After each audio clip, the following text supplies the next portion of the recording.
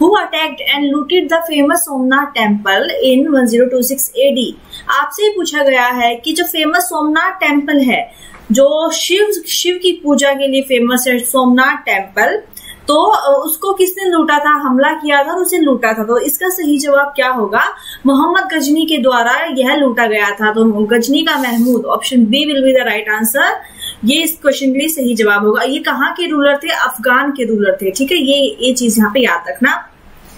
Which queen died fighting Mughal armies while defending Garha Katanga in 1564 आपको उन महारानी का नाम यहाँ पे बताना है, जिन्होंने पंद्रह चौसठ ईस्वी में गढ़ कटंगा की रक्षा करते हुए, मुगल सेनाओं से लड़ते हुए उनकी मृत्यु हो गई थी। तो इसका सही जवाब क्या होगा?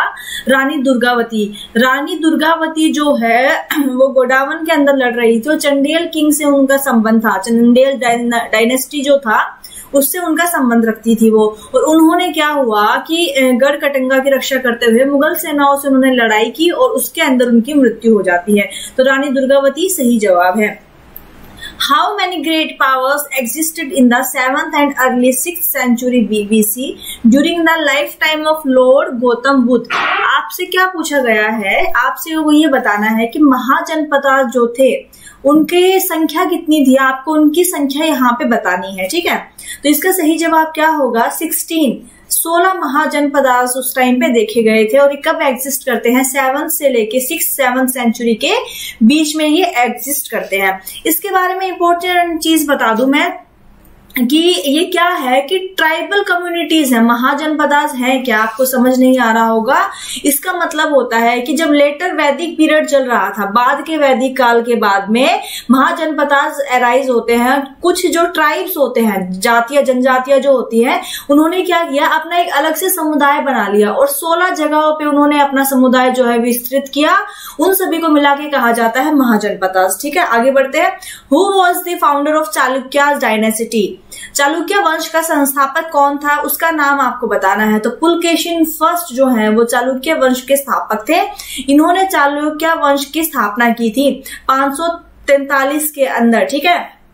इनकी कैपिटल क्या थी? कैपिटल की बात की जाए तो वटपी जो है, वो कैपिटल थी इसकी पुलकेशिन की। चालुक्य डायनेस्टी की पहली राजधानी थी वटपी, ये एग्ज़ाम में पूछी जाती है। सेकंड थिंग इनको कहा जाता है Chalukyas of Badami.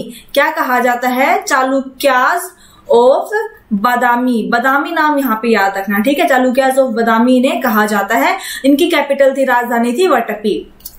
Who which of the following is not one of the monarchical state? That exist in the seventh and early sixth centuries BC in India. निम्नलिखित में से कौन सा एक राजशाही राज्य नहीं है, जो भारत में सातवीं और छठवीं शताब्दी पूर्व में मौजूद था? तो इसका सही जवाब क्या होगा? कोशाला। कोशाला जो है, ये किसकी कैपिटल थी? अयोध्या की कैपिटल थी। अब देखो, Magadh, Vaishali, Avanti these three are, Mahajanapadas, ठीक है? ये महाजनपदास है। तो सोलह महाजनपदास मैंने आपको बताया था, उनमें से ये तीनों भी आते हैं। तो इसका सही जवाब ऑप्शन डी कोसाला जो है वो एक जनपदाज नहीं है, ठीक है? मगध वैशाली अवंती, ये कहाँ कहाँ पे इनकी लोकेशन एक बार मैं आपको बता देती हूँ, ठीक है? अवंती जो है वो मध्य प्रदेश के अंदर है, वैशाली कहाँ पे है? ये बिहार के अंदर ठीक है? ये चीज़ यहाँ पे याद रखना। Name the name the state Chandragupta one got in dowry from Licchavis Licchavis जो राजा थे उनसे दहेज में चंद्रगुप्त वन को uh, कौन सा स्टेट मिला था? ये आपको बताना है। पाटलिपुत्र मिला था चंद्रगुप्त वन को। चंद्रगुप्त फ़र्स्ट जो थे वो घटोत्कच का नाम आपने सुना होगा। घटोत्कच के पुत्र थे ठीक है? उनके बाद उन्होंने क्या किया कि एक रानी थी वहाँ की कुमार देवी। कुमार देवी से उन्होंने विवाह किया। कुमार देवी जो लिच्छवी राज्य जो था उनकी आ, उनकी बेटी थी तो उन्होंने उनकी बेटी से विवाह किया और उनको दहेज के रूप में पाटलिपुत्र उनको दिया गया तो ऑप्शन बी सही जवाब था। The period between in India history is known as Delhi Sultanate period Delhi Sultanate का काल कब से कब तक है? ये बहुत बार एग्ज़ाम में पूछा जाता है। इसको आपको याद कर लीजिए। काफ़ी इंपॉर्टेंट क्वेश्चन है। 1206 से लेके 1526 के बीच में जो काल रहा है that is known as Delhi Sultanate period Delhi Sultanate period के अंदर पाँच डायनेस्टीज पाँच डायनेस्टीज जो है, उनका शासन रहा है। उनको याद कैसे करोगे? M K T M K T S L इसकी ट्रिक क्या होती है? मार्केट से लाओ। मतलब कोई आपको कह रहा है मार्केट से सब्ज़ी लाओ। एम के टी मतलब मार्केट से लाओ। ठीक है? एम से क्या बनेगा? मामलुक डायनेस्टी या गुलाम वंश कहा जाता है। के से खिलजी वंश। ठीक है? टी से तुगलक वंश। एस से सैयद डायनेस्टी सैयद वंश और एल से लोधी वंश। ठीक है? तो ये या, इसको ट्रिक किया है याद करने की। तो पाँच डायनेस्टीज देखी जाती है दिल्ली सल्तनत के अंदर। Mihir Bhoj was the ruler of Mihir Bhoj जो है, वो एक प्रतिहार शासक था। तो ऑप्शन सी इस क्वेश्चन का सही जवाब हो जाएगा। मिहिर भोज क्या था? एक प्रतिहार शासक था। उनके पिता का नाम बहुत बार एग्ज़ाम में पूछा जाता है। तो रामभद्र जो थे, रामभद्र के बाद उन्होंने शासन संभाला। And he is he was the ruler of Pratihar. Pratihar के रूलर थे, ठीक है? और विष्णु को मानने वाले थे। ये भी बहुत बार एग्ज़ाम में पूछा जाता है विष्णु के डिवोटी थे। Who is the author of the book Rajatarangini it's a very important question बहुत बार एग्ज़ाम में आ चुका है ये रजत रंगनी के लेखक कौन है? इसका सही जवाब है Kalhan. Option B is the right answer Kalhan जो है इन्होंने पुस्तक लिखी है रजत रंगिनी ठीक है? रजत रंगिनी का मतलब क्या है कि ये क्या है? अकाउंट इस बुक में क्या है? Account of history of Kashmir. कि कश्मीर राज्य के जो इतिहास है, वो इस बुक के अंदर दिया गया है। और कलहन जो थे कश्मीरी ऑथर थे। ये चीज़ आपको याद रखनी है, कश्मीर के बारे में इस किताब के अंदर बताया गया है, ठीक है? बान भट्ट की एक बहुत फ़ेमस किताब है, जो हर एग्ज़ाम में पूछी जाती है, वो है हरीश हरीश चरित्र। इसके बारे में बहुत बार एग्ज़ाम में पूछा जाता है। एक फ़ेमस इनकी और है, जिसका नाम है कादम्बरी कादम्बरी ठीक है? और कालिदास की आपको पता है, बहुत सारी पुस्तकें हैं और एग्ज़ाम में पूछी भी जाती है। मैं लिखूँगी नहीं क्योंकि टाइम बहुत चला जाएगा लिखने में। अभिज्ञान शकुंतलम, रघुवंश रघुवसम, मेघदूत, ये तीनों जो हैं, ये सारी, ये तीनों पुस्तकें लिखी गई है कालिदास के द्वारा, ठीक है? कौन सी लैंग्वेज में लिखी गई है? कालिदास पे क्वेश्चन आता है तो संस्कृत में। संस्कृत के अंदर लिखी गई है। और रजत रंगिनी भी कौन सी लैंग्वेज में लिखी गई है? संस्कृत में भी संस्कृत में ही रजत रंगिनी को लिखा गया है। Veer Kunwar Singh Jayanti celebrated in order to recognise the achievement of Kunwar Singh during the Indian rebellion in 1857 seven की क्रांति में वीर कुंवर सिंह का बहुत महान योगदान रहा है। इसके लिए इनकी जयंती मनाई जाती है। तो कौन से राज्य के अंदर इनकी जयंती मनाई जाती है, ये आपको इसमें बताना है। ये संबंध रखते थे बिहार से। बिहार के अंदर एक डिस्ट्रिक्ट है, जिसका नाम है जगदीशपुर। जगदीशपुर के ये रहने वाले थे और इन्होंने अठारह की क्रांति में बहुत ही बड़ा योगदान इनका रहा है। इन्होंने बहुत ही अच्छी लीडरशिप वहाँ पे निभाई है, इसलिए इनके नाम पे वीर कुंवर सिंह जयंती को मनाया जाता है, ठीक है? Vikramshila university was founded by which Pala king Vikramshila university की स्थापना किसने की थी? कौन से पाल राजा के द्वारा की गई थी? धर्मपाल के द्वारा की गई थी। ऑप्शन डी जो है, वो हमारे क्वेश्चन का सही जवाब हो जाएगा। कब की गई थी? आठ एट सेंचुरी और नाइन्थ सेंचुरी के बीच में है जो इस यूनिवर्सिटी की स्थापना की गई थी। ये यूनिवर्सिटी है क्या? ये क्या है? एक बुद्धिज्म बुद्धिज्म में सेंटर है। यहाँ पे बौद्ध धर्म का प्रचार था तो इस, उसी की वजह से इसका निर्माण किया गया, किसके द्वारा? धर्मपाल, जो एक पाल किंग थे, ठीक है? Who was the first Muslim ruler whose empire covered almost the whole of India up to its extreme south उस एक पहले मुस्लिम शासक का नाम आपको बताना जिसका साम्राज्य पूरे भारत में अपने चरम दक्षिण तक फैला हुआ था। यह फैला हुआ था अलाउद्दीन खिलजी के काल में। अलाउद्दीन खिलजी के बारे में आपने बहुत काफ़ी चीज़ें आपने पढ़ी होंगी। ठीक है आपने मूवी देखी पद्मत पद्मावत उसमें भी आपने इसके बा, इनके बारे में जानने को मिला होगा। तो इनको डिस्कस नहीं करते। इनके बारे में जो इम्पोर्टेंट चीज़ें एग्ज़ाम में पूछी जाती है बलबन के बाद बलबन के बाद खिलजी वंश की स्थापना होती है जलालुद्दीन खिलजी के बाद। जलालुद्दीन खिलजी ने किसकी स्थापना की थी? खिलजी वंश की स्थापना की थी, ठीक है? बलबन थे मामलुक स्लेव डायनेस्टी से, गुलाम वंश गुलाम वंश के बाद किसका शासन आता है? खिलजी वंश का। खिलजी वंश की स्थापना करी थी जलालुद्दीन खिलजी ने। जलालुद्दीन खिलजी के एक नेफ्यू थे, जिनका नाम था अलाउद्दीन खिलजी। उन्होंने जलालुद्दीन खिलजी की हत्या करके अलाउद्दीन ने शासन संभाला। अलाउद्दीन खिलजी पहले मुसलमान रूलर थे जिनका जो विस्तार था, पूरे भारत में था। Which was the first Muslim dynasty that ruled India कौन सी पहली मुस्लिम वंश जो है, जिन्होंने भारत के ऊपर शासन किया था? तो सबसे पहले आपको पता है, दिल्ली सल्तनत को हम कैसे याद रखते हैं? M K T S L सबसे पहले कौन सा वंश है? एम या इसको गुलाम वंश भी कहा जाता है स्लेव डायनेसिटी भी कहा जाता है। तो option A will be the right answer उसके बाद आता है खिलजी वंश। खिलजी के बाद आता है तुगलक। तुगलक के बाद आता है सैयद। सैयद के बाद आता है लोधी वंश। ठीक है? हु अमंग द अच्छा एक बात बताओ इस क्वेश्चन ने मुझे कि मुस्लिम वंश तो पढ़ लिया हमने दैट इज़ स्लेव डायनेसिटी अगर आपसे कोई पूछे, इसका पहला शासक कौन था? तो वो थे कुतुबुद्दीन एबक कुतुबुद्दीन एबक के द्वारा गुलाम वंश की स्थापना करी गई थी। Who among the following was a slave of Mohammad Ghori Mohammad Ghori के गुलाम का नाम बताना है और जिन्होंने गुलाम वंश की स्थापना की थी। It's a very easy question आप सभी को पता होगा, कुतुबुद्दीन ऐबक जो है, वो क्या थे? मोहम्मद गौरी के गुलाम थे। मोहम्मद गौरी के गुलाम थे, उसके बाद उन्होंने गुलाम वंश की स्थापना करी है तो इसका सही जवाब होगा ऑप्शन डी ठीक है? कुतुबुद्दीन ऐबक के बाद जिन्होंने शासन संभाला, वो है इल्तु तमिश ठीक है? किन्होंने संभाला इल्तु तमिश ने। आप देखो, कुतुबुद्दीन ऐबक के बारे में इंपॉर्टेंट चीज़ें एग्ज़ाम में क्या पूछी जाती है, ये मैं आपको बता देती हूँ, ठीक है? इनकी मौत कैसे हुई? इनकी मौत होती है, एक गेम होता है चौगन। चौगन खेलते हुए इनकी मृत्यु हो जाती है, ठीक है। ये कहाँ के रहने वाले थे? तुर्की के रहने वाले थे, तुर्किश थे, ठीक है। तीसरा क्वेश्चन क्या पूछा जाता है? एक नाम इनको दिया गया था, लाख बख्श सुल्तान। ये किनका नाम है? कुतुबुद्दीन ऐबक का है, ठीक है, ये भी सही है। इन्होंने कुतुब मीनार का निर्माण शुरू करवाया था। कुतुब मीनार का निर्माण करवाया था इन्होंने, लेकिन ये पूरा नहीं कर पाए थे। कुतुब मीनार का निर्माण पूरा किसके द्वारा किया गया था? इल्तु तमिश के द्वारा, ठीक है? ये चीज़ याद रखना। शुरू इन्होंने करवाई थी, लेकिन निर्माण पूरा करवाया था इल्तु तमिश ने। ये चीज़ बहुत इंपॉर्टेंट है। ये चारों पॉइंट्स जो है, हर बार क्वेश्चन एग्ज़ाम में पूछे जाते हैं। चारों पॉइंट्स को ध्यान से याद रखना।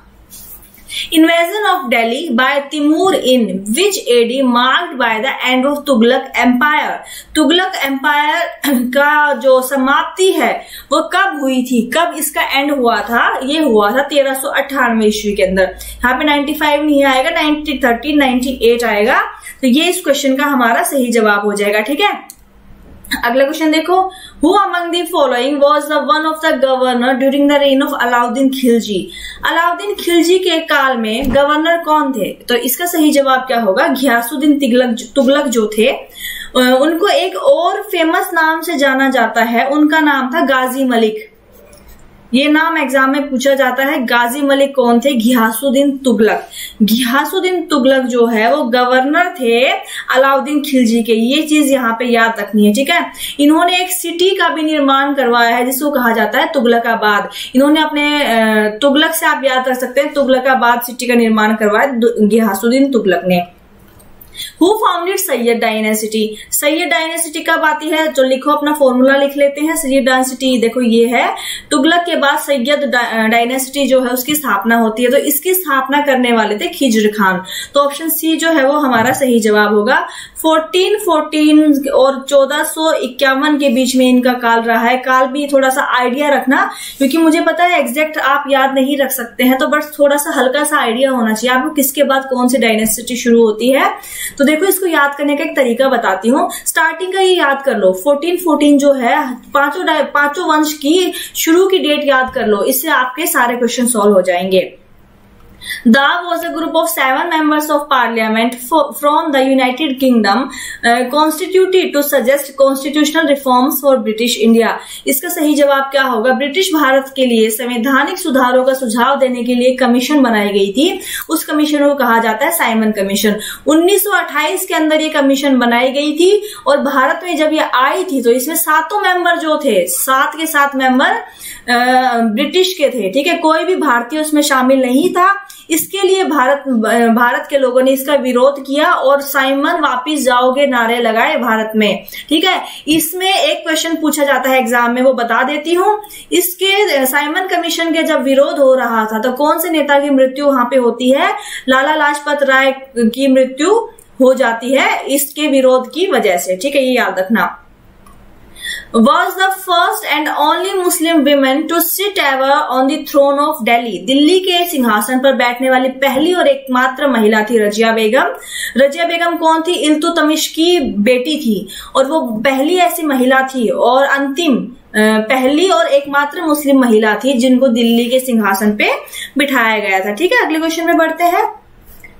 Which one of the following is not a condition let down in the Gandhi Irwin pact Gandhi Irwin के बीच में जो पैक्ट हुआ था, ठीक है? कब हुआ था? पाँच मार्च 1931 को। 1931 पाँच मार्च पाँच मार्च 1931 को एक पैर समझौता हुआ था, जिसे गांधी और इरविन समझौता कहा जाता है, ठीक है? इसका सही जवाब पहले देख लेते हैं। इसका सही जवाब होगा ऑप्शन सी इस समझौते में क्या हुआ था? आपको पता है, गांधी जी ने नमक आंदोलन शुरू किया था, नमक आंदोलन शुरू किया था। तो ब्रिटिशर्स को लगा कि हम इनको रोके कैसे? तो उन्होंने गांधी जी के साथ एक समझौता किया, आप इस नमक आंदोलन को रोक दीजिए, हम क्या करेंगे? हमने आपके कैदियों को जो पकड़ा है, जो नमक के लिए विरोध कर रहे हैं, उनको हम छोड़ देंगे। ठीक है, ये शर्त रखी थी गांधी जी के द्वारा, ये शर्तें रखी गई थी। और गांधी जी ने क्या शर्त रखी थी कि नमक से आपको टैक्स हटाना है, ठीक है? और आपको क्या करना है कि कांग्रेस कांग्रेस और आपको जितने आपने हमारे विरोध सहायकों जो हमारे लोग हैं जिन्हों जो विरोध कर रहे थे नमक आंदोलन के लिए उनको रिलीज़ करना है ठीक है जेल से रिहा करना है। ये शर्तें थी गांधी जी की। अब लॉर्ड इरविन की शर्तें क्या क्या थी? आपको जो आप नमक आंदोलन शुरू किया उसको बंद कर देना और जो सेकेंड राउंड टेबल कॉन्फ्रेंस होनी, होनी थी गोल मेज कॉन्फ्रेंस होनी थी दूसरी वाली उसके अंदर आपको पार्टिसिपेट करना है लंदन के अंदर। तो ये दो शर्तें थी लॉर्ड इरविन की ठीक है आगे बढ़ते हैं Who among the following succeeded the Mughal throne in the year 1556? 1556 में किन्होंने मुगल एम्पायर का शासन संभाला? ये आपको इसमें बताना है। इसका सही जवाब क्या होगा? अकबर। अकबर जो है, वो थर्ड मुगल रूलर थे। तीसरे नंबर के मुगल राजा थे। ठीक है, एक तो ये चीज़ इसके बारे में याद रखना। इनका शासनकाल रहा है पंद्रह से लेकर 1605 ईस्वी के बीच में। ये शासनकाल याद रखना। आप देखो, एक छोटी सी ट्रिक बताती हूँ, ठीक है? आपने यूट्यूब पे देखा होगा, लोग दस दस मिनट की एक ट्रिक बनाते हैं। इसके ऊपर मैं आपको बस within ten to fifteen seconds में आपको समझा दूँगी। मुगल काल के जितने भी राजाओं को याद रखना है उसके लिए एक ट्रिक होती है भाजसा ठीक है, जैसे भाजपा होती है, वैसे ये भाजसा से याद रखो। भाजसा से क्या होगा? बाबर, एच से हुमायूं, ए से अकबर, जे से जहांगीर, एस से शाहजहां और ए से औरंगज़ेब। देखो, याद हो गए सारे मुगल राजा, मैंने आपको याद करवा दिए हैं। इसके लिए ट्रिक है भाजसा भाजसा को याद रखना। सारे मुगल रूलर से आप आप उनको नंबर वाइज उनको याद रख सकते हैं। ठीक है, अगले क्वेश्चन पे मूव करते हैं। Khajuraho temple is located in which state? Khajuraho मंदिर कौन से राज्य में स्थित है? तो यह स्थित है मध्य प्रदेश के अंदर। बहुत ही फ़ेमस टेंपल है। यूनेस्को की वर्ल्ड हेरिटेज साइट के अंदर भी इसको स्थान मिला हुआ है, ठीक है? और ये छतरपुर, मध्य प्रदेश के छतरपुर डिस्ट्रिक्ट में है। छतरपुर डिस्ट्रिक्ट के अंदर है ये। और ये हिंदू और जैन दोनों का टेंपल है। एग्ज़ाम में ये पूछा जाता है कि हिंदू और जैन दोनों ही, दोनों लोग, दोनों का ही धर्मों का ये मंदिर है। और तीसरा ऑन विच डे क्वेश्चन में ये पूछा गया है, सिंपल सा, कि बिहार दिवस कब मनाया जाता है? स्टेटमेंट लंबी है स्टेटमेंट में मत जाओ। बिहार दिवस कब मनाया जाता है, ये आपको होगा ट्वेंटी के लिए चित्तौड़गढ़। चित्तौड़गढ़ का जो किला है, चित्तौड़गढ़ कहाँ पे है? ये मेवाड़ की राजधानी है, ठीक है? मेवाड़ जो जगह है राजस्थान में, उसकी राजधानी थी चित्तौड़गढ़। वहाँ पे एक किला था, जिसके अंदर छतरी बनवाई गई है, जयमल और कल्ला के। आप देखो एग्ज़ाम में क्वेश्चन क्या आया हुआ है, पिछले प्रीवियस ईयर एग्ज़ाम में? कि इसका जो साउथ इसका जो गेट है, इसका मेन गेट उसको क्या कहा जाता है? उसको कहा जाता है, इसके मेन गेट को कहा जाता है सूरज पोल। ये क्वेश्चन एग्ज़ाम में पूछा गया था। मुख्य दरवाज़ा जो है चित्तौड़गढ़ दुर्ग का, उसको कहा जाता है सूरज पोल। इस चीज़ को याद रखना। और बाकी जितने भी आप लोग किले यहाँ पे दिए गए हैं, ये सारे राजस्थान के किले हैं। Leader of Bhakti movement focusing on lord Ram was Bhakti movement के लीडर कौन थे? जिनकी भक्ति जो है वो भगवान राम के ऊपर केंद्रित थी। तो वो थे रामनंद। इसको याद रख लो राम से आप इसको थोड़ा सा रिलेट रख लो। राम राम से थोड़ा आपको याद हो जाएगा ठीक है?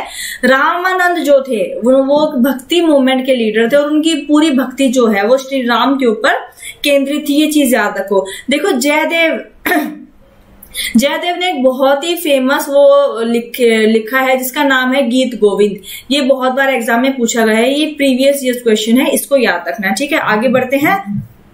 स्वामी विवेकानंद के बारे में आप सभी को पता होगा रामकृष्ण मिशन की स्थापना किसने करी है? स्वामी विवेकानंद ने करी है ठीक है? The term Zat and Sawar are related to which of the following administrative system Zat और सवार ये शब्द जो है, ये कौन सी प्रशासनिक प्रणालियों में से एक है? मनसबदारी। मनसबदारी की शुरुआत की थी अकबर ने। ठीक है, पहली बात तो ये याद रखो। जैसे हमारे यहाँ पे रैंक होती है जैसे आईएएस ऑफिसर आईपीएस ऑफिसर वैसे ही मुगल काल में कुछ रैंक होती थी। जो रैंक होती थी, उनको कहा जाता था जाट। जाट का मतलब होता है रैंक ठीक है? और सवार का मतलब क्या है? जितनी आपको रैंक दी गई है, उसके अकॉर्डिंग आपको हॉर्स की संख्या मेंटेन करनी पड़ेगी, घोड़ों की संख्या आपको मेंटेन करनी पड़ेगी। ये सिस्टम कहलाता था मनसबदारी सिस्टम इसकी शुरुआत की गई थी अकबर के द्वारा। Vivekananda rock memorial is located in it is located in Kanyakumari. आप सभी को पता होगा, विवेकानंद का जो रॉक मेमोरियल है, वो कन्याकुमारी पे, कन्याकुमारी में स्थित है। कब बनवाया गया? 1970 के अंदर। ठीक है डेट भी याद रखना डेट भी एग्ज़ाम में पूछी जाती है। उषा तनु निमी, रवि प्रीति सौरभ का सही जवाब है। आदित्य राव का भी जवाब सॉरी प्रवीण सांगवान का भी सही जवाब है। वेरी गुड बच्चों। अगला क्वेश्चन देखो। Was the first Mughal emperor in India अभी मैंने समझाया ना मुगल एम्पर को याद करने की क्या ट्रिक है हमारे पास? बादशाह। चलो, जल्दी से अप्लाई कर दो। बादशाह ट्रिक सबसे पहले रूलर कौन थे? बाबर। बाबर के बाद कौन आए? हुमायूं आए, ठीक है? तो आप देखो, सबसे पहले कौन आए? बाबर। तो इसका सही जवाब क्या होगा? ऑप्शन सी बाबर, ठीक है? इस ट्रिक से आप बहुत सारे क्वेश्चन सॉल्व कर सकते हैं। तो ये बहुत इंपॉर्टेंट ट्रिक मैंने आपको बताई है। इसको याद रखना। अगला क्वेश्चन देखो। The leading light of the Ram cult was Saint poet, who also wrote the poem रामचरित्र रामचरित्रमानस की रचना किसके द्वारा की गई है? बेसिकली आपसे इस क्वेश्चन में यही पूछा है। तुलसीदास जी के द्वारा रचना करी गई है रामचरित्रमानस की। इस चीज़ को याद रखना। अगला देखते हैं। On March 23, India observes which Divas as a tribute to Bhagat Singh Sukhdev and Rajguru on their death anniversary. आपको ये बताना है 23 मार्च को कौन से दिवस के रूप में मनाया जाता है? 23 मार्च को हुआ क्या था? लाहौर के अंदर राजगुरु सुखदेव और भगत सिंह को फांसी दी गई थी ठीक है? तो ये दिवस दिवस मनाया जाता है शहीद दिवस के रूप में। ऑप्शन बी जो हो होगा हमारा सही जवाब होगा ठीक है? अकबर वो succeeded by his son Salim who took the title of meaning conqueror of the world Salim जो है, वो किसका नाम था? ये आपको बताना है, अकबर के बेटे थे जहांगीर। जहांगीर का निक नेम आप कह सकते हैं। सलीम था तो ऑप्शन बी जो है होगा, इस क्वेश्चन का हमारा सही जवाब हो जाएगा। ये कौन से मुगल रूलर थे? फोर्थ नंबर के, चौथे नंबर के मुगल शासक थे ये, और इनका निक नेम था सलीम। सलीम अनारकली के किस्से आपने काफ़ी सुने होंगे तो ये वही सलीम है जिनका नाम है Jahangir. Memorial, conceived by Lord Curzon, represent the architectural uh, climax in which city? क्या पूछा गया है क्वेश्चन में कि विक्टोरिया मेमोरियल जो है वो कहाँ पे स्थित है? ये आपसे पूछा गया है। It is located in West Bengal and West Bengal में भी it is located in Kolkata Kolkata के में हुगली नदी के ऊपर ये बनाया गया है। किसके सम्मान में बनाया गया था? किसको डेडिकेटेड है ये क्वीन विक्टोरिया को? क्वीन विक्टोरिया के सम्मान में उनको डेडिकेटेड है ये विक्टोरिया मेमोरियल, ठीक है, जो कहाँ पे स्थित है? कोलकाता के अंदर स्थित है। और इसका निर्माण कब करवाया गया था? 1906 से 1921 के बीच में इसका निर्माण करवाया गया था। बहुत सारे बच्चों ने सही जवाब दिया है। संजू ने सही जवाब दिया है। प्रीति का भी सही है। प्रवेश, गीता का भी सही है। गुड्डू, आदित्य का भी सही है। Very good which of the following was the most important characteristic of Indian trade throughout the colonial period देखो, औपनिवेशिक काल के अंदर भारत के व्यापार की सबसे विशेष विशेषता क्या थी? महत्वपूर्ण। देखो, आप सभी को पता है, अंग्रेज़ जब भारत में आए थे, अंग्रेज़ व्यापार के व्यापार करने आए थे, उनका काम क्या था? भारत से सस्ती चीज़ें खरीद के इंग्लैंड में महँगे दामों पे बेचना। तो अगर भारत से आप किसी दूसरी कंट्री में चीज़ों को भेज रहे हो तो वो कहलाता है एक्सपोर्ट, ठीक है?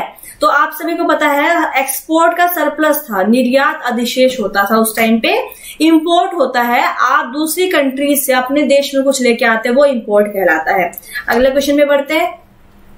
Which Indian monument was built by Maharaja Sawai Pratap Singh Maharaja Sawai Pratap Singh के द्वारा कौन सा मोन्यूमेंट बनवाया गया था स्मारक बनवाया गया था इन्होंने बनवाया था हवा महल। अब देखो इसमें से इंपॉर्टेंट क्वेश्चन जो एग्ज़ाम में आया हुआ है। uh, हवा महल का डिज़ाइन किसने किया था? डिजाइंड बाय इसका नाम शायद आप लोगों को नहीं पता होगा। तो इसका ना सही जवाब क्या होगा? लाल चंद उस्ताद लाल चंद उस्ताद जो हैं उनके द्वारा हवा महल को डिज़ाइन किया गया था। Red fort and Jama Masjid in Delhi was built during the reign of Delhi में लाल किला और जामा मस्जिद के शासनकाल के दौरान वास्तुकला की विशाल उपलब्धियों के रूप में देखे जाते हैं। किनके शासनकाल में इनको बनवाया गया था? यह आपको बताना है। शाहजहां के शासनकाल में इनको बनवाया गया था। तो ऑप्शन ए जो है, इस क्वेश्चन का हमारा सही जवाब है। लाल किले पे आप सभी को पता है हर साल पंद्रह अगस्त पे जो हमारे प्रधानमंत्री होते हैं, वहाँ पे तिरंगा फहराते हैं। Humayun here was born in exile and was only 13 year old when his father died. देखो, इसको हम वैसे ही याद रखेंगे। अगर क्वेश्चन नहीं समझ में आया, कोई दिक्कत नहीं है। हुमायूं के बाद देखो किसका नंबर आता है। हुमायूं के बाद कौन है? अकबर तो बिना सोचे समझे यहाँ पे अकबर का निशान लगा देना। अकबर सही जवाब होगा। अगर क्वेश्चन नहीं समझ में आया, अगर क्वेश्चन के बारे में नहीं पता है तो ये देखो हुमायूं के बाद किसके कौन से राजा का काल रहा है। तो अकबर का काल रहा है तो ऑप्शन ए सही जवाब हो जाएगा। Who built Taj Mahal for his wife Mumtaz Mahal along the bank of Yamuna River in Agra? सभी को पता होगा शाहजहां के द्वारा ताजमहल का निर्माण करवाया गया था who was the fifth of the ten Sikh guru दस सिखों के गुरु थे। उसमें से पाँचवें नंबर के गुरु कौन से थे? देखो, सारे दस के दस गुरु याद मत रखना, इतना तो याद रख भी नहीं सकते आप। याद क्या रखोगे? इंपॉर्टेंट है फिफ्थ नंबर के। पाँचवें नंबर के गुरु जो है, वो उनका काल काफ़ी इंपॉर्टेंट रहा है। और एग्ज़ाम पॉइंट ऑफ़ व्यू से भी इंपॉर्टेंट और पूछा जाता है। तो फिफ्थ नंबर के गुरु थे गुरु अर्जन देव। ऑप्शन सी, गुरु अर्जन देव जी थे। इन्होंने बहुत सारी उपलब्धियाँ हासिल की है, बहुत सारे काम इन्होंने करवाए हैं, ठीक है? इन्होंने सिख स्क्रिप्चर तैयार किया था कंपाइल किया था सिख स्क्रिप्चर जिसको कहा जाता है आदि ग्रंथ। और बाद में इसको बढ़ा के क्या क्या कहा जाता है? गुरु ग्रंथ साहिब भी कहा जाता है, ठीक है? अगला क्वेश्चन देखो। Qutub Minar was named after the Sufi sant Qutub Minar का जो निर्माण है, वो कौन से सूफी संत के नाम पे रखा गया है? उसका नाम रखा गया है। तो यह रखा गया है ख्वाजा कुतुबुद्दीन बख्तियार काकी। याद हो गया? ख्वाजा कुतुबुद्दीन बख्तियार काकी। तो ऑप्शन सी इस क्वेश्चन का सही जवाब होगा। निर्माण किसने करवाया? कुतुबुद्दीन ऐबक ने। निर्माण शुरू करवाया कुतुबुद्दीन ऐबक ने और खत्म किसने करवाया? इल्तुतमिश ने करवाया। दोनों चीज़ें याद रखना। The Suri king was defeated by Humayun to regain his kingdom Suri राजा को हराकर हुमायूं ने अपना राज्य वापस हासिल कर लिया। इसका सही जवाब देखो, ये थोड़ा एक कॉन्ट्रोवर्शियल क्वेश्चन रहा है। ध्यान से सुनना। एसएससी की बात करें तो एसएससी ने सही जवाब दिया है ऑप्शन सी लेकिन अगर पिनाकल की बात करें पिनाकल या आप गूगल सर्च भी करते हैं इसके बारे में तो हमारा सही जवाब क्या है? शेरशाह सूरी। अब आपकी मर्ज़ी, आप सीजीएल के आंसर्स पे जाना चाहते हैं या आप जो गूगल सर्च है या पिनाकल के आंसर पे जाना चाहते हैं that is completely your call ठीक है? तो इसका सही जवाब हमारे अकॉर्डिंग होगा शेरशाह सूरी, लेकिन सीजीएल ने इसका आंसर की में जवाब दिया था सिकंदर सूरी। ठीक है?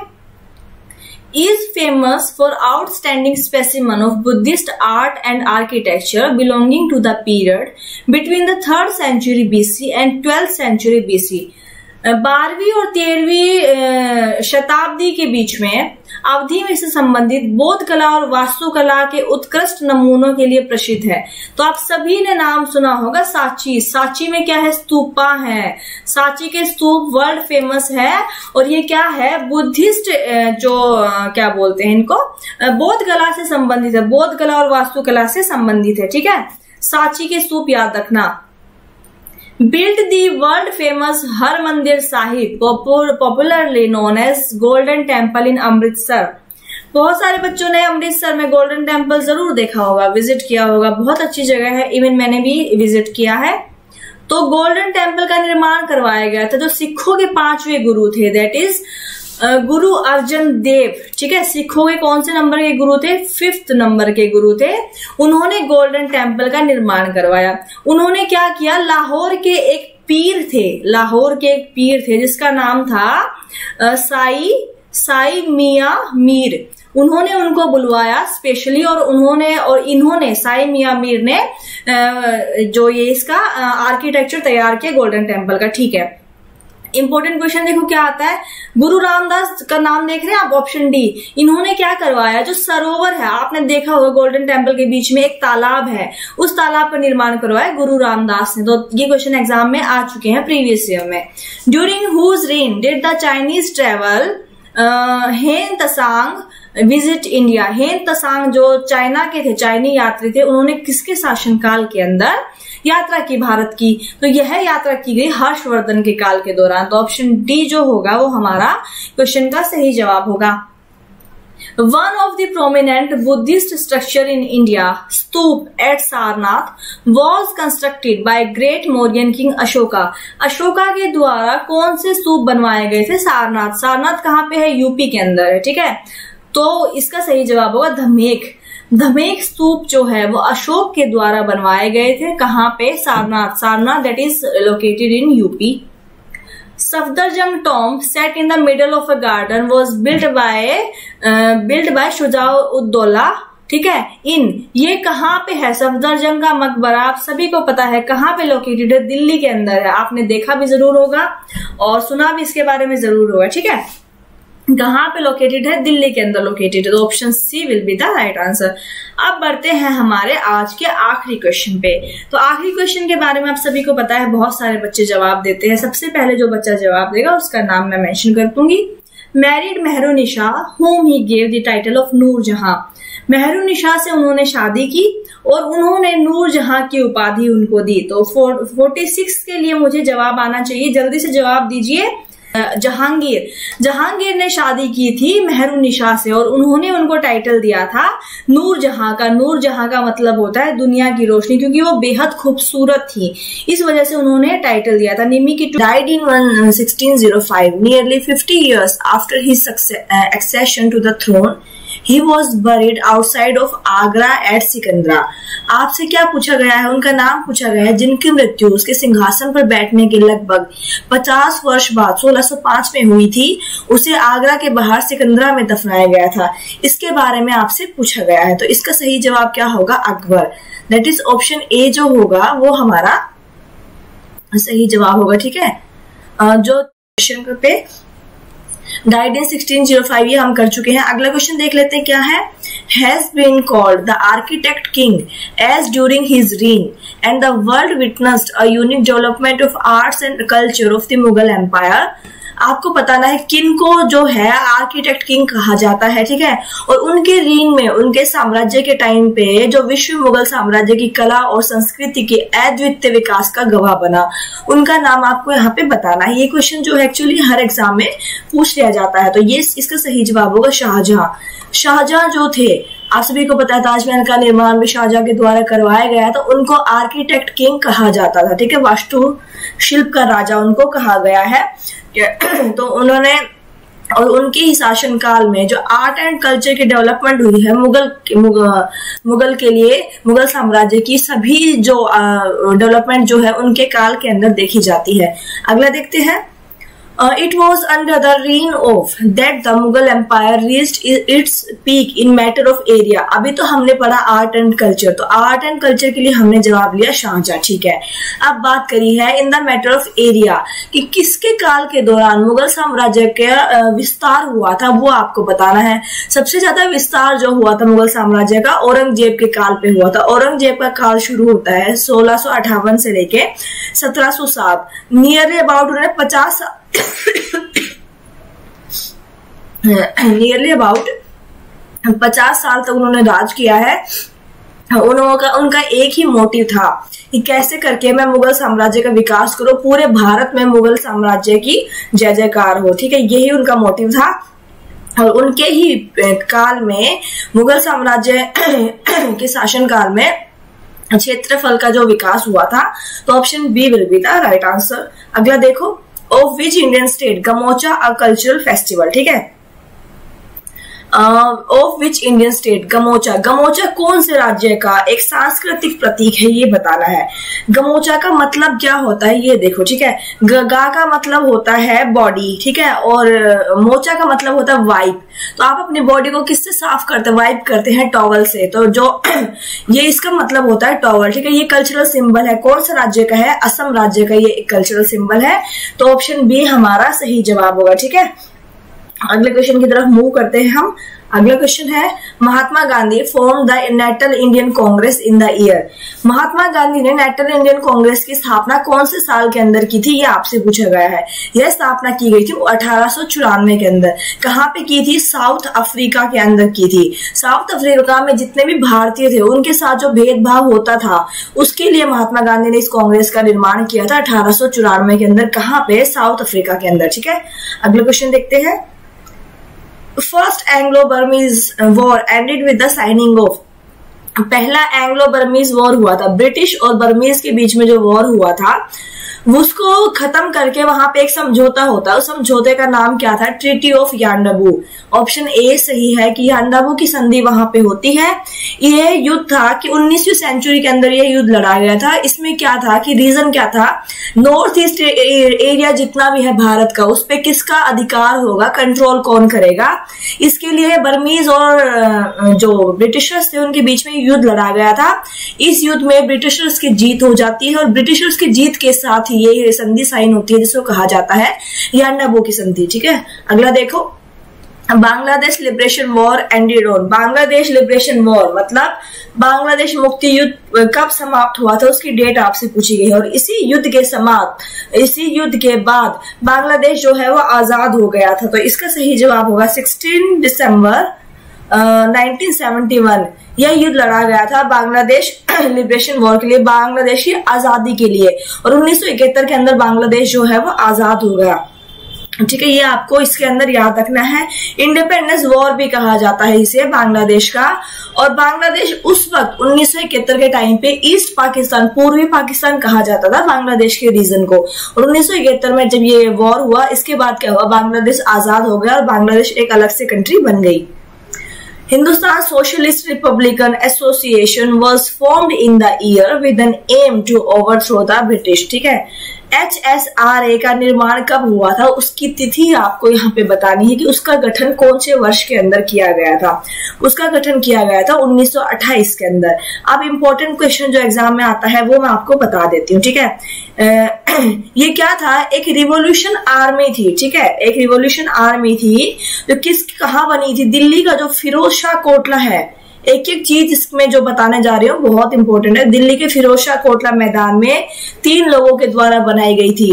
भगत सिंह, सुखदेव और राजगुरु। इन तीनों का नाम आपने सुना होगा। इन तीनों की ये पार्टी थी और तीनों क्रांतिकारी थे, बहुत महान क्रांतिकारी थे।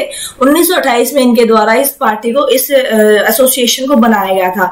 अगला क्वेश्चन एग्ज़ाम में जो पूछा जाता है कि इससे पहले 1928 से पहले इस ऑर्गेनाइजेशन को किस नाम से जाना जाता था, ये आपसे पूछा है। तो इसको जाना जाता था एच आर ए के नाम से, हिंदुस्तान रिपब्लिक एसोसिएशन। 1928 में इसका नाम बदल के रख दिया गया हिंदुस्तान सोशलिस्ट रिपब्लिक एसोसिएशन। ठीक है रिलेट कर लेना। अगला क्वेश्चन देखो। Janko is a unique cultural custom followed in as a celebration of life Janko क्या है? एक त्योहार है। जब आप किसी एक पर्टिकुलर एज में पहुँच जाते हैं, मान लीजिए आप 40 साल की उम्र में पहुँच गए हैं, उसके दिन जब आपका बर्थडे होगा तो उस दिन को बहुत ही धूमधाम से मनाया जाता है, उसे कहा जाता है जानको ठीक है? तो जांगो कहाँ पे मनाया जाता है, ये आपसे पूछा गया है। इसका जवाब होगा नेपाल। नेपाल के अंदर ये मनाया जाता है। It is called celebration of life कि मतलब जीवन के उत्सव के रूप में इसको मनाया जाता है कि आप एक पर्टिकुलर एज के ऊपर पहुँच चुके हैं। Option B will be the right answer as a reaction to Rowlatt Act Rowlatt Act की एक प्रतिक्रिया के रूप में, राष्ट्रीय अपमान दिवस के रूप में आयोजित किया गया था रोलेट एक्ट आप सभी को पता है, तेरह अप्रैल 1919 को बैसाखी के दिन जलियावाला बाग हत्याकांड हुआ था। जिसमें बहुत सारे भारतीय नागरिकों पर गोलियाँ चलाई गई थी। जनरल डायर के द्वारा, वो ब्रिटिश के अपॉइंटेड वहाँ पे थे, ठीक है जनरल डायर तो कब हुआ था? ये हुआ था 6 अप्रैल 1919 को हुआ था और इसके रिएक्शन के रूप में रोलेट एक्ट जो है पास किया गया था, ठीक है रोलेट एक्ट सॉरी इसके रिएक्शन के रूप में नहीं रोलेट एक्ट की प्रतिक्रिया में जो ये हादसा हुआ था, ठीक है, और उसको मनाया जाता है national humiliation day option B जो है वो सही जवाब है। कि who was the first Indian to receive the Raman Magsaysay Award for his contribution to community leadership? कौन से पहले भारतीय हैं कि उनके योगदान के लिए रैमन मैक्सेसे पुरस्कार प्राप्त करने वाले पहले भारतीय कौन थे? ये आपसे पूछा गया है। आप देखो कैटेगरी क्या पूछी गई है? कम्युनिटी लीडरशिप के लिए। ठीक है, ये ध्यान रखना। सामुदायिक नेतृत्व के लिए। तो यह किसको मिला है? इसका सही जवाब होगा आचार्य विनोबा भावे को। ठीक है, ये अवार्ड दिया गया था। अगर आपसे पूछा जाता, पहले भारत भारतीय कौन थे, जिनको जनरल जर्नलिज्म पत्रकारिता के लिए सम्मानित किया गया था इस अवार्ड से। तो आप नाम तो आप आंसर क्या टिक करोगे? अमिताभ चौधरी।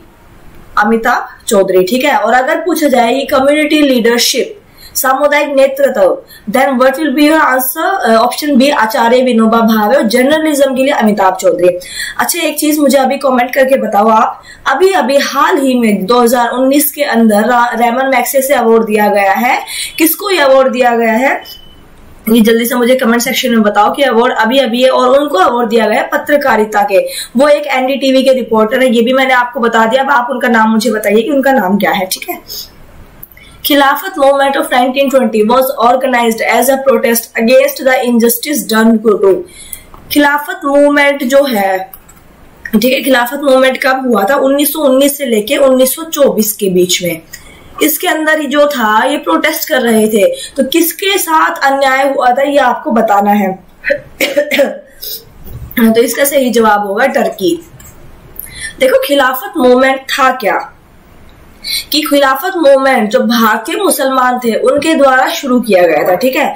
और वो क्या चाहते थे कि जो ऑटोमैन एम्पायर था उस वक्त ऑटोमैन एम्पायर को ब्रिटिशर्स क्या करे, उनकी जो अथॉरिटी है उसको प्रिजर्व रखे और उनको खैलीफ एज ए खैलीफ उनको मेंटेन करके रखे, उनको बनाए रखे, ठीक है?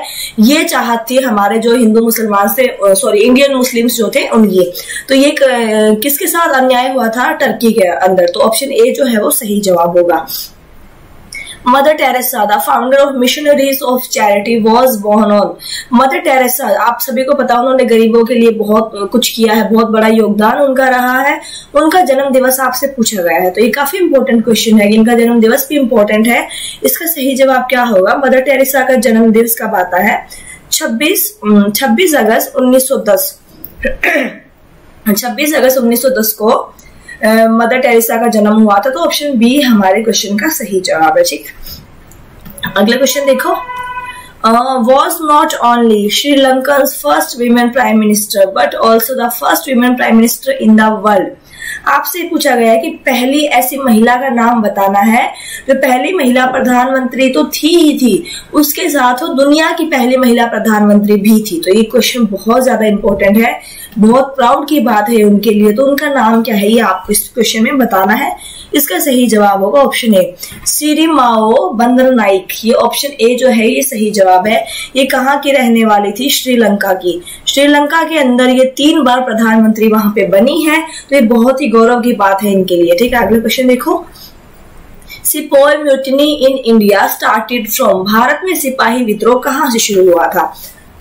आप सभी को पता है कि अठारह सौ सत्तावन की क्रांति जो हुई थी, क्रांति के टाइम पे सिपाही विद्रोह शुरू हो गए थे। दिल्ली, लखनऊ, कानपुर, मेरठ और झांसी। इन इन एरियाज़ में सिपाही विद्रोह हुए थे, ठीक है? सिपाही विद्रोह की शुरुआत होती है मेरठ से। तो ऑप्शन बी जो है आपका सही जवाब है, मेरठ याद रखना। मेरठ से शुरुआत होती है सिपाही विद्रोह की, ठीक है? Jorwe culture was a Chalcolithic archaeological site located in the present day Indian state of Jorwe culture जो है, वो साइट कहाँ पे प्रेजेंट है? भारत के कौन से राज्य के अंदर ये लोकेटेड है? जोरवे कल्चर जो है, उसको एक चालकोलिथिक साइट भी कहा जाता है। ठीक है, ये कहाँ पे है? ये महाराष्ट्र के अंदर है। तो ऑप्शन बी जो होगा, वो सही जवाब होगा। महाराष्ट्र इस क्वेश्चन का सही जवाब है। Who was the Indian army chief at the time of Bangladesh liberation war अभी अभी हमने पढ़ा कि सोलह दिसंबर उन्नीस सौ इकहत्तर 16 दिसंबर 1971 को बांग्लादेश आज़ाद हुआ था। जब बांग्लादेश ने युद्ध लड़ा था, उस टाइम पे भारत के पूछा गया कि इंडियन आर्मी चीफ कौन थे भारत के? ये आपसे पूछा गया है। तो इसका सही जवाब क्या होगा? कौन थे? सैम मैनेक्शो। ऑप्शन सी जो है, डी जो है, ये हमारा सही जवाब है। सैम मैनेक्शो जो है, उस टाइम पे इंडियन आर्मी चीफ थे। उनको एक और फ़ेमस नाम से जाना जाता है, जिनका नाम है सैम बहादुर। सैम बहादुर के नाम से भी उनको जाना जाता है, ठीक है? गुजरात कैसे आंसर दे रहे हो आप? जोरवे कल्चर जो है, वो महाराष्ट्र में है। लोथल हाँ गुजरात में है, ये आपको पता होना चाहिए। लोथल जो है गुजरात में है। लेकिन अगर बात करते हैं हम जोरवे कल्चर की तो वो महाराष्ट्र के अंदर है, ठीक है? अगला क्वेश्चन देखो। In which year was the East India Company incorporated for the exploitation of trade with east and south east Asia and India किस वर्ष ईस्ट इंडिया कंपनी को पूर्व और दक्षिण पूर्व एशिया और भारत के साथ व्यापार के शोषण के लिए संयुक्त किया गया था? बेसिकली पूछा क्या गया इसमें आपसे? कि जो British East India Company Bharat में व्यापार करने आई थी, कौन से ईयर के अंदर व्यापार करने आई थी, ये आपसे पूछा गया है। तो 1600 सो ईस्वी के अंदर British East India Company Bharat में व्यापार के लिए आई थी और उनको क्वीन विक्टोरिया जो है, महारानी विक्टोरिया के द्वारा उनको एक चार्टर दिया गया था। चार्टर क्या था कि आप अब जाके भारत में व्यापार कर सकते हो। तो option C will be the right answer Manipur, Meghalaya, Tripura become state under Manipur, Meghalaya, Tripura. आप सभी को पता है नॉर्थ ईस्टर्न स्टेट है, ठीक है? आपको ये बताना है, इनके, किसके अंतर्गत, कौन से एक्ट के थ्रू इनको राज्य बनाया गया है यह आपसे पूछा गया है। इसका सही जवाब क्या होगा? नाइनटीन के लिए हमारा what will be the right answer जल्दी से जवाब दे। North east area act north east area act 1971 option D देखो। इस एक्ट के थ्रू इन तीनों राज्यों को जो है स्टेट का दर्जा मिला था राज्य का दर्जा मिला था ठीक है? अब देखते हैं कि इन्होंने अभी हाल ही में फोर्टी सेवन स्टेटहुड अपना मनाया है। फोर्टी सेवन स्टेटहुड अपना मनाया है। ये चीज़ याद रखना है करंट अफेयर का क्वेश्चन है काफ़ी इंपॉर्टेंट है। 21 जनवरी को ठीक है? 21 जनवरी को ये, ये इनको राज्य का दर्जा मिला था ठीक है? अगला देखिए। आशीष कह रहे हैं कि मैम रॉन्ग हो गया। कोई बात नहीं, आशीष, बहुत सारे क्वेश्चन है। गलती करोगे तभी तो आप सीखोगे। तो अगले क्वेश्चन का जवाब दीजिए। अगर कोई क्वेश्चन आप पर गलत हो जाता है तो आपको पता होगा ना कि मैंने गलत किया तो आप उस क्वेश्चन पे थोड़ा ध्यान देंगे। तो अच्छी बात है अगर आपके क्वेश्चन गलत होते हैं। Kazi Nazrul Islam is the national poet of Kazi Nazrul Islam कहाँ के राष्ट्र कवि है, ये आपसे पूछा गया है। उस कंट्री का नाम आपसे यहाँ पूछा गया है, जिसके ये राष्ट्र कवि है। इसका सही जवाब क्या होगा? What will be the right answer for this question इसका सही जवाब होगा ऑप्शन बी का क्या होगा? बांग्लादेश। बांग्लादेश के ये एक बहुत ही महान कवि रहे Kazi Nazrul Islam is the national poet of Bangladesh तो option A will be the right answer India of my dreams book is the collection of whose speeches and notes India of my dreams किताब जो है, ये किसके द्वारा लिखी गई है? पिछले क्वेश्चन के बहुत सारे जवाब मेरे पास आ रहे हैं। निमी का सही जवाब आया है, कुमार कौशल का, प्रशांत मौर्य का, सोनू का, प्रीति संजू, सुदीप, सभी के सही जवाब आए हैं। Very good India of my dreams पुस्तक का बताइए, किसके द्वारा लिखी गई है? किसका कलेक्शन है ये? ये, इसका सही जवाब क्या होगा? महात्मा गांधी। महात्मा गांधी जी के द्वारा ये पुस्तक लिखी गई है। That is India of my dreams option C इस क्वेश्चन का सही जवाब है Mahatma Gandhi Who among the following was the longest serving prime minister of Bangladesh? Bangladesh के सबसे लंबे समय, समय तक पद पर रहने वाले प्रधानमंत्री कौन थे उनका नाम आपसे पूछा गया है तो क्या सही जवाब होगा इसका? इसका सही जवाब होगा शेख हसीना। शेख हसीना जो है, वो 2009 से प्रधानमंत्री के पद पे कार्यरत है बांग्लादेश की, और बांग्लादेश की सबसे लंबे टाइम तक रहने वाले प्रधानमंत्री है तो ऑप्शन डी जो है, वो हमारा इस क्वेश्चन का सही जवाब है, ठीक है? In which year did Vasco da Gama landed in Calicut Vasco da Gama Calicut में कब, कौन से वर्ष में पहुँचा था, ये आपको बताना है। वास्को डिगामा क्या थे? एक तो आपको ये याद रखना है कि भारत में सबसे पहले आने वाले कौन थे? पोर्तुगीज थे। पुर्तगाली जो थे, वो भारत में सबसे पहले आने वाले थे, व्यापार के लिए वो भारत के अंदर आए थे। और वास्को डिगामा जो है, इनको क्या कहा जाता है? फाउंडर ऑफ़ इंडिया भारत की खोज किसने करी थी? वास्को डिगामा में कब करी थी? चौदह के अंदर। तो ऑप्शन डी जो है, वो हमारा सही जवाब है।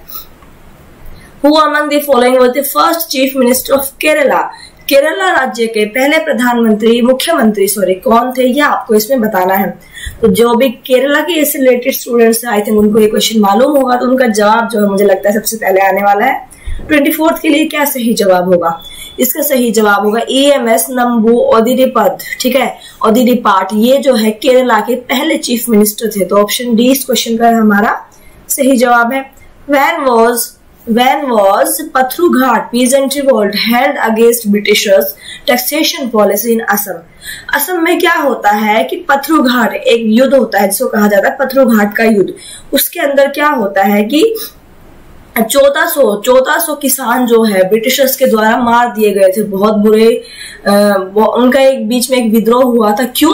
क्योंकि ब्रिटिशर्स ने टैक्स जो है वो बहुत ज़्यादा बढ़ा दिया था। इसके लिए जो किसान थे उन्होंने विद्रोह किया और इस विद्रोह में चौदह सौ किसान जो है वो मारे गए थे ठीक है?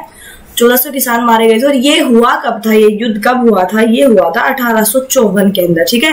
ये विद्रोह कब हुआ था? अठारह के अंदर हुआ था। तो ऑप्शन ए इस क्वेश्चन का हमारा सही जवाब है। कहा हुआ था? असम के अंदर हुआ। तो आपसे पत्थरोघाट पत्थरोघाट विद्रोह का ये भी पूछा जाए कि पत्थरोघाट विद्रोह कहाँ हुआ था? असम याद रखना और कब हुआ था? 1894 के अंदर हुआ था। दातनक is a sacred text of which religion आप सभी को पता है जो हमारे रिलीजन बुक्स है, वो आई थिंक आपको पता होगा। तो तनक जो है, वो कौन से संप्रदाय का पवित्र ग्रंथ है? तो यहूदियों का पवित्र ग्रंथ क्या कहलाता है? तनक तनक क्या है? किससे रिलेटेड है? यहूदी से रिलेटेड है। तो ऑप्शन ए जो है, वो हमारा सही होगा। Which of the following was a port city of Indus valley civilisation ठीक है। इनमें से आपको बताना है कि सिंधु घाटी सभ्यता का बंदरगाह शहर निम्न में से कौन सा था? पोर्ट सिटी कौन सी थी? इंडस वैली सिविलाइजेशन की ये बतानी है। इंडस वैली सिविलाइजेशन से सिंधु घाटी सभ्यता कहा जाता है। उसका जो पोर्ट सिटी थी, वो थी लोथल। अब देखो, कुछ बच्चे मुझे उस टाइम पे जवाब दे रहे थे जोरवे कल्चर के टाइम पे कि मैम, इसका गुजरात आंसर होगा, ठीक है? गुजरात तो होगा, लेकिन किसका होगा? लोथल जो जगह है, जिसको इंडस वैली सिविलाइजेशन की एक पोर्ट सिटी है, ये कहाँ पे स्थित है? गुजरात के अंदर स्थित है। और ये क्या है? पोर्ट सिटी है मतलब बंदरगाह शहर है। तो क्या याद रखोगे ऑप्शन बी लोथल यहाँ पे टिक कर क्या होगा एग्ज़ाम में? The former princely state of Tripura in the northeast part of India was ruled by which dynasty? Tripura राज्य के अंदर कौन सी डायनेस्टी के द्वारा रूल किया गया था ये आपसे पूछा गया है त्रिपुरा राज्य में जिस रियासत का वहाँ पे शासन था वो कौन थी मानिक्या मानिक्या ठीक है ऑप्शन बी जो है वो आपका सही जवाब है Manikya will be the right answer assume the title of Gangai Konda Chola or the conqueror of river Ganga. ये टाइटल जो है, किसके द्वारा लिया गया था? गंगई कोंडा चोला, ठीक है? जिसका मतलब है कि गंगा नदी के विजेता की उपाधि किसके द्वारा धारण की गई थी? ये आपको इस क्वेश्चन में बताना है। इसका सही जवाब होगा राजेंद्र चोला वन। राजेंद्र चोला वन के द्वारा ये उपाधि ली गई थी गंगाई कोंडा चोला, क्योंकि उनका साम्राज्य जो था, पूरे गंगा वाले जो एरियाज़ है, जैसे यूपी हरियाणा ठीक है? ये sorry Haryana is not included UP से गंगा बहती है तो ये वाले जो एरिया है, जहाँ से गंगा फ्लो करती है, उन सारे एरियाज़ को उन्होंने जीत लिया था, ठीक है? Conqueror of the river Ganga, और उन्होंने इसके बाद ये टाइटल अपनाया था कि गंगाई कोंडा चोलापुरम ठीक है? तो option C will be the right answer Bhavai is a traditional dance form of बहुत बार क्वेश्चन में आता है भवाई के ऊपर। तो भवाई को याद रखना एक पारंपरिक नृत्य है। कहाँ का ये सबसे फ़ेमस नृत्य है, ये आपको इसमें बताना है। तो ये है गुजरात का। गुजरात का बहुत ही फ़ेमस नृत्य है, जिसको भवाई के नाम से कहा, भवाई नाम से जाना जाता है। तो गुजरात जो होगा, वो हमारा सही जवाब है। In which year was the battle of Goa fought Goa का युद्ध। किस वर्ष में लड़ा गया ये आपसे पूछा गया है। तो गोवा का युद्ध कौन से वर्ष के अंदर लड़ा गया जल्दी से जवाब दीजिए, मुझे थर्टी फ़र्स्ट के लिए क्या सही जवाब होगा? 1510 के अंदर गोवा का युद्ध लड़ा गया था। Battle of Goa was fought in fifteen ten ठीक है? अगले क्वेश्चन में मूव करते हैं। Who was the last ruler of Waghela dynasty of Gujarat after whose defeat the kingdom was passed to Alauddin Khilji? Alauddin Khilji, आप सभी को पता है कि खिलजी वंश से वो संबंध रखते हैं, ठीक है? अब देखते हैं कि वघेला डायनेस्टी के आखिरी रूलर कौन थे, जो कि गुजरात में थी। इसका सही जवाब क्या होगा? करण देव करण देव जो थे, वो वाघेला डायनेस्टी जो गुजरात के अंदर थी, एक लोकल वहाँ पे रियासत थी। उसके आखिरी रूलर थे करण देव उनके मरने के बाद पूरा गुजरात का जो एरिया है, वो किसके हाथों में चला गया? अलाउद्दीन खिलजी के हाथों में चला गया। Is well known for the golden beautification of Harmandir Sahib gurudwara in Amritsar famously known as the Golden Temple Golden Temple के बारे में पूछा गया है कि सौंदर्यकरण किसने करवाया, कौन प्रसिद्ध है उनके सौंदर्यकरण के लिए? तो महाराजा रंजीत सिंह जो थे पंजाब के, उन्होंने सौंदर्यकरण करवाया था गोल्डन टेंपल का, ठीक है? तो इनको एक और नाम से जाना जाता है, शेर ए पंजाब। इनकी बहादुरी की वजह से इनको शेर पंजाब के नाम से भी जाना जाता है। ये नाम भी इनका याद रखना आपको। अब देखो, सिखों के जो दस गुरु थे तो दस में से जो पांचवे गुरु थे, उनका नाम था अर्जन देव अर्जन देव ठीक है? अर्जन देव ने क्या कराया था? जो ये गोल्डन टेंपल है और आदि ग्रंथ ग्रंथ साहिब जिसे कहा जाता है, दोनों को अगर क्वेश्चन आए कि किसके द्वारा लिखे गए थे या गोल्डन टेंपल का निर्माण किसके द्वारा करवाया गया था तो अर्जन देव अर्जन देव कौन थे? सिखों के पांचवे गुरु थे ठीक है? एक इंपॉर्टेंट क्वेश्चन और एग्ज़ाम में आया हुआ है कि जो बीच में तालाब आप देख रहे हैं गोल्डन टेंपल के बीच में एक सरोवर है उस सरोवर का निर्माण किसके द्वारा करवाया गया था? गुरु रामदास के द्वारा ठीक है? ये तीन चार क्वेश्चन है जो एग्ज़ाम में आ चुके हैं। ये इनको आप थोड़ा याद रखना। In the year, Maratha Empire ceased to exist with the surrender of Maratha to the British, ending the Third Anglo-Maratha War. Britishers और मराठा के बीच में वॉर जो लड़े गए थे, उसके अंदर जो तीसरा एंग्लो मराठा वॉर था, तीन वॉर वहाँ पे लड़े गए थे उनके बीच में। तो तीसरा युद्ध जो था, आपको ये बताना कि वो कब खत्म हुआ था, ये आपसे पूछा गया। तो तीसरा युद्ध जो है, वो कब खत्म होता है इनके बीच में? 1818 के अंदर, ठीक है? तो क्या है कि किसके बीच में हुआ था? ब्रिटिश ईस्ट इंडिया कंपनी और मराठा के बीच में ये वॉर हुआ था। 1817 से लेके 1818 के बीच में ठीक है? इसकी डेट अगर ना भी याद रखो, कोई बात नहीं 1818 याद रखना, इतना ही ज़्यादा कुछ याद नहीं रखना है इसके अंदर। अगला देखो ड्यूरिंग वर्ल्ड वॉर टू जो द्वितीय विश्व युद्ध के दौरान बैटल ऑफ़ कोहिमा लड़ी गई थी। Battle of Kohima and Imphal was fought in which year कौन से साल के अंदर बैटल ऑफ़ कोहिमा लड़ी गई थी? आपसे पूछा गया है। 1944 के अंदर बैटल ऑफ़ कोहिमा थी क्या? किसके बीच में लड़ी गई थी? ब्रिटिशर्स के बीच में और जापानीज के बीच में, ठीक है? तो आप सभी को पता है इस युद्ध में ब्रिटिशर्स को जीतना था तो ऑप्शन डी जो है 19 1944 के बीच में, में ये लड़ा गया था। Book Gulamgiri was written by ये बुक का नाम आपको दिया गया है गुलामगिरी। इस पुस्तक के आपसे लेखक पूछा गया है कौन थी या थे? इसका सही जवाब क्या होगा? हमारा ऑप्शन है ज्योति राव फूले जो है। उन्होंने इस पुस्तक का नाम लिखा है जिसका नाम है गुलामगिरी। अगला देखो। Who among the following was India's defense minister during the 1971 war between the India and Pakistan? उन्नीस में भारत और पाकिस्तान के बीच में जो युद्ध हुआ था, ठीक है? 1944 आंसर होगा, कुछ बच्चे 42 दे रहे हैं। 42 नहीं होगा, कुछ 45 दे रहे हैं। गलत जवाब आप सभी का। 1944 इस क्वेश्चन का सही जवाब होगा। अगला क्वेश्चन अगला क्वेश्चन देखो। उन्नीस में कौन थे? इसका नाम आपको बताना है। तो थर्टी सेवन के लिए सही जवाब होगा जगजीवन राव। ये क्या थे? भारत के डिफेंस मिनिस्टर थे उस टाइम पे। जब उन्नीस सौ इकहत्तर के अंदर भारत और पाकिस्तान पाकिस्तान के बीच में युद्ध हुआ था। First Sayyid ruler of Delhi आपको पता है, दिल्ली सल्तनत में हम कैसे याद रखते हैं? मार्केट मार्केट से लाना मतलब मार्केट से कुछ लाना, ठीक है? इसको, ये ट्रिक है दिल्ली सल्तनत को याद करने की। एम से क्या होता है? मामलुक डायनेसिटी। के से खिलजी टी से तुगलक एस से सैयद एल से लोधी, ठीक है? तो आप बात कर रहे हैं हम सैयद डायनेसिटी की। चौथे नंबर की जो डायनेसिटी थी, वंश जो था, वो सैयद वंश था। उसके पहले रूलर आपसे पूछा गया तो उसके पहले रूलर कौन थे? इसका सही जवाब होगा खिजर खान। खिजर खान जो थे, उनके द्वारा सैयद वंश की स्थापना की गई थी। ऑप्शन डी सही जवाब है। Rani ki Vav which is the UNESCO world heritage list is located in रानी का कुआ जो है यूनेस्को के विश्व धरोहर में शामिल किया गया है। वो कहाँ पे स्थित है? उस राज्य का नाम आपसे पूछा गया है। ये स्थित है गुजरात के अंदर। गुजरात जो है वो सही जवाब है। During the passage of the royal titles act 1860 1876 office of the British prime minister was occupied by तो इसका सही जवाब क्या होगा? Option D Benjamin Disraeli के द्वारा अठारह के अंदर जो ब्रिटिशर्स का कि उन्नीस के पारित होने के समय ब्रिटिश प्रधानमंत्री का पद जो है, वो बेंजामिन दिस राइली के पास था। तो ऑप्शन डी पे हम टिक करेंगे। Mother of Mahatma Gandhi was कितना आसान क्वेश्चन है। महात्मा गांधी की माँ का नाम आपसे पूछा गया है। बहुत आसान क्वेश्चन है। पुतली बाई जो है वो महात्मा गांधी की माँ का नाम है। तो ऑप्शन ए जो है हमारे क्वेश्चन का सही जवाब है।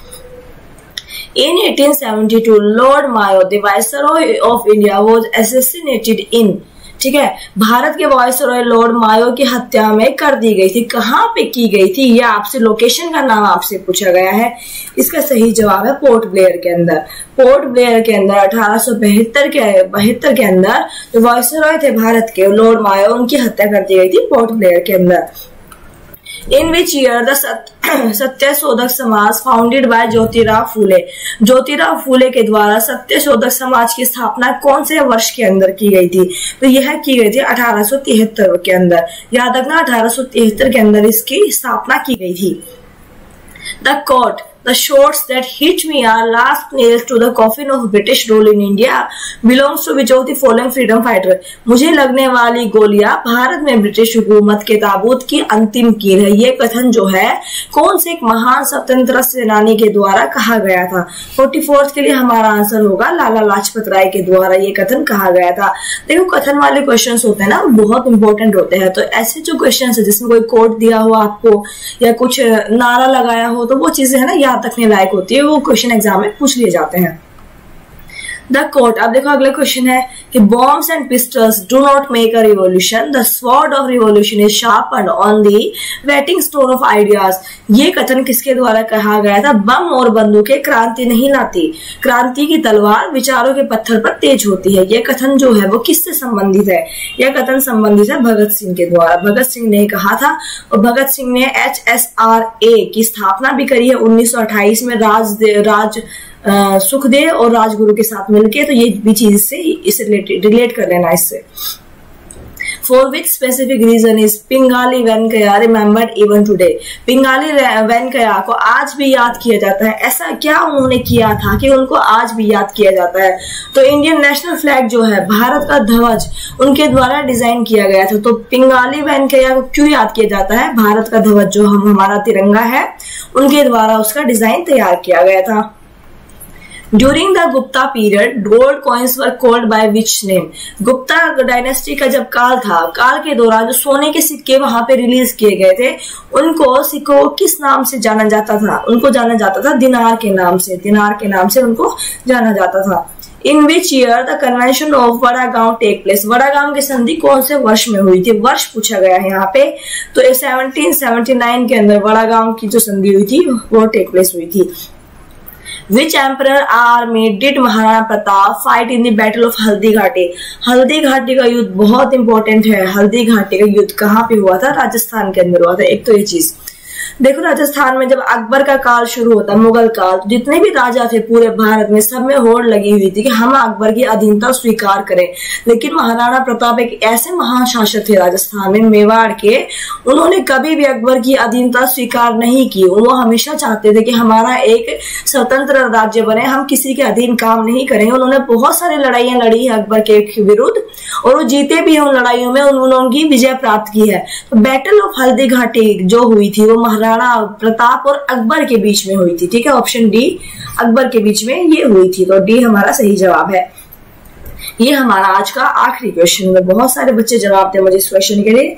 पिछले क्वेश्चन के लिए मुझे निम्मी ने सही जवाब दिया है। विशाल, प्रशांत का सही जवाब है। कुमार, कौशल, राधे, पंडित, सनी का भी बिल्कुल सही जवाब है। To which state does the traditional folk dance Gotipua belong Gotipua जो ये पारंपरिक नृत्य रूप है, का संबंध कौन से राज्य से है? जानते हैं, सबसे पहले मुझे इस क्वेश्चन का जवाब कौन देने वाला है? कौन आज के हमारे सबसे इंटेलिजेंट स्टूडेंट बनने वाले हैं? क्या सही जवाब होगा? जल्दी से जवाब दे आप मुझे।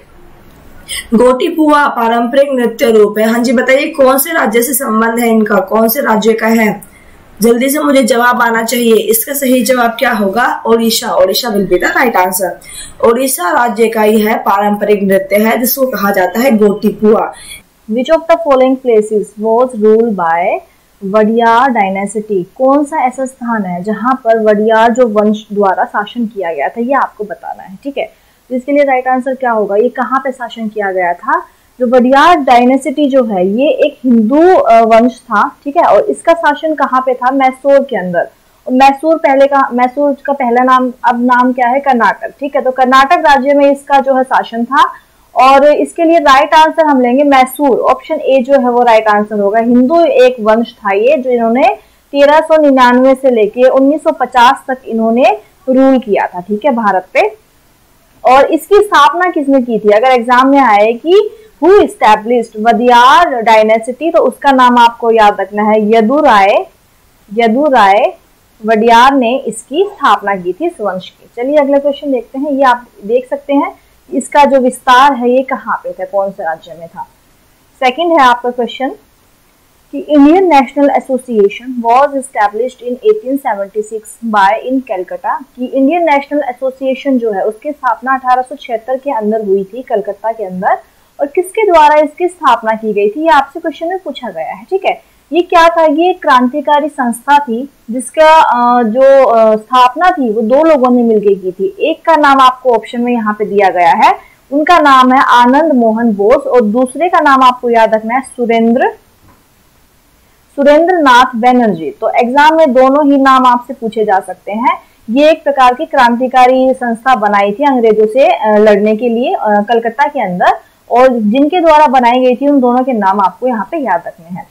चलिए, अगला क्वेश्चन की तरफ़ बढ़ते हैं कि Mitra Mela was a revolutionary organisation found by Veer Savarkar in year Mitra Mela एक क्रांतिकारी संगठन था, जिसकी स्थापना वीर सावरकर के द्वारा कौन से वर्ष में की गई थी? ईयर पूछा गया है कि मित्र मेला था क्या? बेसिकली ये भी एक क्रांतिकारी मेला ही था, जहाँ पे लीडर्स को इकट्ठा किया जाता था। उनसे विचार विमर्श होते थे कि कैसे हम अंग्रेज़ों से लड़े कैसे हम चीज़ों को करें, ये सब चीज़ें हमें यहाँ पे देखने को मिलती हैं, ठीक है? तो मित्र मेला जो है, इसकी जो शुरुआत की गई थी, वो कौन से वर्ष में की गई थी? अठारह सौ निन्यानवे के अंदर। तो ऑप्शन ए जो है, वो सही आंसर होगा।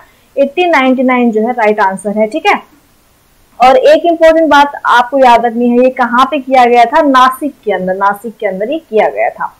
अगला क्वेश्चन देखिए आपका है। Who among the following was given the title Quaid e Azam कैद ए आज़म का जो टाइटल है उपाधि वो किसको प्रदान की गई थी मुगल आज़म का तो आई थिंक आपने नाम सुना होगा कैद आज़म शायद नहीं सुना होगा कैद आज़म की उपाधि दी गई थी सरदार वल्लभ भाई सॉरी मोहम्मद अली जिन्ना को ऑप्शन सी मोहम्मद अली जिन्ना को दी गई थी ये उपाधि ठीक है? मोहम्मद अली जिन्ना के बारे में इंपॉर्टेंट फैक्ट्स पढ़ते हैं।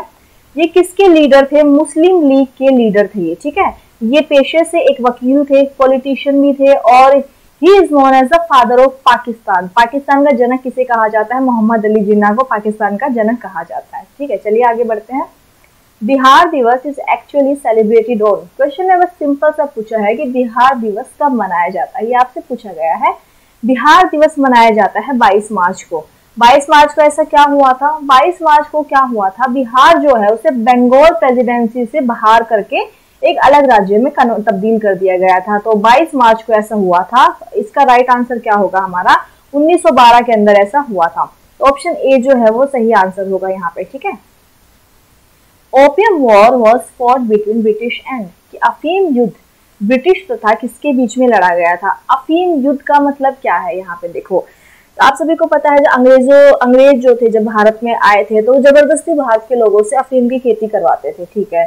तो अफीम खेती जब वो करवाते थे तो क्या हुआ कि नॉर्थ ईस्ट वाला जो पार्ट है हमारा, उस एरिया में, जैसे बंगाल हुआ बिहार असम, इस एरिया में ज़्यादा होती थी।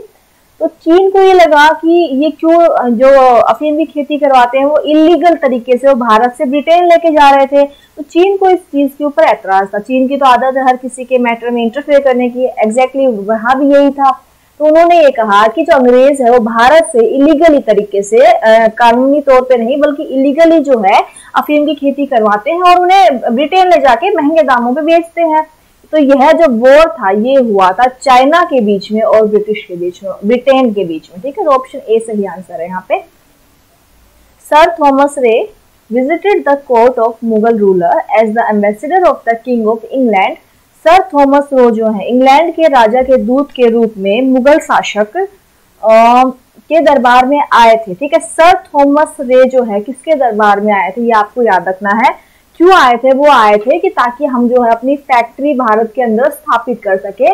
वो मनाने आए थे, एक तरीके से मतलब ड्राइव करने आए थे कि कैसे भी करके हम अपनी बात मनवा ले। तो जहांगीर जो है, उनके काल में आए थे मुगल शासक के तो ऑप्शन बी यहाँ पे सही आंसर होगा। अब देखिए, मुगल शासक के नाम आपको याद रखने एक छोटी सी ट्रिक बताती हूँ। भाजपा जैसे होता है, वैसे ही बादशाह सब शब्द आपको याद रखना है। बी से बाबर एस से हुमायूं, ए से अकबर, जे से जहांगीर, एस से शाहजहां, ए से औरंगज़ेब। तो जहांगीर कौन से नंबर के मुगल शासक थे? फोर्थ नंबर के मुगल शासक थे। इससे आप मुगल शासकों का ये काल आप याद रख सकते हैं, ठीक है? अगला देखिए कि British East India company defeated the Portuguese in the British East India company ने पुर्तगालियों को कौन सी लड़ाई में पराजित किया था, ठीक है? पुर्तगाली सबसे पहले भारत के अंदर आने वाले, अंग्रेज़ों से पहले भी भारत के अंदर आने वाले कौन थे? पुर्तगाली थे, ठीक है? पुर्तगाली कहाँ से आए थे? पुर्तगाली जो है, कब आए थे? चौदह के अंदर। सबसे पहले कौन आया था जिसने भारत में कदम रखा था? वास्को डिगामा वास्को डिगामा को क्या कहा जाता है कि भारत में पहली, पहला कदम रखने वाला, या कहें कि भारत की खोज मतलब ये रास्ता जो ढूंढा था, वो किसने किया था? वास्को डिगामा ने किया था, कब? चौदह के अंदर। तो भारत में सबसे पहले कौन आए थे? पुर्तगाली आए थे। पुर्तगाली में भी सबसे पहले कौन आया था? वास्को डिगामा आया था। क्लियर है बात यहाँ पे? चलिए। अब ये यहाँ पे आए थे वास्को डिगामा भारत में कौन से स्थान पे आया था? ये पूछा जाता है। तो उन्होंने कदम रखा था कैलिकट में। कैलिकट में। और इन्होंने कब्जा कहाँ पे किया? कब्जा किया इन्होंने गोवा के अंदर। ठीक है, ये दो बातें आपको मोस्ट इंपोर्टेंट है। तो आप देखो, एक युद्ध हुआ था जिसका नाम है सुआली की लड़ाई। सुआली कहाँ पे है? ये है सूरत के अंदर एक गाँव है जिसका नाम है सुआली। वहाँ पे एक युद्ध हुआ था ब्रिटिश ईस्ट इंडिया कंपनी में और पोर्तुगीज के बीच में। इस युद्ध में क्या हुआ? पोर्तुगीज को हरा दिया ब्रिटिश इंडिया ने। ठीक है तो ये युद्ध जो है कहाँ पे हुआ था? गुजरात में सूरत के पास एक गाँव है, सुआली में हुआ था। तो इसके लिए राइट आंसर क्या होगा हमारा? बी जो है वो हमारा इस क्वेश्चन के लिए राइट आंसर है, ठीक है? बैटल ऑफ़ पलासी और बक्सर का जो टॉपिक है, ये बहुत इंपॉर्टेंट है एग्ज़ाम में डेफिनेटली पूछा जाता है। बैटल ऑफ़ पलासी हुई थी सत्रह में और बैटल ऑफ़ बक्सर हुई थी सत्रह के अंदर, ठीक है?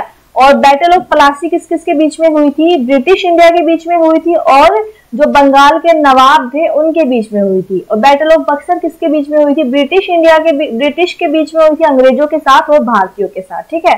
बैटल ऑफ़ पलासी सबसे ज़्यादा इंपॉर्टेंट है। इन दोनों में से भी बात करें तो पलासी तो बिल्कुल याद रखना है। जो बंगाल के नवाब थे, बंगाल के नवाब और अंग्रेज़ों के बीच में ये लड़ाई हुई थी वर्सेस ब्रिटिश ठीक है? ये आपको याद रखना है। Tipu Sultan and British East India company sign the treaty of Mangalore in the year Tipu Sultan तथा ब्रिटिश ईस्ट इंडिया कंपनी ने मैंगलोर की संधि पर किस वर्ष में हस्ताक्षर किया था? बेसिकली ये पूछा गया है कि ट्रीटी ऑफ़ मैंगलोर जो हुई थी संधि हुई थी वो कौन से वर्ष के अंदर हुई थी? किस किस के बीच में हुई थी ये आपने देख लिया। और कौन से वर्ष में हुई थी ये भी आपको बताना है। तो ये हुई थी 1784 के अंदर। 1784 के अंदर क्या हुआ था? ये ट्रीटी हुई थी। क्यों हुई थी?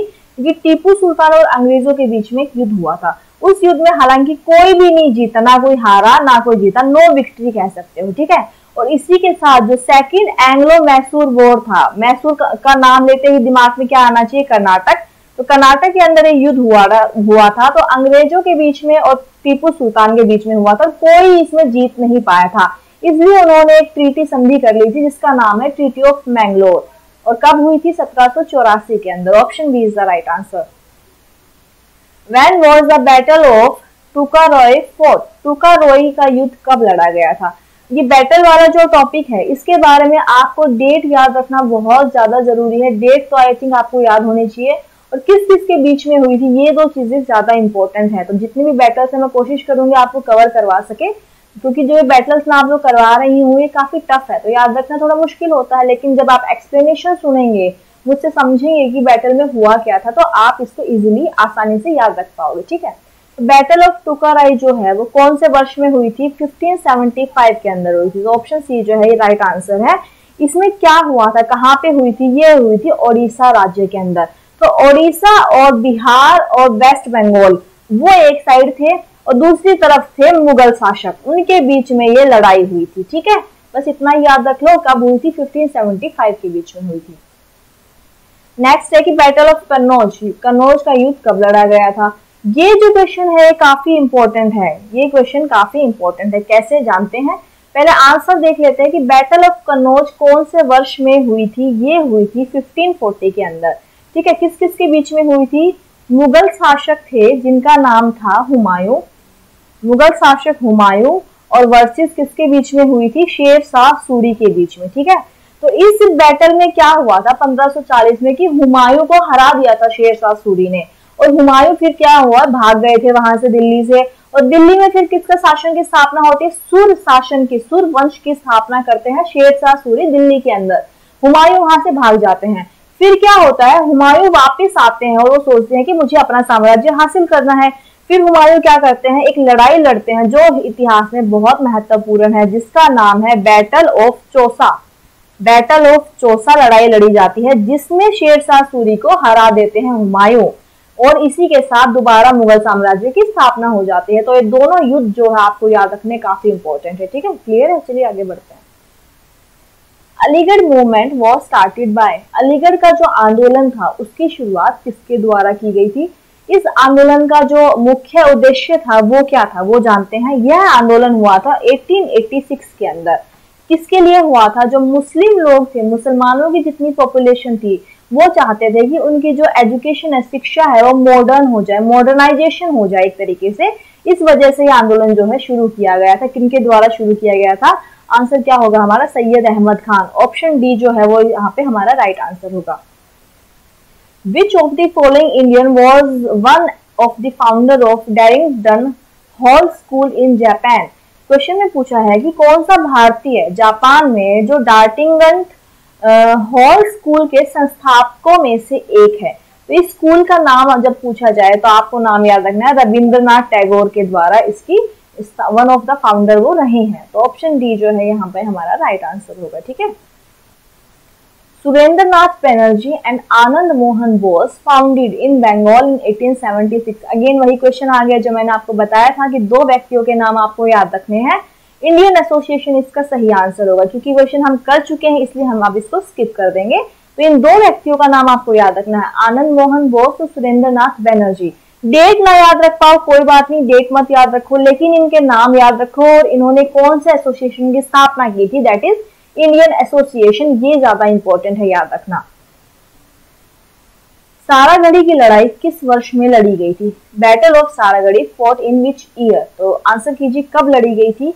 ये किस किस के बीच में लड़ी थी? अगेन ये ब्रिटिशर्स अंग्रेज़ों के बीच में लड़ी गई थी। वर्सेस अफगानी जो अफगान से जो ट्राइब्स आए थे, उनके बीच में ये लड़ाई लड़ी गई थी। कौन से वर्ष के अंदर? 1897 के अंदर। इससे ज़्यादा डिटेल में नहीं एग्ज़ाम में भी नहीं पूछा जाएगा और आपको याद भी नहीं रखना है। और आपके पास इतना टाइम भी नहीं है अभी याद रखने का तो याद सिर्फ़ इतना सब चीज़ रखो और कब हुई थी? 1897 के अंदर ये बैटल लड़ी गई थी। चलिए अगला क्वेश्चन देखते हैं। Which state of India was ruled by Ahom dynasty Ahom वंश का शासन भारत के किस राज्य पर था? यह आपको बताना है। भारत के कौन से राज्य में इसका विस्तार था? अहोम शब्द से ए ए से याद रख लो। छोटी सी ट्रिक है। ए ए से याद रखोगे असम। असम राज्य में इसका जो शासन की स्थापना हुई थी। तो ऑप्शन बी जो है, यहाँ पे राइट आंसर होगा। ठीक है? कब से कब तक थी ये डेट आपके, मैं सिर्फ़ जनरल नॉलेज के लिए बता रही हूँ, ताकि आपको थोड़ा सा आइडिया लग जाए कि कब क्या हुआ था। तो याद करने में थोड़ी आसानी हो जाती है। ठीक है? अगला क्वेश्चन देखिए। Who among the following was the last Nawab of Awadh Awadh जो है, साम्राज्य था, उसके अंतिम नवाब कौन थे? ये क्वेश्चन में आपसे पूछा गया है। कौन थे इसके अंतिम नवाब इन्होंने शासन किया था। इनका जो शासन था, वो था नाइन्थ से टेंथ सेंचुरी के बीच में इनका शासन रहा है। और इनके आखिरी जो नवाब थे, ये दसवें नंबर के नवाब थे और आखिरी नवाब थे। और उनका सॉरी ये सेंचुरी वाला पार्ट आप हटा दीजिए, मैं कंफ्यूज हो गई थी थोड़ा। दसवें नंबर के शासक थे और इनका नाम था वाजिद अली शाह, ये आखिरी वो थे, ठीक है? और इन्होंने नौ साल तक शासन किया था किन्होंने नवाब ऑफ़ अवध, जिनका नाम है वाजिद अली शाह ने नौ वर्ष तक शासन किया था। नेक्स्ट क्वेश्चन है आपका। East India company sent captain William Hawkins to the court of emperor in 1608 to seek permission to open a factory at Surat East India company ने सूरत में एक कारखाना खोलने की अनुमति प्राप्त करने हेतु 1608 में कैप्टन विलियम हिकिंस को कौन से बादशाह के दरबार में भेजा था? उस वक्त मुगल शासक कौन थे? आपसे पूछा गया है। मुगल शासक थे उस वक्त जहांगीर, याद रखना है आपको, ठीक है? तो फैक्ट्री लगानी थी सूरत में और क्या हुआ? उस समय जब पुर्तगाली जो थे, उनका भारत में अच्छा खासा व्यापार चल रहा था तो वो उनको फैक्ट्री लगाने की अनुमति दिलवाना नहीं चाहते थे, ठीक है? तो इसलिए उन्होंने भेजा विलियम हॉकिंस को, ताकि वो दोबारा से जहांगीर को मना सके और हम जो अपनी फैक्ट्री की कारखाने की स्थापना कर सके। अगला क्वेश्चन है which was the historical name of city of Guwahati Guwahati शहर का ऐतिहासिक नाम क्या है? बहुत इंटरेस्टिंग क्वेश्चन है, जो लोग असम राज्य से बिलोंग करते हैं, उनको शायद पता होगा। गुवाहाटी का हिस्टोरिकल नेम है प्राग ज्योतिषपुर ऑप्शन डी जो है, ये राइट आंसर होगा। प्रयाग ज्योतिषपुर जो है, वो हमारे क्वेश्चन के लिए राइट आंसर है, ठीक है? और जो गुवाहाटी शहर है ये कौन सी नदी के ऊपर स्थित है? ब्रह्मपुत्र के ऊपर स्थित है। ब्रह्मपुत्र नदी के ऊपर ये स्थित है। चलिए अगला देखो। इंस्ट्रूमेंट ऑफ़ सरेंडर ठीक है? आत्म आत्म समर्पण की संधि पर कब हस्ताक्षर किया गया? जिसने भारत में पुर्तगाली शासन का अंत किया? भारत में सबसे पहले आने वाले थे पुर्तगाली, मैं बता चुकी हूँ आपको। कब आए थे? चौदह के अंदर। सबसे पहले कौन आया था? वास्को डी गामा आया था। कहाँ पे आए थे? कैलिकट के अंदर आए थे। ठीक है, क्लियर है? आप देखो कि एक फिर उनके बाद कौन आए? अंग्रेज़ आए भारत में, ठीक है? अंग्रेज़ जब आए तो वो चाहते थे कि पूरे भारत पे हमारा शासन हो, भारत के व्यापार पे हमारा शासन हो, इस वजह से वो पोर्तुगीज जो पुर्तगाली थे उनको हटाना चाहते थे। अभी हमने लड़ाई भी देखी कि उनके साथ लड़ाई हुई थी, तब उन्होंने क्या हुआ लड़ाई में? तो एक संधि होती है जिसका नाम है आत्म समर्पण की संधि, जिसके साथ पुर्तगाली शासन का दी एंड हो जाता है। और यह संधि कब होती है? यह होती है 19 दिसंबर को 1961 के अंदर। ठीक है? ऑप्शन ए सही का आंसर है। Who among the following was killed by Chhatrapati Shivaji in the battle of Pratapgarh Chhatrapati Shivaji जो थे, उन्होंने बैटल ऑफ़ प्रतापगढ़ के अंदर किसकी हत्या की थी? तो यह जो बैटल हुई थी बैटल ऑफ़ प्रतापगढ़ किस किस के बीच में हुई थी? छत्रपति शिवाजी के बीच में और अफजल खान के बीच में हुई थी। तो ऑप्शन ए जो है, यहाँ पे सही आंसर है। 1659 के अंदर हुई थी, कहाँ पे हुई थी? महाराष्ट्र के अंदर। The Cheriyal scrolls is a dying art form of India practised by one family called the Nakashi family ठीक है चेरियाल स्क्रोल एक प्रकार की कला रूप है। तो किसके द्वारा की जाती है? भारत में सिर्फ़ एक परिवार है जो जनरेशन से करता आ रहा है, जिसका नाम है नकाशी फैमिली ठीक है, काफ़ी जनरेशन से पीढ़ियों से एक काम उनकी फैमिली में चल रहा है। तो आपको ये बताना है कि कौन से स्टेट के अंदर ये फ़ेमस है? तो कौन से राज्य के अंदर ये फ़ेमस है? बहुत ही अच्छा इंटरेस्टिंग क्वेश्चन है। ये इसकी एक झलक दिखा देती हूँ मैं, जो चेरियाल स्क्रोल है, इस प्रकार का ये है। और इसके लिए राइट आंसर होगा हमारा तेलंगाना। ऑप्शन डी जो है, वो सही आंसर होगा, ठीक है? Sant Kabir received his spiritual training from his preceptor named question में पूछा है कि संत कबीर ने अपना आध्यात्मिक प्रशिक्षण किससे लिया था? उनके गुरु का नाम आपसे पूछा गया है। उनके गुरु थे रामानंद। ऑप्शन डी जो है आपका सही आंसर होगा, ठीक है? इसके बारे में क्या आपको क्या याद रखना है? इन्होंने कौन सी फिलोसफी दी थी? एडवेद की फिलोसफी दी थी। कौन सी? एडवेट फिलोसफी सीधा एग्ज़ाम में क्वेश्चन आता है कि एडवेट फिलोसफी किसके द्वारा दी गई थी? तो रामानंद के द्वारा दी गई थी। ये चीज़ आपको याद रखना और इन्होंने किसका प्रचार किया था? वैष्णविज्म का। वैष्णविज्म का, ठीक है? ये दो बातें आपको याद रखनी है। नेक्स्ट है आपका कि बारबर की गुफाएँ जो वर्तमान में भारत में मौजूद चट्टान काटकर बनाई गई हैं, सबसे पुरानी प्राचीन गुफाएँ, ठीक है, अधिकतर निम्न में से किस काल से संबंधित है? पहले तो ये देखो, ये गुफाएँ स्थित कहाँ पे है? ये बिहार के अंदर स्थित है। बिहार में गया डिस्ट्रिक्ट है गया जिला जो है, वहाँ पे स्थित है, ठीक है, सबसे पूरा, प्राचीन गुफाएँ हैं। ये देखिए, ये इसका आप डायग्राम सॉरी पिक्चर देख सकते हैं। काफ़ी पुरानी भी नज़र आ रही है आपको, ठीक है। तो क्वेश्चन में पूछा गया है कि जो ये गुफाएँ हैं, वो किस काल से संबंधित है? कौन से काल में जो है इनका संबंध है? तो आंसर होगा हमारा मौर्य वंश। ऑप्शन सी जो है वो हमारा राइट आंसर होगा। ऑप्शन सी जो है वो हमारा यहाँ पे करेक्ट आंसर है, ठीक है? इसके अंदर क्या क्या है? अशोक। अशोक द ग्रेट का नाम आपने सुना होगा। अशोका के शिलालेख जो है यहाँ पे देखने को मिले हैं। ये आप दोबारा देख लीजिए इसकी फ़ोटो। चलिए अगले क्वेश्चन पे। Who among the following establish an institution name Kalashram ठीक है, एक काल श्रम नामक का एक इंस्टीट्यूशन स्टैब्लिश किया था। किसके लिए? ताकि जो है प्रशिक्षण दिया जा सके डांस या उससे संबंधित अनुशासनों के लिए। ठीक है, यह किसके द्वारा स्थापित किया गया था? ये आपको बताना है। यह स्थापित किया गया था पंडित बिरजू महाराज के लिए, ताकि वो लोगों को ट्रेन कर सके डांस की ट्रेनिंग दे सके। वहाँ पे कथक डांस भी सिखाया जाता था। और भी काफ़ी चीज़ें वहाँ पे सिखाई जाती थी। तो ऑप्शन बी जो है वो आपका सही आंसर होगा इसके लिए। अगला देखो during the reign of which of the following king did Chinese travel एक चीनी यात्री का नाम दिया गया है, हेन तसांग। हेन तसांग भारत आए थे। ये इंग्लिश वाला वर्ड थोड़ा मिसिंग गलत दिया हुआ है। हेन तसांग, ठीक है? आपको स्पेलिंग लिख देती हूँ यहाँ पे। हेन तसांग जो है, उन्होंने भारत की यात्रा की थी, चाइना से वो आए थे। कौन से पूछा गया है किसके काल के अंदर उन्होंने यात्रा की थी। उन्होंने यात्रा की थी हर्षवर्धन के काल में, ठीक है?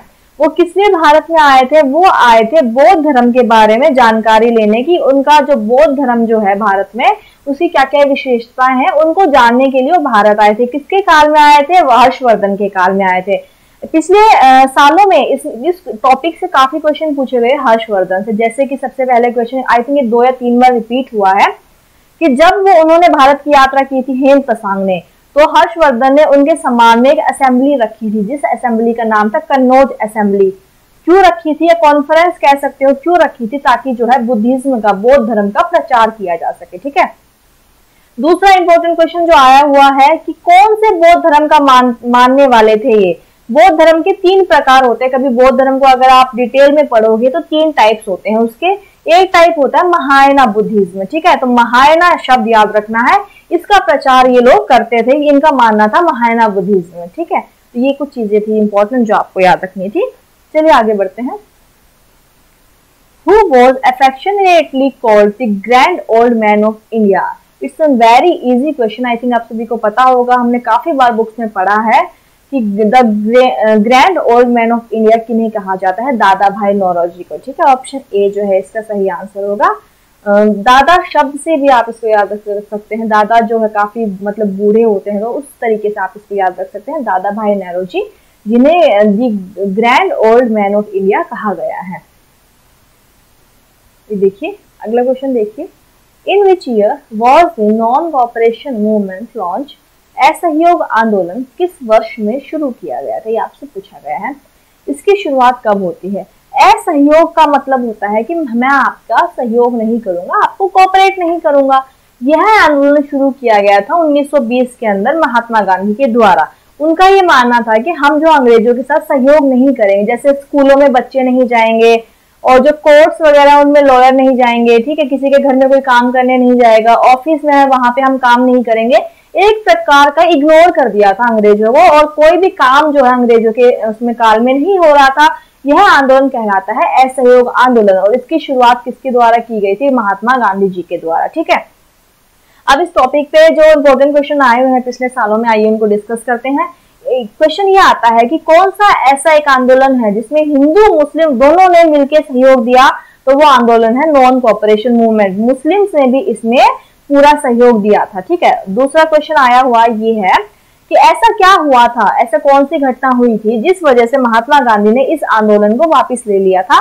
तो यह घटना होती है 1922 के अंदर, जिसका नाम है चोरा चोरी घटना। चोरा चोरी घटना हुई थी, ठीक है? चोरा चोरी कहाँ पे है? ये उत्तर प्रदेश के अंदर एक जगह है। वहाँ पे क्या हुआ था? क्रांतिकारियों ने पूरे पुलिस स्टेशन को जला के राख कर दिया गया था। और गांधी जी हमेशा जो है, वो वायलेंस में बिलीव नहीं करते थे। इस वजह से उनको लगा कि वायलेंस हो रहा है, हिंसा हो रही है इसलिए उन्होंने इस आंदोलन को वापस ले लिया था।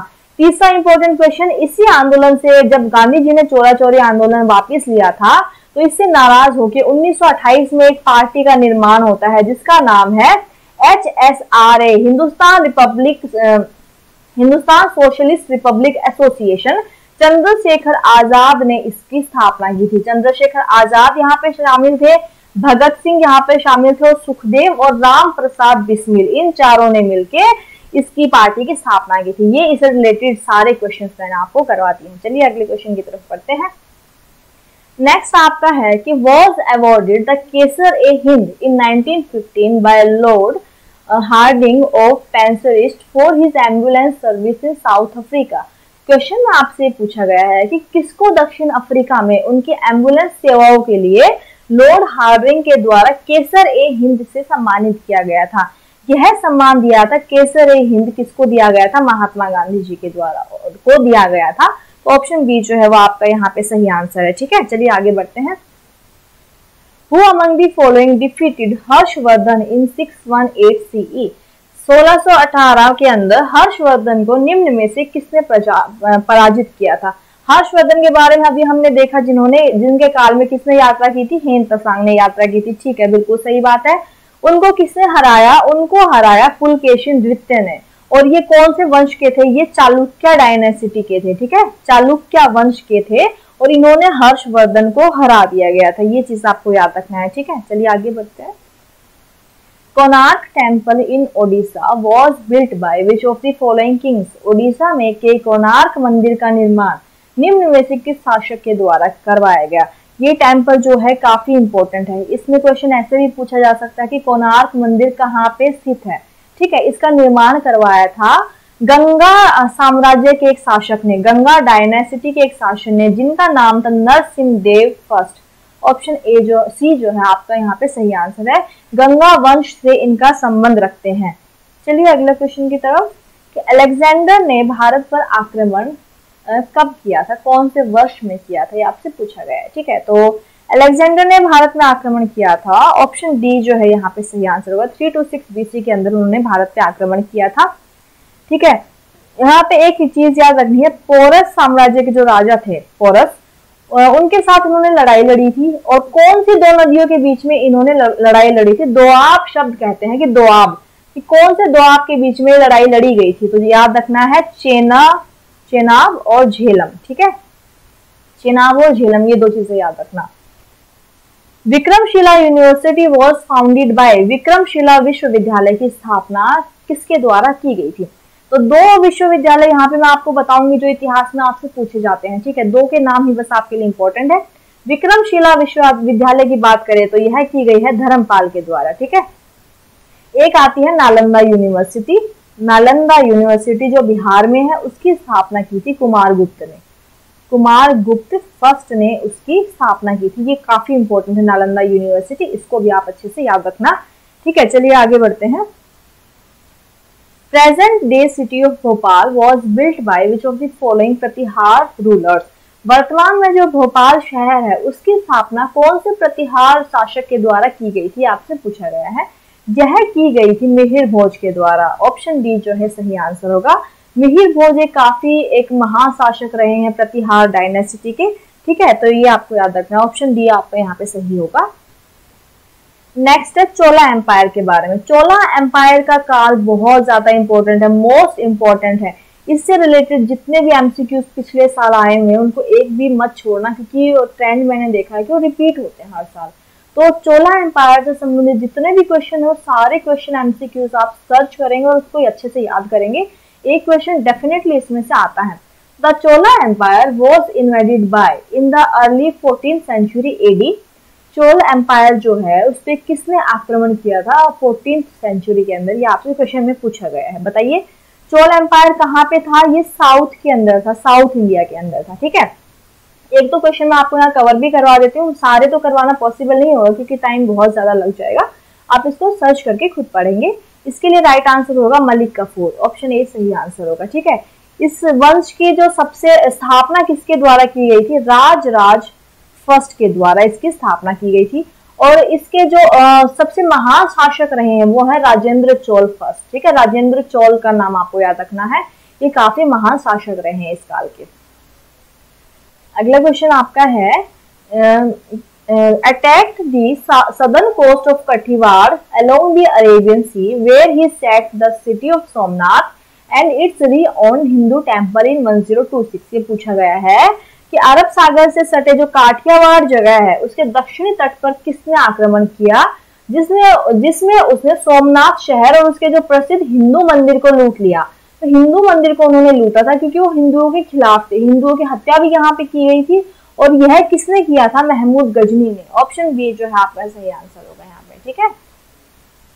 नेक्स्ट है आपका after the battle of which in 1757 the British achieve political power in India अब देखो, सत्रह सौ सत्तावन देखते ही आपके दिमाग में कौन सा युद्ध आता है? बैटल ऑफ़ पलासी क्योंकि मैंने आपको बताया है बैटल ऑफ़ पलासी जो है वो काफ़ी ज़्यादा इंपॉर्टेंट है। ठीक है, मैंने आपको बता चुकी हूँ। 1757 के अंदर हुई थी बैटल ऑफ़ पलासी किस किस के बीच में हुई थी? वो हुई थी बंगाल के नवाब और अंग्रेज़ों के बीच में ये लड़ाई हुई थी। ठीक है? तो ऑप्शन सी जो है वो यहाँ पे सही आंसर होगा आपका। विच सिख गुरु compiled the Adi Granth the holy scripture of Sikhism किस सिख गुरु ने सिख धर्म के जो पवित्र धर्म ग्रंथ है आदि ग्रंथ का संकलन किया था? दो क्वेश्चन आपको यहाँ पे याद हो गए। एक तो आदि ग्रंथ की जो सिखों का जो होली स्क्रिप्चर है वो आदि ग्रंथ है और उसकी जो आ, पूछा गया है कि कंपाइल किसने किया था? वो किया था सिखों के दस गुरु थे ठीक है? सिखों के जो पांचवे गुरु थे, उनका नाम है गुरु अर्जन देव। उन्होंने इसका कंपाइलेशन किया था। ऑप्शन सी जो है, ये सही आंसर होगा, ठीक है? In which year the Chicago conference of world religion held that included Swami Vivekananda talk on religion as one of its highlight वैश्विक धर्मों का शिकागो सम्मेलन जो हुआ था, कौन से वर्ष में आयोजित किया गया था? जिसमें कि स्वामी विवेकानंद ने एक बहुत ही फ़ेमस स्पीच दी थी। अब आप घर पे जाके यूट्यूब पे सर्च करना, ये जो स्पीच है काफ़ी इंपॉर्टेंट है मतलब मानी जाती है इतिहास में। तो बहुत ही अच्छी बातें उन्होंने बताई थी तो वर्ल्ड फ़ेमस ये स्पीच थी उनकी, जो उन्होंने दी थी शिकागो सम्मेलन में, और ये कौन से वर्ष में दी थी, आपको वर्ष बताना है, इसके लिए राइट आंसर होगा हमारा 1893 जो है सही आंसर होगा, ठीक है? The first cotton mill in India was set up as a spinning mill in 1854 in Bharat में पहली कपास मिल की स्थापना अठारह में कताई मिल के रूप में कहा की गई थी? फ़र्स्ट कॉटन मिल की स्थापना हुई थी। उस मिल का नाम क्या था? उस मिल का नाम भी याद रखना। Bombay spinning Bombay spinning and weaving company, ठीक है? ये इस नाम की कंपनी स्थापित की गई थी और यह की गई थी बॉम्बे के अंदर। तो ऑप्शन बी हमारा सही आंसर होगा। Who among the following designed the famous structure, the Gateway of India? निम्न में से किसने गेटवे ऑफ़ इंडिया की प्रसिद्ध संरचना को डिज़ाइन किया था? ये आपसे पूछा गया है। गेटवे ऑफ़ इंडिया कहाँ पे है? गेटवे ऑफ़ इंडिया है मुंबई के अंदर, महाराष्ट्र में। और इसको डिज़ाइन किसने किया था? ये आपको बताना है। तो जॉर्ज विटेट जो है वो सही आंसर होगा। ऑप्शन सी जॉर्ज विटेट ने इसको डिज़ाइन किया था। और ये कहाँ के आर्किटेक्ट थे? ये थे स्कॉटलैंड के। स्कॉटलैंड से आए थे और इन्होंने आर्किटेक्ट किया था। गेटवे ऑफ़ इंडिया ये आप इसकी तस्वीर देख सकते हैं। मुंबई के अंदर ये स्थित है। ठीक है? अब एक इम्पोर्टेंट क्वेश्चन यहाँ से ये बनता है कि गेटवे ऑफ़ इंडिया तो ठीक है, लेकिन इंडिया गेट का जो निर्माण किया था, वो किसके द्वारा किया गया था? ये भी आपको पता होना चाहिए, किसने डिज़ाइन किया था? तो आप मुझे ये बताएँगे कि इंडिया गेट को डिज़ाइन किसने किया था? ठीक है? ये आपका क्वेश्चन है। तो सभी बच्चे मुझे आंसर देंगे इसका। चलिए आगे देखते हैं। Which city of Pakistan is called the gardens of the Mughals and city of garden Pakistan के किस शहर को मुगलों का बाग, क्योंकि वहाँ पे बहुत सारे बाग है जो मुगलों के द्वारा बसाए गए थे। बागों का शहर कहा जाता है। इसके साथ ही इसे पाकिस्तान का दिल भी कहा जाता है और यह सिटी है लाहौर। ऑप्शन डी यहाँ पे सही आंसर होगा। लाहौर जो है, वो राइट आंसर होगा यहाँ पे, ठीक है? अगला क्वेश्चन है in which year the administration of India was transferred into the hands of British monarch by the proclamation of queen Victoria किस वर्ष भारत का प्रशासन महारानी विक्टोरिया की घोषणा के द्वारा ब्रिटिश सम्राट के हाथों में सौंप दिया गया था? देखिए, सत्रह, अठारह की क्रांति तो आप सभी को याद होगी, ठीक है? अठारह की क्रांति में भारतीयों ने बढ़ चढ़ के भाग लिया था। हालाँकि ये असफल रहा था बट फिर भी यहाँ से जो है नेशनलिटी की या जागरूकता की शुरुआत होती है। एग्जैक्ट एक साल के बाद, अठारह सौ अठावन में क्या किया ब्रिटिश सरकार ने? जो क्वीन विक्टोरिया थी, उन्होंने क्या किया? जो ब्रिटिश इंडिया थे, उनके हाथ से शासन छीन के खुद के हाथ में ले लिया। और यह कब हुआ? 1858 के अंदर, क्योंकि उन्हें अब अब जो क्वीन विक्टोरिया थी, उनको जो है, अंग्रेज़ों के अंग्रेज़ों के ऊपर यकीन नहीं हो रहा था कि वो भारत में क्या कर रहे हैं। क्योंकि अठारह में क्रांति हो चुकी थी, इस वजह से क्वीन विक्टोरिया को डर था थोड़ा सा कि कहीं भारत के लोग बगावत ना कर दें। इस वजह से उन्होंने जो शासन है, अपने हाथों में ले लिया अठारह के अंदर। Option D will be the right answer ठीक है, इसे क्राउन रूल कहते हैं। जो ये आप देख रहे हैं, अपने हाथों में ट्रांसफ़र करना पावर को, इसे क्राउन रूल कहते हैं या इसे डायरेक्ट रूल भी कहते हैं। ठीक है, ये वर्ड भी इंपॉर्टेंट है, ये भी पूछा जा सकता है आपसे। नेक्स्ट क्वेश्चन है Which of the following Indian ruler was defeated by Mahmud Ghazni in his first attack in the year uh, 1001 AD? ये बताइए आप मुझे कि निम्न में से किस भारतीय शासक ने वर्ष 1001 ईस्वी में महमूद गजनी को उसके पहले आक्रमण में ही पराजित कर दिया गया था? इसके लिए सही आंसर होगा जयपाल। ऑप्शन सी यहाँ पे सही आंसर होगा जयपाल। अगला क्वेश्चन है Who among the following in, uh, first uh, translated the Bhagavad Gita into English? निम्न में से किसने पहली बार भगवत गीता का अंग्रेज़ी में अनुवाद किया था? भगवत गीता को इंग्लिश में जब ट्रांसलेट किया था तो वो किसके द्वारा किया गया था? चार्ल्स विल्किंस के द्वारा किया गया था। और कब किया गया था? 1785 के अंदर ठीक है? और अब इसको ट्रांसलेट तो कर दिया गया था, लेकिन इसको इंट्रोड्यूस किसने किया? फिर बाद में वो नाम आपको याद रखना है, उसका नाम है वारन हेस्टिंग्स। वारन हेस्टिंग्स ने फिर इसको ब्रिटिश सरकार के अंदर इसको इंट्रोड्यूस किया था, जब इसका इंग्लिश में ट्रांसलेशन कर दिया गया था।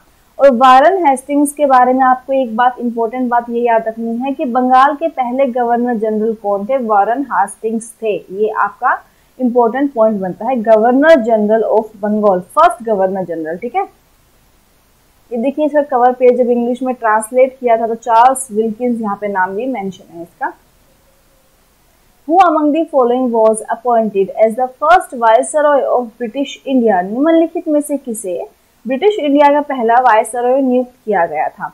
अठारह की क्रांति पे एक बार फिर से आते हैं। अठारह से पहले जो है वायसरॉय शब्द का इस्तेमाल नहीं किया गया था।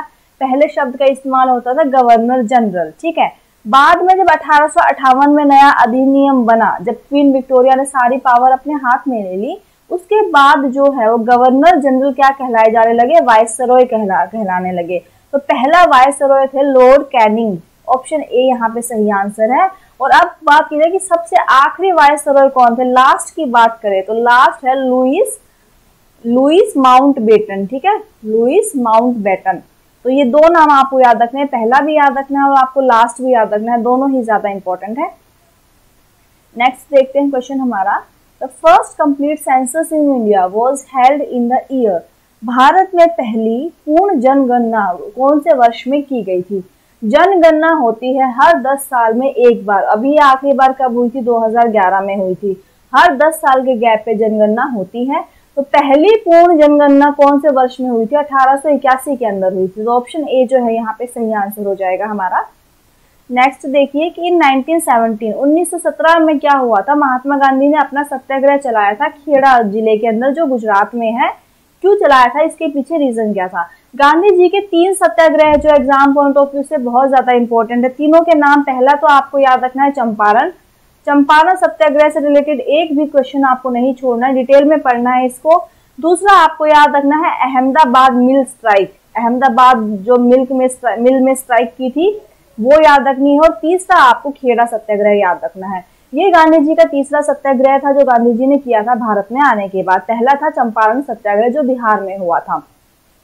1917 में गांधी जी ने जैसे सत्याग्रह किया गुजरात के अंदर। क्यों? क्योंकि वहाँ पे जो अंग्रेज़ों ने टैक्स को बढ़ा दिया गया था और जो कॉटन मिल के जो वर्कर्स थे वो टैक्स जो है पे नहीं कर पा रहे थे वहाँ पे। क्यों? क्योंकि उस साल फ़सल भी नहीं हुई फ़सल भी खराब हो गई थी और दूसरा वहाँ पे जो प्लेग महामारी है वो भी चल रही थी। इस वजह से किसान जो है वहाँ के सॉरी जो किसान जो है वहाँ के आ, वो टैक्स नहीं पे कर पा रहे थे और टैक्स भी बहुत ज़्यादा बढ़ा दिया था अंग्रेज़ों ने। तो इस वजह से गांधी जी ने वहाँ पे सत्याग्रह चलाया था। तो ऑप्शन डी जो है वो सही आंसर होगा यहाँ पे। चलिए अगला देखते हैं कि in nineteen century Satnami movement in central India was founded by मध्य भारत में सतनामी आंदोलन की शुरुआत किसके द्वारा की गई थी? आपसे पूछा गया है।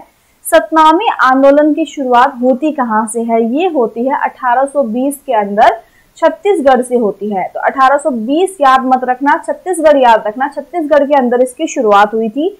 ठीक है? ये किन लोगों का? एक समूह था दलित लोगों का। दलित लोग वो थे जो चमड़े के काम करते थे, जैसे चप्पल वगैरह सीलना या जो चमड़े वाले काम करते थे दलित लोग, उन्होंने आंदोलन शुरू किया था और यह शुरू किया गया था गुरु घासीदास के द्वारा। ये भी ये लेदर वर्क करते थे, चमड़े का काम करते थे तो इन्होंने जो है दलित लोगों के अधिकारों के लिए इस आंदोलन की शुरुआत की थी। ऑप्शन डी यहाँ पे सही आंसर हो जाएगा आपका। In the context of the Mughals Mughal का काल जो है वो बहुत ज़्यादा इंपॉर्टेंट है एग्ज़ाम में। डेफिनेटली एक क्वेश्चन जो है मुगल काल से ज़रूर पूछा जाता है। एक तो मामलुक डायनेसिटी ठीक है? मामलुक वंश। दूसरा खिलजी वंश के बारे में बहुत क्वेश्चन आता है और तीसरा क्वेश्चन आता है मुगल वंश के ऊपर, ठीक है? तो ये तीन वंश तो जो आपको डेफिनेटली इंपॉर्टेंट है, आपको याद रखने पड़ेंगे। तो मुगल के बारे में इनमें से कौन सा एक कथन है जो सही नहीं है? तो मुगल के बारे में जो आप इन कथनों को पढ़ेंगे तो तीनों कथन जो सही हैं लेकिन जो कथन इनमें से गलत है वो कथन कौन सा है वो आपको बता देते हैं। ऑप्शन ए जो है वो गलत कथन है। क्यों? क्योंकि जो मुगल इसमें ऑप्शन ए में दिया गया है कि मुगल दरबार का इतिहास उनका वर्णन एक महान ईरानी राजा अफ, अफर सियाबा के वंशजों के रूप में करता है। ये बिल्कुल गलत बात है। वो कहाँ से आए थे? ईरान से नहीं आए थे, वो पर्शिया से आए थे। तो पर्शियन लैंग्वेज जो है, उनके कोर्ट के में चलती थी।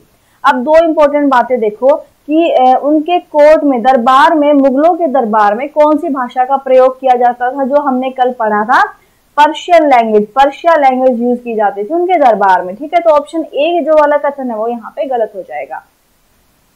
अगला क्वेश्चन है the Mughal emperor adopted the title of Alamgir कौन से ऐसे मुगल बादशाह हैं जिन्होंने आलमगीर की उपाधि धारण की थी? तो मुगल बादशाहों को याद कैसे रखोगे? चलो फिर से एक बार ट्रिक अपनी अप्लाई कर देते हैं। दैट इज़ द ट्रिक ठीक है? तो इसमें पूछा गया है कि आलमगीर की उपाधि ली थी औरंगज़ेब ने। औरंगज़ेब जो है, ये आप देख सकते हैं कौन से नंबर के राजा रहे हैं। औरंगज़ेब ने जो है, उन्हें, उन्होंने आलमगीर की उपाधि जो है, वो धारण की थी। ठीक है? इनके बारे में आपको ये बात याद रखनी है। इन्होंने पूरे मतलब 49 इयर्स तक शासन किया था। बहुत बड़ा शासन इनका रहा था। और एक इम्पोर्टेंट क्वेश्चन यहाँ से बनता है कि इन्होंने अपने खुद के फादर को भी अरेस्ट करवाया था, शाहजहां। मतलब ये इतने मतलब लालची थे गद्दी को पाने के लिए कि इन्होंने अपने जो इनके पिता थे शाहजहां, उनको भी कैद करवाया था। तो प्रीवियस ईयर में क्वेश्चन आया हुआ था कि शाहजहां को जब कैद करवाया था औरंगज़ेब ने तो उसको कहाँ रखा गया? इनको रखा गया था आगरा के अंदर। तो ऑप्शन सी जो है औरंगज़ेब यहाँ पे सही आंसर हो जाएगा हमारा। Famous Khajuraho group of monument was constructed by the Khajuraho समूह के जो प्रसिद्ध स्मारकों का निर्माण किसके द्वारा किया गया था? ये क्वेश्चन में पूछा गया है। खजुराहो टेंपल कहाँ पे स्थित है? ये देखिए इस प्रकार के टेम्पल्स जो हैं, ये स्थित है मध्य प्रदेश के अंदर। एमपी के अंदर एमपी की शान है ये मंदिर। और इनका निर्माण किसके द्वारा करवाया गया था? ये क्वेश्चन में आपसे पूछा गया है। दसवीं शताब्दी से बारहवीं सेंचुरी के बीच में इनका निर्माण करवाया गया था चंडेलास के द्वारा। ऑप्शन डी जो है वो यहाँ पे सही आंसर होगा। चंडेलास जो है वो बिल्कुल सही आंसर है इस क्वेश्चन का। ठीक है? Who among the following leader was not a founding member of Hindustan socialist republican army कौन सा एक नेता है इनमें से जो हिंदुस्तान सोशलिस्ट रिपब्लिकन आर्मी का एक संस्थापक सदस्य नहीं था? ये आपसे पूछा है क्वेश्चन में। इसके लिए राइट आंसर क्या होगा हमारा? जो हिंदुस्तान सोशलिस्ट रिपब्लिकन आर्मी है that is S H S R A इसका निर्माण हुआ था 1928 में। क्यों हुआ था 1928 में? क्योंकि जो पहले निर्माण करता देखते हैं कि इसका निर्माण करता कौन कौन थे? सुभाष चंद्र सॉरी चंद्र शेखर आज़ाद, भगत सिंह, सुखदेव, ठीक है, सुखदेव और राम प्रसाद बिस्मिल। राम प्रसाद ये तो जो थे चारों नाम इनके फाउंडर मेंबर थे मतलब इनके द्वारा स्थापना की गई थी। बाकी अजय घोष जतिन दास ये भी उसके मेंबर थे। और भगत सिंह तो आप देख सकते एक फाउंडर मेंबर थे। तो बदरुद्दीन तैयब जी जो है यहाँ से सही आंसर हो जाएगा। 1928 में इस, इसकी स्थापना की थी इस पार्टी की। क्यों की थी इस पार्टी क्योंकि ये कांग्रेस की नीतियों से मतलब खुश नहीं थे। वो ये चाहते थे कि हम अलग तरीके से अपनी आज़ादी प्राप्त करें। इस वजह से इन्होंने अलग से अपनी पार्टी का निर्माण किया था। इस पार्टी का निर्माण किसके बाद हुआ था? ऐसा क्या हुआ था इतिहास में कि इन्होंने इनको निर्माण करना पड़ा था? ये क्वेश्चन आया था। चोरा चोरी हत्याकांड हुआ था जब, चोरा चोरी हत्याकांड हुआ था, उस वक्त गांधी जी ने जो असहयोग आंदोलन था, उसको वापिस ले लिया था। इस वजह से ये लोग नाराज़ हो गए थे और इन्होंने अपनी एक नई पार्टी का निर्माण किया था, ठीक है? नेक्स्ट है आपका कि Samkhya school of philosophy was founded by कि संख्या स्कूल जो है उसके संप्रदाय की स्थापना किसके द्वारा की गई थी स्कूल की? इस स्कूल का बेसिकली फ़ंक्शन क्या है कि ये भगवान के अंदर विश्वास नहीं करते हैं और ये एक प्रकार का योगा स्कूल है। मतलब योग वगैरह यहाँ पे ज़्यादा संबंधित है और इसकी स्थापना की गई थी कपिला के द्वारा। कपिल ऑप्शन बी जो है वो सही आंसर होगा। बी यहाँ पे राइट आंसर है, ठीक है? देखिए, गौतम की बात करें तो इन्होंने सेम ऐसे ही एक स्कूल बना था, न्याय स्कूल तो न्याय स्कूल के जो स्थापना की थी, वो किन्होंने की थी? गौतम ने की थी. तो ये दोनों स्कूल जो है काफ़ी इंपॉर्टेंट है एग्ज़ाम में पूछे जाते हैं। Which of the following text gives a detailed account of the king of Kashmir ये क्वेश्चन मोस्ट इंपॉर्टेंट क्वेश्चन है। काफ़ी चांसेस है इसके दोबारा से रिपीट होने के कि कौन सा ग्रंथ ऐसा है जो कश्मीर के राजाओं के बारे में एक विस्तृत विवरण देता है। ये क्वेश्चन काफ़ी इंपॉर्टेंट है, क्योंकि जो ये विवरण देता है जिस टेक्स्ट के अंदर, वो एकमात्र टेक्स्ट है जो कश्मीर के बारे में बताता है, कश्मीर के इतिहास के बारे में बताता है। और यह लिखा गया था एक बहुत ही फ़ेमस पोएट पोएट का नाम भी आपको याद रखना ये भी काफ़ी इंपॉर्टेंट है, कालहन। कालहन ने लिखा है रजत रंगिनी। तो ऑप्शन ए आपका यहाँ पे सही आंसर हो जाएगा फिफ्टींथ के लिए, ठीक है? कश्मीर के अकाउंट के बारे में इसमें बताया गया है।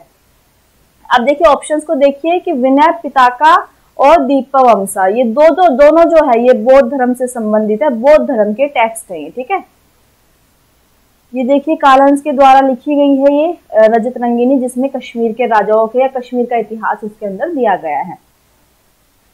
Who became the acting prime minister of India after the death of Jawaharlal Nehru in 1964 1964 में जब जवाहरलाल नेहरू की मृत्यु हो गई थी, उसके बाद भारत के कार्यकारी प्रधानमंत्री कौन बने थे? एक्टिंग प्राइम मिनिस्टर का मतलब होता है, एक तो होता है प्राइम मिनिस्टर की पूरी तरीके से प्रधानमंत्री बना दिया गया और पाँच साल के लिए उसका कार्यकाल होगा।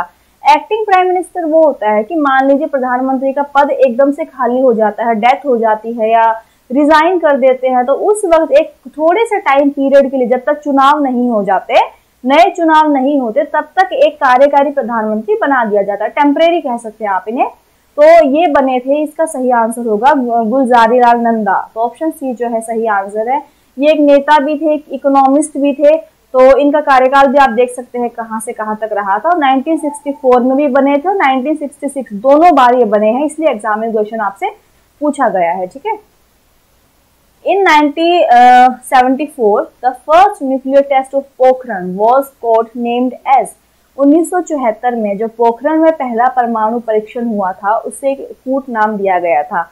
ये परमाणु परीक्षण भारत के लिए बहुत ज़्यादा इंपॉर्टेंट था। क्यों? क्योंकि जो अमेरिका की एजेंसीज है, उन्होंने भारत पे नज़र रखी थी कि भारत में कोई भी परमाणु परीक्षण ना हो। लेकिन फिर भी अमेरिकी एजेंसियों से बच के भारतीयों ने राजस्थान के अंदर जोधपुर ज़िले में एक पोखरण जगह है, वहाँ पे, सॉरी, जैसलमेर ज़िले में एक पोखरण जगह है वहाँ पे चोरी चुपके से उन्होंने ये टेस्ट कर दिया था और इसी के साथ भारत जो है पहला सॉरी पहला नहीं, भारत जो है एक न्यूक्लियर कंट्री बन गया था इस टेस्ट के साथ। और टेस्ट जो है सक्सेसफुल रहा था, इसका नाम है स्माइलिंग बुद्धा ऑप्शन सी जो है सही आंसर हो जाएगा यहाँ पे। Who among the following was known as Devanampiya question पूछा है कि देव नाम पिया के नाम से किसे जाना जाता है? इसे देव नाम पियत भी कहा जाता है, पियस भी कहा जाता है, ठीक है? काफ़ी, क्योंकि हिस्ट्री में कोई एक तो लिखता नहीं इतिहास को, बहुत सारे लोग अलग अलग नाम दे देते हैं। तो पियत भी हो या पिया हो या पियस हो तो एक ही बात है। तो यह नाम किन्हें दिया गया था अशोका को। ऑप्शन ए सी जो है सही आंसर होगा। अशोक जो है, उनके एडिक्ट तो आपको पता होंगे, उनके पिलर्स है। तो सिर्फ़ एक इकलौता पिलर ऐसा है जो है मास्की के अंदर, ठीक है? जिसके ऊपर सिर्फ़ उनका अशोक नाम है। बाकी उनके जितने भी पिलर्स हैं, उन सब के ऊपर उनका नाम है, देव नाम पियद ही नाम उनका वहाँ पे लिखा गया है। लेकिन सर जो मास्की वाला है, सिर्फ़ मास्की वाला पिलर याद रखना है, उस पे अशोक नाम है, बाकी सब पे देव नाम पियद ही है। चलिए अगला देखिए, आपको यहाँ पे मिलान करना है और इनकरेक्ट जो मैच है, उसको पहचानना है। चलिए पढ़ते हैं नंबर वाइज नीचे से शुरू करते हैं, चलिए। यजुर्वेद की बात करते हैं तो यजुर्वेद के अंदर सैक्रिफाइसेस दिए गए हैं, बिल्कुल सही बात है। अथर्ववेद की बात करें तो मैजिकल फॉर्मूलाज दिए गए ये भी सही है। ऋग्वेद के अंदर जो भजन वगैरह है, कीर्तन है, प्रार्थनाएँ हैं, वो सब दिए गए हैं।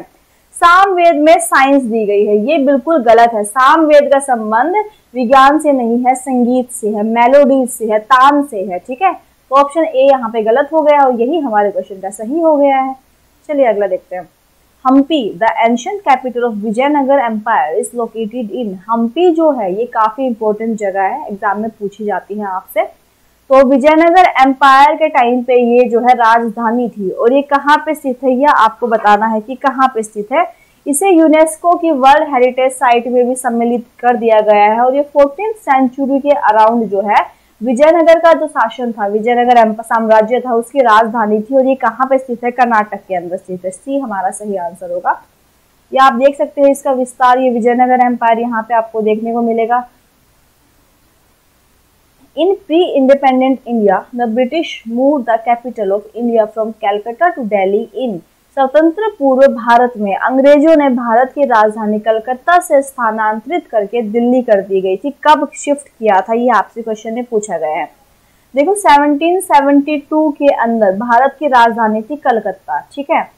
और सत्रह से लेके 1911 तक भारत की राजधानी क्या थी? कलकत्ता थी। उसके बाद क्या हुआ? 1911 में कलकत्ता से राजधानी को शिफ्ट कर दिया गया दिल्ली। और ये कब किया गया? 1911 के अंदर हमारा सही आंसर हो जाएगा। तो ये दोनों राजधानी आपको याद रखनी। कलकत्ता कब थी और कलकत्ता से शिफ्ट करके दिल्ली कब कर दिया गया था? ये दोनों चीज़ जो है आपके लिए काफ़ी इंपॉर्टेंट है। गुरु, आपको यहाँ पे गुरु का नाम बताना है, जो कि एक चमार संत के नाम से भी जाने जाते हैं। He is known as the cobbler saint ठीक है, चमार संत वो होते हैं जो चमड़े वगैरह का काम करते हैं तो उन्हें एक कास्ट दे दी जाती है कि चमार जाति से ये लोग हैं, ठीक है? तो इनका नाम है रविदास। रविदास जो है, उन्हें एक चमार संत के नाम से भी जाना जाता है। पंद्रहवीं सेंचुरी के अराउंड ये थे, ठीक है? और ये क्यों? क्योंकि इनकी जो परिवार है, वो चमड़े का काम करता था तो इसलिए इनको इस कास्ट के, इनकी कास्ट चमार थी तो इस वजह से इन्हें चमार संत के नाम से भी जाना जाता है। नेक्स्ट है हमारा कि नेहरू लियाकत, समझौते पर हस्ताक्षर किया गया था। देखिए, नेहरू, जवाहरलाल नेहरू और लियाकत के बीच में एक एग्रीमेंट होता है, ठीक है? भारत के प्रधानमंत्री थे नेहरू और पाकिस्तान का जब बंटवारा हो गया था 1950 के अंदर तो नेहरू और लियाकत के बीच में वो, लियाकत वहाँ पे प्रधानमंत्री थे, उनके बीच में एक समझौता होता है, जिसे कहा जाता है नेहरू लियाकत समझौता 1950 के अंदर होता है। टोटल छह दिन तक ये बहुत लंबी बातचीत चली थी, उसके बाद उन्होंने हल निकाला है कि जो भी माइनॉरिटीज हैं माइनॉरिटीज हैं, उनके अधिकारों को सुरक्षित किया जाएगा, चाहे वो पाकिस्तान में होंगी, चाहे वो भारत में होंगी। जितने भी माइनॉरिटीज हैं, उनके जो अधिकार है, उनको हमेशा सुरक्षित रखा जाएगा। ये समझौता हुआ था इनके बीच में 1950 में। मोहम्मद गौरी का पहला आक्रमण कब हुआ था? जब उसने मुल्तान पर हमला किया था। मोहम्मद गौरी के दो आक्रमण आपसे पूछे जाते हैं। पहला आक्रमण किया था ग्यारह के अंदर, ठीक है? ग्यारह के अंदर और दूसरा पूछा जाता है ग्यारह के अंदर, ठीक है? थोड़ा सा मैंने डबल टाइप कर दिया, कोई बात नहीं। तो दो आक्रमण पूछे जाते हैं, एक 75 एक 78 75 में किया था मुल्तान और 78 में किया था सिंध। सिंध प्रांत जो अभी पाकिस्तान में है। तो 75 में मुल्तान में किया था तो यही हमारा आंसर हो गया 1175 जो है, यहाँ पे सही आंसर हो जाएगा, ठीक है? मुल्तान पे कब्जा कर लिया था फिर मोहम्मद गोरे ने। Who said the following words ये जो आपको शब्द दिए गए हैं कि सभी राष्ट्रों के लिए एक झंडा अनिवार्य है। लाखों लोगों ने इसके लिए जान दी है। यह कथन कहा गया है महात्मा गांधी जी के द्वारा। सही आंसर हो जाएगा हमारा। चलिए नेक्स्ट देखते हैं। Shivaji son from Sai Bai was named Sai Bai से शिवाजी को हुए बेटे का नाम क्या है, वो आपको इसमें बताना है। शिवाजी के जो बेटे थे, उनका नाम था संभाजी, ठीक है? संभाजी। और शिवाजी के बाद उन्होंने ही अपना जो है शासन संभाला था मराठा एम्पायर का। Option A is the right answer who founded the servant of India society in 1905 1905 के अंदर पुणे में एक संस्था की स्थापना होती है, जिसका नाम है servant of India society servant के नाम से ही थोड़ा सा आप इसको समझ सकते हैं। किसके लिए बनाया गया था? इसका एम क्या था? समाज सेवा। समाज सेवा करनी थी लोगों की और लोगों के बीच में सुधार करना था। इस वजह से इसका निर्माण हुआ था। इसके निर्माण करता है गोपाल कृष्ण गोखले ने इसका निर्माण किया था। कहाँ पे? पुणे के अंदर जो है इसका निर्माण किया गया था। इसका उद्देश्य भी हमने देख लिया। उद्देश्य इसमें क्या था? अब एनी बेसेंट देखिए ऑप्शन बी। इसके बारे में बहुत बार एग्ज़ाम में क्वेश्चन आता है तो दो तीन क्वेश्चन बनते हैं जो प्रीवियस ईयर्स में भी देखे हैं वो मैं आपको बता देती हूँ इसके बारे में क्या क्या क्वेश्चन बन सकते हैं। एनी बसंत जो है वो पहली महिला थी जिन्हों जिन्हें 1917 में कांग्रेस का प्रेसिडेंट बनाया गया था, पहली महिला थी 1917 के टाइम पे इन्हें बनाया गया था, ठीक है? दूसरी बात 1916 के अंदर इन्होंने home rule league movement home rule movement भी चलाया था, ये बात भी याद रखनी है। और ये जो थियोसोफिकल सोसाइटी थी थियोसोफिकल जो संस्था थी सोसाइटी थी उसकी ये प्रेसिडेंट भी रही हैं। तो ये तीन बातें आपको इनके बारे में याद रखनी है, जो एग्ज़ाम में डेफिनेटली आपसे पूछी जाती हैं। Calcutta became the capital of British India and Calcutta British India की राजधानी कब बना था? अगेन वही क्वेश्चन आ गया जो मैं आपको बता चुकी हूँ 1772 के अंदर। स्किप कर देंगे इस क्वेश्चन को क्योंकि हम ये पढ़ चुके हैं और 1911 में फिर कहाँ पे हो गई थी? राजधानी दिल्ली के अंदर हो गई थी, ठीक है? चलिए आगे बढ़ते हैं। Who started the temple entry movement in 1927 1927 में जो मंदिर प्रवेश आंदोलन है, उसकी शुरुआत किसके द्वारा की गई थी? मंदिर प्रवेश आंदोलन क्या था कि पहले क्या होता था कि जो गरीब लोग हैं या जो नीची जाति के लोग हैं, जो शेड्यूल कास्ट वगैरह होते हैं, उनको मंदिर के अंदर जाने दिया नहीं जाता था, ठीक है? और ना ही जैसे कुएँ वगैरह होते हैं या तालाब होते हैं तो उनकी एंट्री भी वहाँ पे नहीं थी। इस वजह से भीमराव अंबेडकर ने 1927 में आंदोलन चलाया, जिसका नाम था मंदिर प्रवेश आंदोलन के जितने भी गरीब लोग हैं या नीची जाति के लोग जो हैं, वो सब जो है मंदिरों में उनका बराबर का अधिकार है। कुएँ से पानी भी लेना, तालाब का भी यूज़ करना, सब चीज़ों पे उनका बराबर का अधिकार है। इस वजह से इन्होंने आंदोलन चलाया था, भीमराव अंबेडकर जी ने। Where was the first headquarters of Arya Samaj Arya Samaj का पहला मुख्यालय कहाँ पे था? ये क्वेश्चन आपसे पूछा गया है। आर्य समाज की स्थापना होती है अठारह के अंदर। ये डेट बहुत इंपॉर्टेंट है। किसके द्वारा स्थापना की गई थी? दयानंद सरस्वती के द्वारा इसकी स्थापना की गई थी। पहले इसका हेडक्वार्टर कहाँ पे था?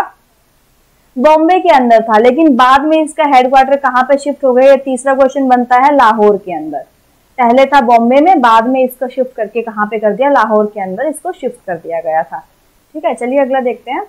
जलालुद्दीन फिरोज खिलजी। ठीक है, ये कौन है? इन्होंने खिलजी वंश की स्थापना की थी। के द्वारा स्थापित खिलजी या खिलजी वंश का भारतीय उपमहाद्वीप के बड़े भागों के दौरान शासन रहा है। देखिए खिलजी वंश कब आया था? दिल्ली सल्तनत की हम बात करें। दिल्ली सल्तनत के अंदर जो आपको वंश याद रखने हैं, वो कौन कौन से हैं? उनको याद रखोगे इस प्रकार से, ठीक है? सबसे पहले आता है मामलुक वंश या गुलाम वंश, उसके बाद खिलजी वंश आता है, फिर तुगलक आता है, फिर सैयद वंश आता है, फिर लोधी वंश आता है। खिलजी वंश आता है दूसरे नंबर पे, ठीक है? एक तो इस तरीके से याद रखो। दूसरा, इसकी स्थापना किसने की थी? जलालुद्दीन खिलजी ने इसकी स्थापना की थी। और इनका जो शासन रहा है, वो टाइम पीरियड भी आपको याद रखना है। वो टाइम पीरियड कहाँ से कहाँ तक है? 1290 से लेके 1320 तक इनका कार्यकाल रहा था। तो ये दो तीन चीज़ें आपको याद रखनी है। चलिए आगे बढ़ते हैं नेक्स्ट क्वेश्चन देखते हैं कि the monument of Khajuraho in the state of MP MP के अंदर जो खजुराहो के स्मारक हैं, वो जो कौन सी वंश के द्वारा बनाए गए थे, ये आपसे पूछा गया है। खजुराहो के जो मंदिर है, बहुत ज़्यादा इंपॉर्टेंट है क्वेश्चन बहुत ही फ़ेमस है एमपी के अंदर। और इनकी जो फॉर्मेशन जो निर्माण किया गया था, वो किया गया था चंदेल्स के द्वारा। ऑप्शन सी जो है, यहाँ पे आपका सही आंसर हो जाएगा इस क्वेश्चन के लिए। और ये हिंदू और जैन दोनों टाइप के मंदिर है। हिंदू, हिंदुओं के लिए भी है और जैन धर्म के लोगों के लिए भी है। इसे यूनेस्को के यूनेस्को के वर्ल्ड हेरिटेज साइट में भी इंक्लूड किया गया है। और एक इम्पोर्टेंट क्वेश्चन आया था, शायद पिछले से पिछले साल आया था सीरियल में, कि कौन से स्टाइल के अंदर ये मंदिर बने हैं? तो नागर स्टाइल के अंदर बने कौन से स्टाइल में नागर स्टाइल के अंदर ये मंदिरों का निर्माण हुआ है? नेक्स्ट क्वेश्चन है आपका, कि मोरक्को का एक यात्री था who is known for his extensive travels came to India during the regime of Muhammad bin Tughlaq Tughlaq वंश की बात यहाँ पे हो रही है। तुगलक वंश कब आया था? खिलजी वंश के बाद में आया था, ठीक है? तो मोरक्को से एक यात्री आए थे, जिनका नाम था इब्ने बतूता। उन्होंने तुगलक वंश में, जब मोहम्मद बिन तुगलक के शासनकाल में, वो भारत में आए थे। तो ऑप्शन सी यहाँ पे सही आंसर हो जाएगा आपका। अगला क्वेश्चन हमारा है this is an ancient Indian treatise on statecraft economic policy and military strategy that was written in Sanskrit Kautilya is traditionally credited as the author of the text आपसे पूछा गया है कि आर्थिक नीति और सैन्य रणनीति पर आधारित एक प्राचीन भारतीय आलेख है, और इस आलेख को किसने लिखा है? कौटिल्य ने लिखा है। और कौटिल्य को ने जो लिखा है, उसका नाम क्या है? अर्थशास्त्र। तो ये संस्कृत के अंदर यह लिखा गया है संस्कृत में लिखा गया है और इसका नाम है अर्थशास्त्र जो है, इसका नाम है, ये आपको याद रखना है। नेक्स्ट है हमारा कि अकबर ने अपने पिता हुमायूं की जो कहानी थी, हुमायूं नामा, उसको इतिव्रत करने का कार्य किसे सौंपा गया था? बेसिकली पूछा गया है, हुमायूं नामा जो है, वो किसके द्वारा लिखा गया था, ये आपसे पूछा गया है। दोबारा एक बार ट्रिक अप्लाई कर देते हैं इजी हो जाएगा क्वेश्चन को समझना। हुमायूं जो है दूसरे नंबर के शासक थे, उनसे पहले आए थे बाबर। तो बाबर की जो सबसे बड़ी पुत्री थी, डॉक्टर थी, उनका नाम था गुलबदन बेगम। ठीक है, और वो हुमायूं की बहन भी थी तो अकबर ने उनसे रिक्वेस्ट की थी लिखने के लिए, इस वजह से उन्होंने हुमायूं नामा लिखा था। तो ऑप्शन डी ए सही आंसर है यहाँ पे। नेक्स्ट क्वेश्चन है हमारा the city of victory that is Fatehpur Sikri in Fatehpur Sikri कहाँ पे है, यह आपसे पूछा गया है, जिसका निर्माण जो है मुगल शासक ने अपने काल में करवाया था। फतेहपुर सीकरी जो है, वह आगरा के अंदर स्थित तो ऑप्शन डी यहाँ पे सही आंसर हो जाएगा। नेक्स्ट क्वेश्चन देखिए कि Megasthenes a Greek historian visited India in the reign in the fourth century BC Greek इतिहासकार मैगस्थनीज चौथी शताब्दी ईस्वी पूर्व के शासनकाल में भारत में आए थे। किन के शासनकाल में वो भारत में आए थे? ये आपसे पूछा गया है, ठीक है? तो इन्होंने, इनकी एक बहुत ही फ़ेमस बुक है, ये शासनकाल में आए थे चंद्रगुप्त मौर्य। इनकी बहुत ही फ़ेमस बुक है, जिसका नाम है इंडिका। ये एग्ज़ाम में पूछी जाती है। इंडिका में क्या दिया है? भारत के बारे में इन्होंने जो भी ऑब्ज़र्व किया, यहाँ पे जो सीखा, समझा, वो सब इन्होंने अपनी किताब के अंदर लिखा है, इंडिका के अंदर, जिसमें भारत के बारे में पूर्ण वर्णन वहाँ पे किया गया है, ठीक है? अगला क्वेश्चन देखते हैं।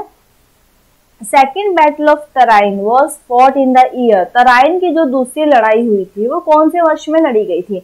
बैटल ऑफ़ तराइन की बात करें तो दो बैटल याद रखनी है। एक होती है ग्यारह में, एक होती है ग्यारह में। ठीक है? फ़र्स्ट वाली होती है इक्यानवे में सेकंड होती है बानवे के अंदर। किन किन के बीच में होती है? मोहम्मद गोरी के बीच में होती है और पृथ्वीराज चौहान के बीच में होती है। दोनों लड़ाई इन दोनों के बीच में होती है। पहली लड़ाई के अंदर कौन विजेता बनता है? पृथ्वीराज चौहान। दूसरी लड़ाई के बीच में कौन विजेता बनता है? मोहम्मद गौरी। तो दूसरी लड़ाई जब हुई थी तरायन की ग्यारह के अंदर, मोहम्मद गौरी ने पृथ्वीराज चौहान को हरा दिया था और मुस्लिम वंश की स्थापना जो है भारत में हो गई थी ग्यारह के अंदर, ठीक है?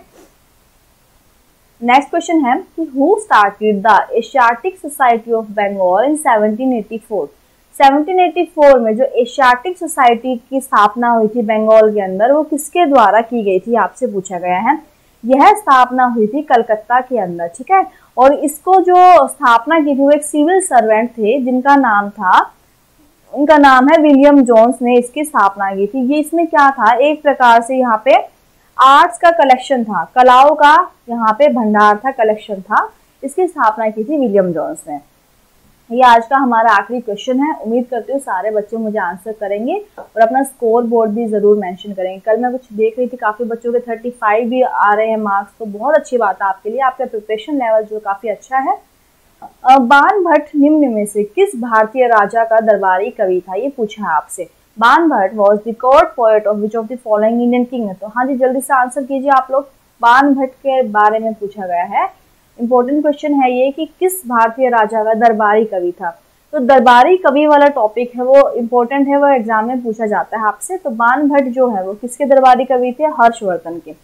हर्षवर्धन के बारे में बहुत सारे क्वेश्चन आए हैं पिछले सालों में तो चलिए सबको कवर कर लेते हैं नंबर वाइज हर्षवर्धन की बात करें तो हर्षवर्धन के काल में जो सॉरी बाहर से जो चाइना से जो आए थे यात्रा करने, यात्री आए थे उनका नाम था हेन तसांग, ठीक है? हेन तसांग। उन्होंने भारत की यात्रा की थी। दूसरा इंपॉर्टेंट क्वेश्चन ये आता है कि इनके सम्मान में इन्होंने एक कॉन्फ्रेंस रखी थी, एक असेंबली सभा रखी थी, जिसका नाम है कन्नौज की सभा। किसके लिए रखी थी? महायना बुद्धिज्म को प्रमोट करने के लिए। तीन बातें जो हर्षवर्धन के बारे में आपको याद रखनी है। और इनके कोर्ट पोएट कौन है? बान भट्ट है। अब बान भट्ट के बारे में दो इंपॉर्टेंट चीज़ें देखो, इसके बारे में जो एग्ज़ाम में आती है। बान भट्ट ने दो बहुत ही फ़ेमस वर्क है इनके जो आपसे पूछे जाते हैं। एक तो फ़ेमस वर्क है, इन्होंने हर, हर्षवर्धन की जीवनी लिखी है, जिसका नाम है हरिश चरित्र। हर्ष चरित्र जो किसकी जीवनी है? हर्षवर्धन की जीवनी है। दूसरा, इनकी एक नॉवल है, बहुत ही इंपॉर्टेंट है, जिसका नाम है कादम्बरी ये एग्ज़ाम में बहुत बार आती है कादम्बरी के बारे में। कादम्बरी का मतलब शुरू में लिखना तो बान भट्ट ने शुरू किया था, लेकिन इसके बीच में ही बान भट्ट की मृत्यु हो गई थी। तो सीरियल में ये क्वेश्चन पूछा गया था कि कादम्बरी को पूरा किसने किया था? तो इस नॉवल को पूरा करने वाले थे इनके पुत्र, जिनका नाम था भूषण भट्ट। भूषण भट्ट, ठीक है? ये इंपॉर्टेंट क्वेश्चन यहाँ से बनता है। और चंद्रगुप्त टू के जो कोर्ट पोएट थे, उनका नाम है कालिदास। तो ये दोनों नाम आपको याद रखने बान भट्ट और कालिदास कौन कौन से जो है, दरबारी कवि थे, कौन से राजा के तो ये आपको याद रखना चाहिए। The Drishya Kala exhibition held at red fort showcased art work from till Indian India's independence Lal Qila के ऊपर एक प्रदर्शनी होती है, जो है आयोजित दृश्य कला प्रदर्शनी। ये पूछा गया है कि भारत की स्वतंत्रता से लेके कब से मतलब कब से लेके ये प्रदर्शनी जो है लाल किला पे हो रही है, वो आपसे पूछा गया है। यह स्टार्ट हुई है सिक्सटीन सेंचुरी से और अब तक जो है लाल किला के ऊपर ही प्रदर्शनी जो है होती है। इसके अंदर क्या है? जो भी फ़ेमस फ़ेमस पेंटर हैं भारत के अंदर चित्रकार हैं, उनकी पेंटिंग्स को यहाँ पे दिखाया जाता है और ये लाल किला के अंदर ऑर्गेनाइज होती है। तो ऑप्शन सी जो है ये राइट आंसर हो जाएगा आपका, ठीक है?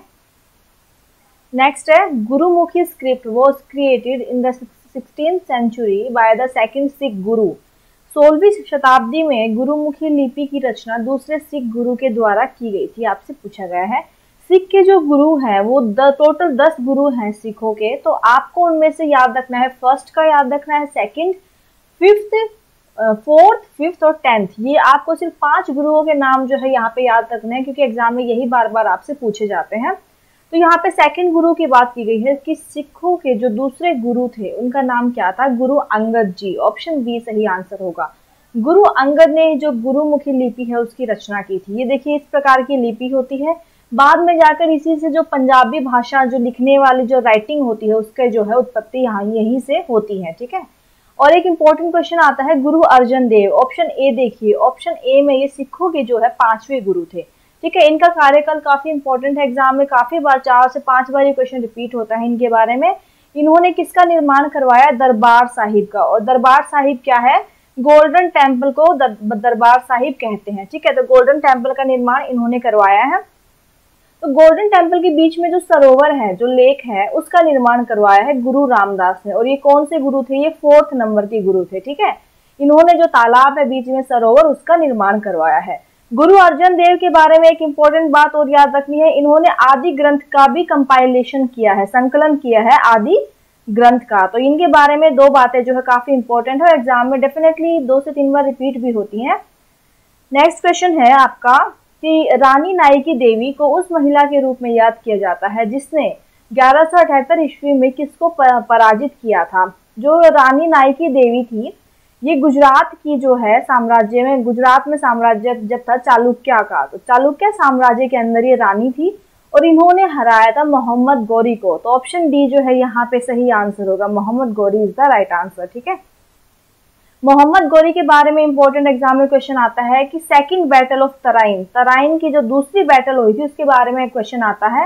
यह हुई थी ग्यारह के अंदर। किस किस के बीच में हुई थी? मोहम्मद गौरी के बीच में हुई थी और पृथ्वीराज चौहान के बीच में हुई थी, जिसके अंदर मोहम्मद गौरी जो है, पृथ्वीराज चौहान का हरा देते हैं इस युद्ध के अंदर और वहीं से चौहान वंश का शासन जो है, वो खत्म हो जाता है और भारत के अंदर इस्लाम धर्म का शासन जो है, शुरू हो जाता है।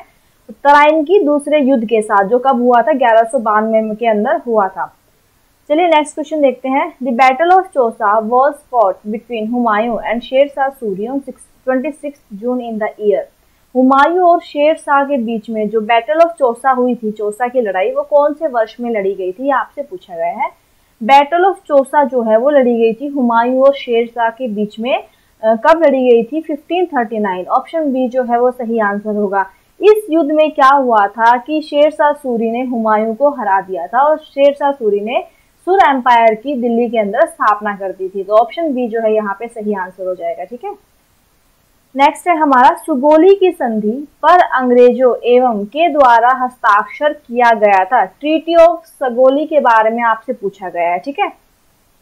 ये कहाँ पे जगह है? इस जगह के बारे में अगर आपसे पूछा जाए तो इसके लिए सही आंसर क्या होगा? आंसर देख लेते हैं पहले। गोरखा जो है वो सही आंसर होगा।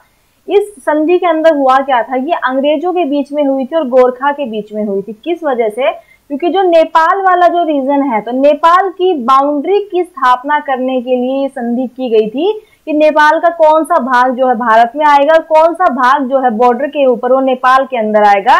इसलिए नेपाल पे बाउंड्री की, एक लाइन की वहाँ पे बनाना था काल्पनिक रेखा या बाउंड्री बनानी थी नेपाल राज्य देश के साथ।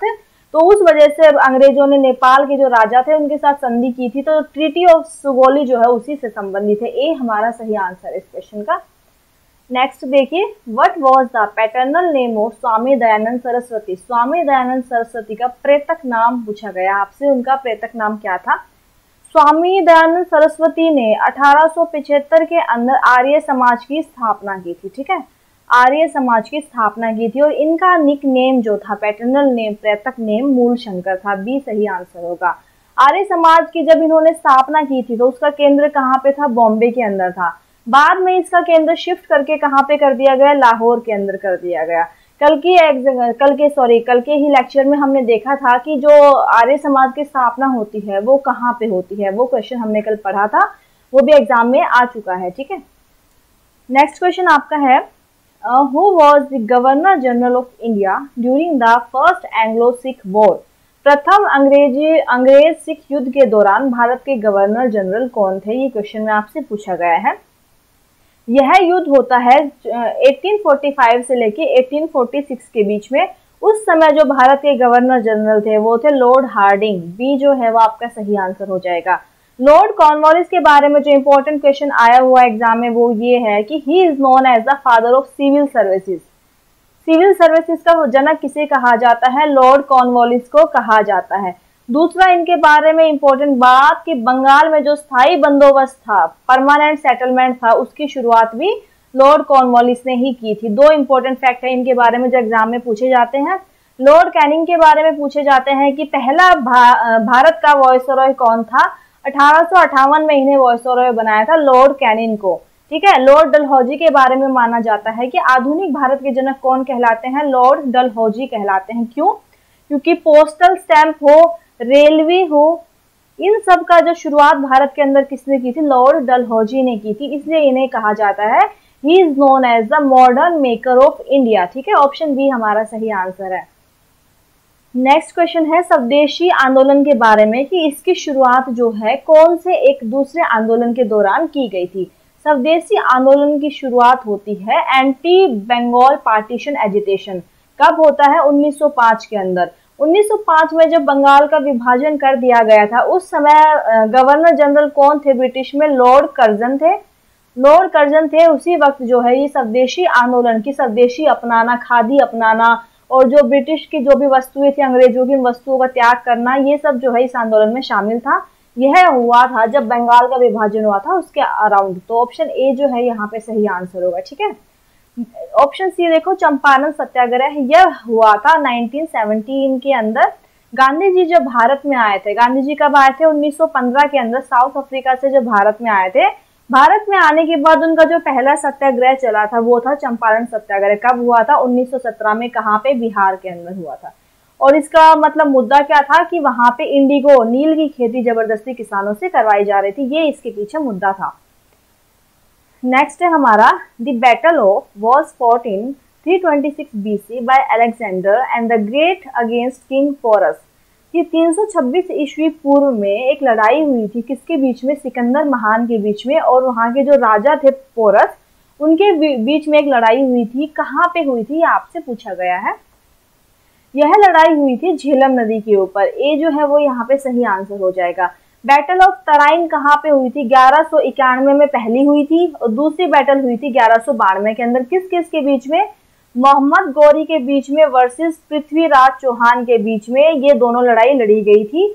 और बैटल ऑफ़ ये दूसरी वाली बैटल जो थी बानवे वाली, इसके अंदर मोहम्मद गौरी जो है विजेता रहे थे, ठीक है? और पहली बैटल में कौन विजेता रहा था? पृथ्वीराज चौहान जो है जीत गए थे, ठीक है? पानीपत की दो लड़ाइयाँ हैं। एक लड़ाई होती है 1526 में, पहली पानीपत की लड़ाई, दूसरी बैटल ऑफ़ पानीपत होती है पंद्रह ईस्वी के अंदर। पहली लड़ाई किस किस के बीच में होती है, ये भी आपको पता होना चाहिए। लोधी साम्राज्य इब्राहिम लोधी के बीच में वर्सेस बाबर के बीच में पहली जो पानीपत की लड़ाई होती है, दूसरी लड़ाई होती है अकबर के बीच में, अकबर वर्सेस हिमू के बीच में, ठीक है? ये दोनों आपको याद रखना है। इस लड़ाई में कौन विजेता होता है? बाबर जो है वो जीत जाते हैं और इस लड़ाई में जो है अकबर जो है वो जीत जाते हैं। बैटल ऑफ़ फलासी होती है 1757 के अंदर, ये डेट आपको याद रखनी है। किसके बीच में होती है? अंग्रेज़ों के बीच में और जो बंगाल के नवाब थे, उनके बीच में बैटल ऑफ़ फलासी होती है। नेक्स्ट है हमारा the dynasty which ruled north India from 1206 से लेके 1290 was established by Qutbuddin Aibak कौन से वंश की स्थापना की थी कुतुबुद्दीन ऐबक ने? आपसे पूछा है। तो कुतुबुद्दीन ऐबक जो है, वो गुलाम वंश के शासक थे। गुलाम वंश के पहले शासक थे। इसके साथ साथ इम्पोर्टेंट बात यह है कि दिल्ली सल्तनत के पहले शासक कौन थे, वो भी कुतुबुद्दीन ऐबक ही थे। इन्होंने क्या है, कुतुब मीनार की का निर्माण शुरू करवाया था, इन्होंने हालाँकि अधूरा छोड़ दिया था। उसके बाद इन्होंने ढाई दिन का झोपड़ा जो अजमेर में, उसका भी निर्माण इन्होंने ही करवाया था।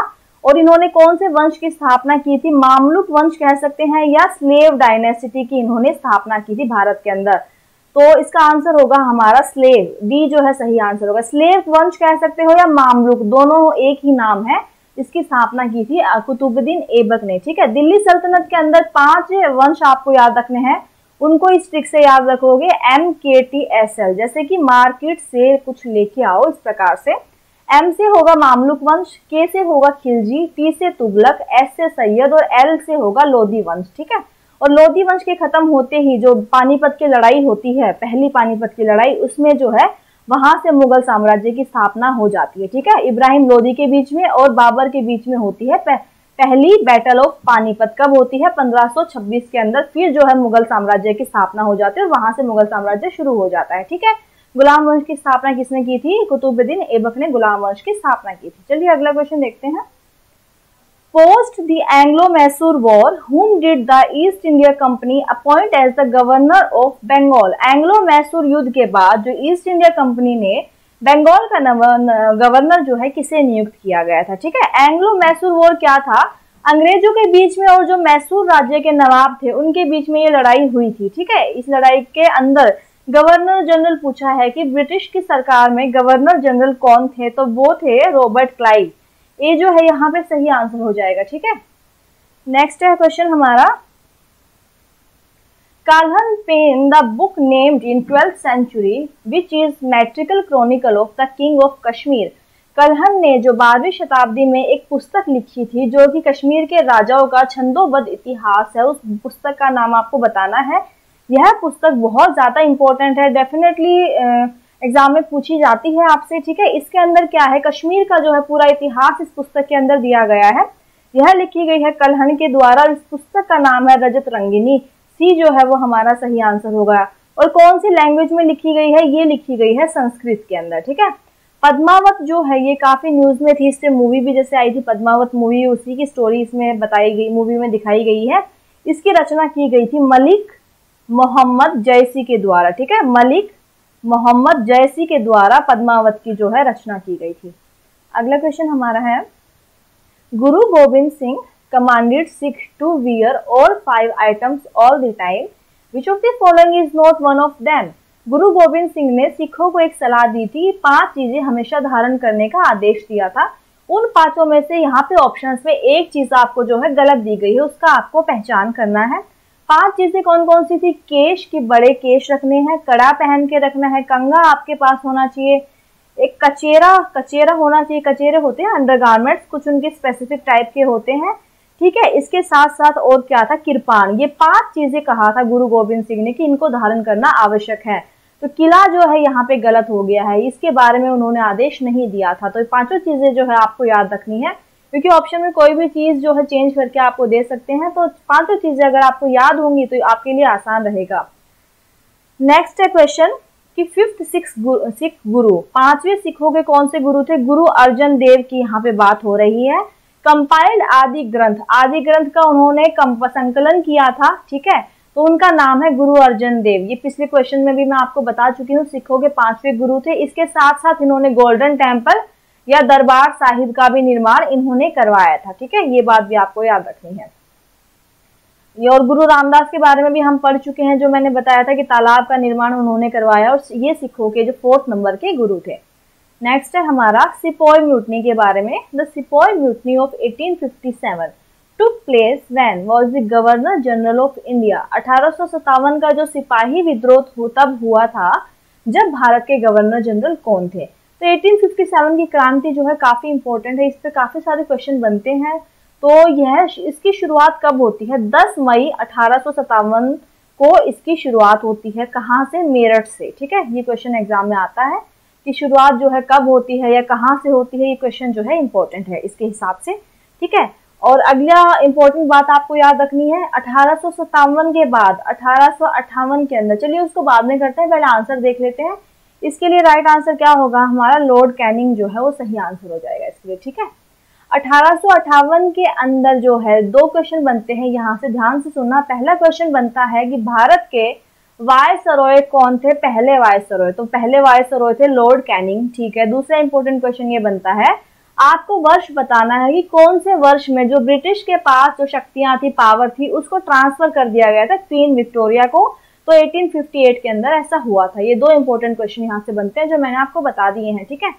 विलियम बेंटिक ऑप्शन ए के बारे में आपको याद रखना है, सती प्रथा। सती प्रथा को खत्म किसने किया था? विलियम बेंटिक ने किया था, उनके बारे में क्वेश्चन आता है।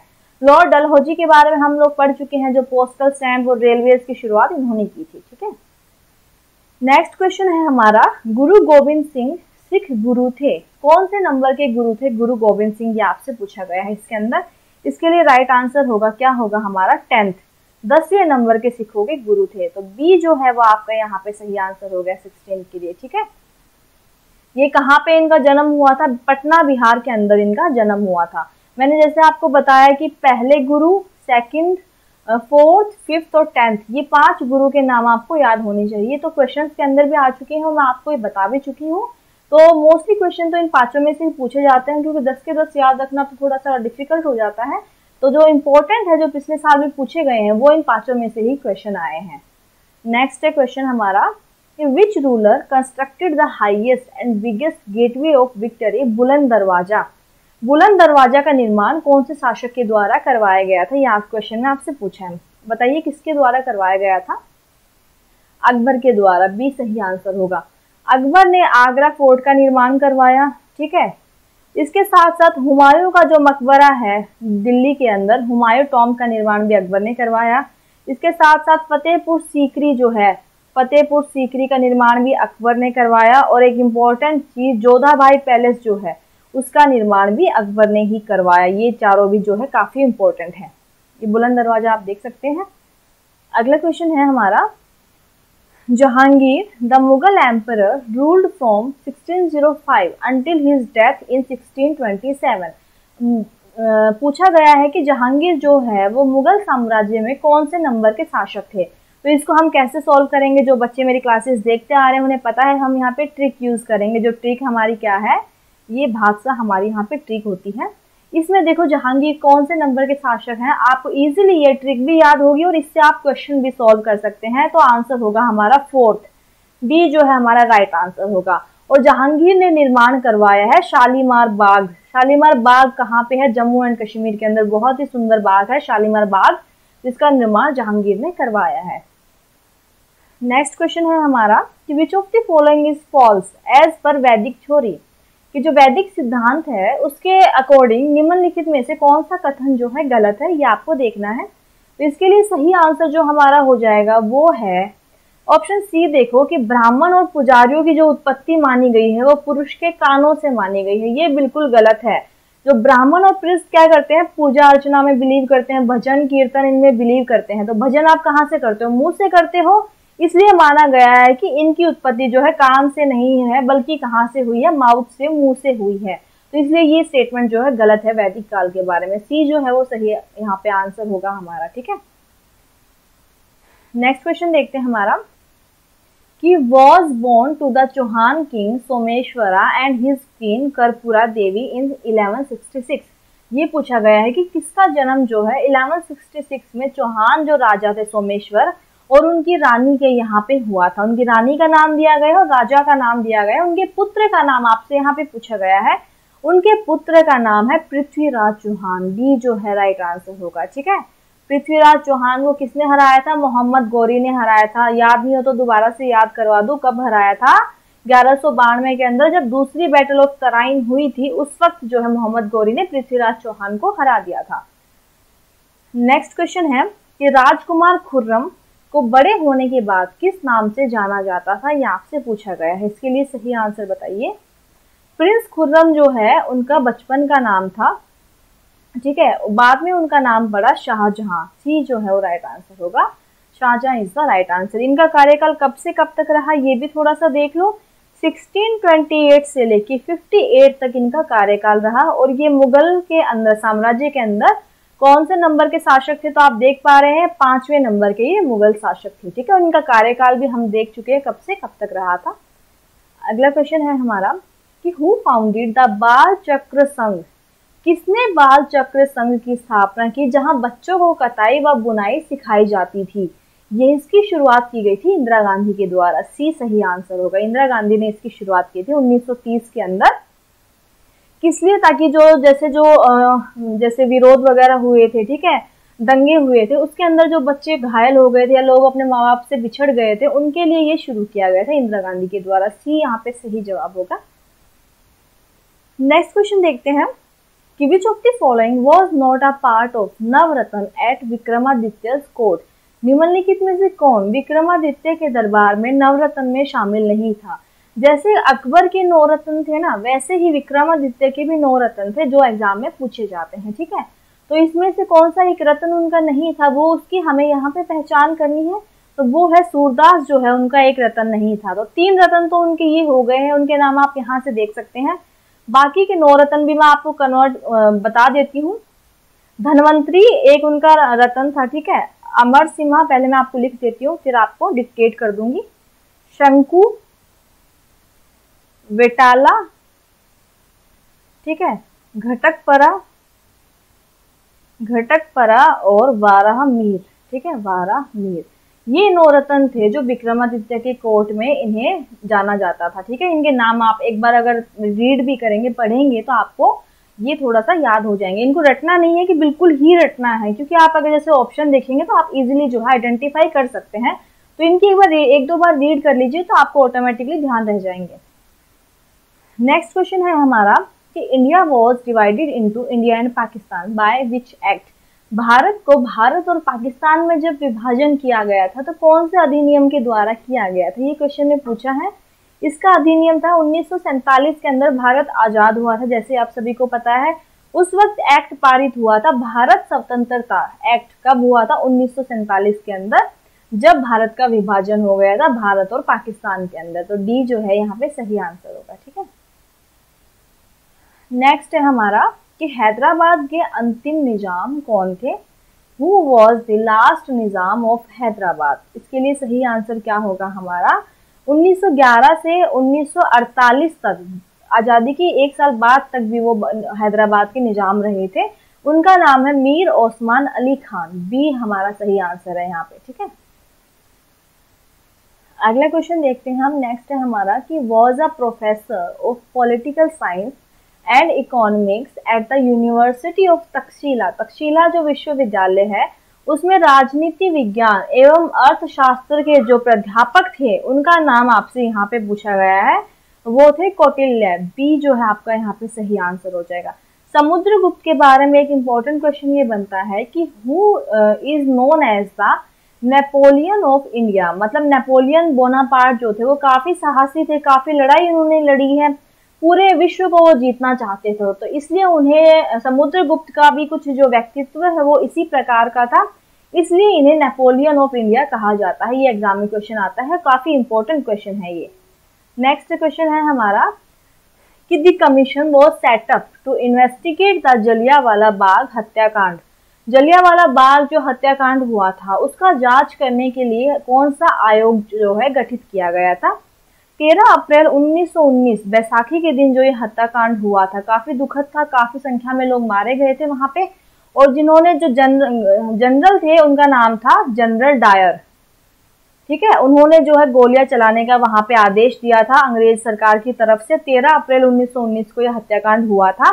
तो जिस कमीशन की यहाँ पे स्थापना की गई थी, उस कमीशन का नाम था हंटर। ताकि जो ये केस हुआ था, इसमें लोग मारे गए थे, उसकी इन्वेस्टिगेशन की जा सके और ताकि पता लगाया जा सके कि सच क्या है और किस प्रकार से ये सब हुआ था। इस वजह से हंटर कमीशन की जो है, वहाँ पे स्थापना की गई थी, ठीक है? नेक्स्ट क्वेश्चन है हमारा। The firing order issued by on a gathering of people on Baisakhi day 1931 became a turning point in India's freedom struggle Baisakhi दिवस जो है, उस पर लोगों के जमावड़े, यहाँ पे 1931 नहीं आएगा 1919 क्योंकि 1919 में हुआ था जलियावाला बाग हत्याकांड, जिसमें जनरल डायर ने जो है फायर के ऑर्डर दिए थे, ठीक है, जहाँ पे लोग इकट्ठे हुए थे उस पार्क के अंदर। तो उनका नाम है जनरल डायर, मैं आपको बता चुकी हूँ, पिछले क्वेश्चन में भी तो बी हमारा यहाँ पे सही आंसर हो जाएगा, ठीक है? इसी को कहा जाता है जलियावाला बाग हत्याकांड बी जो है यहाँ पे सही जवाब होगा हमारा। नेक्स्ट देखिए कि Maharani Gayatri Devi was a member of which party Maharani Gayatri Devi कहाँ से है? ये जयपुर से हैं ठीक है? तो इन, इनके जो हस्बैंड है महाराजा सवाई जयसिंह उनकी ये रानी थी।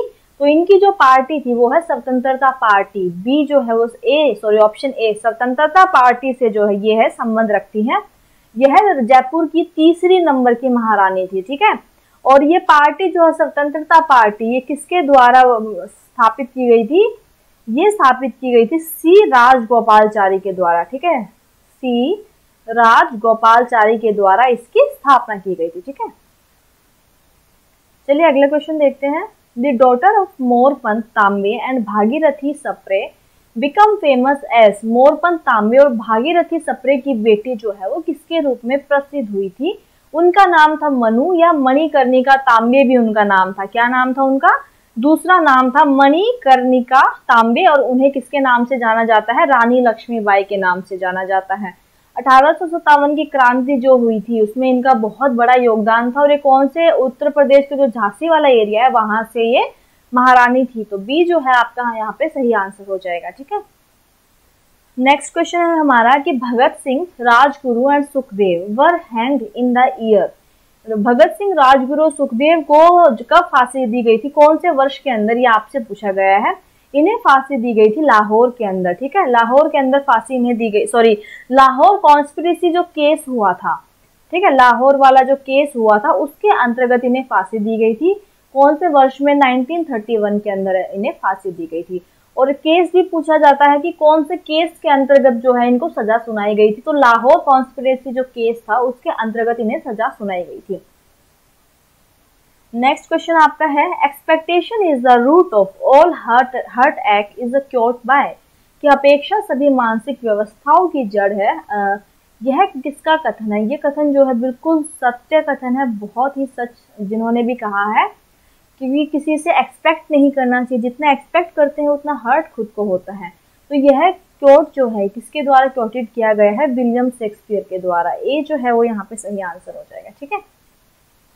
अगला क्वेश्चन है हमारा कि Mangal Pandey was hanged in 1857 for attacking the British officers in कि पूछा गया है कि मंगल पांडे जिनको फांसी की सजा दी गई थी अठारह सौ सत्तावन के अंदर। उन्होंने ब्रिटिश अधिकारियों पर अटैक किया था। तो उन्हें कहाँ पे सजा मिली थी?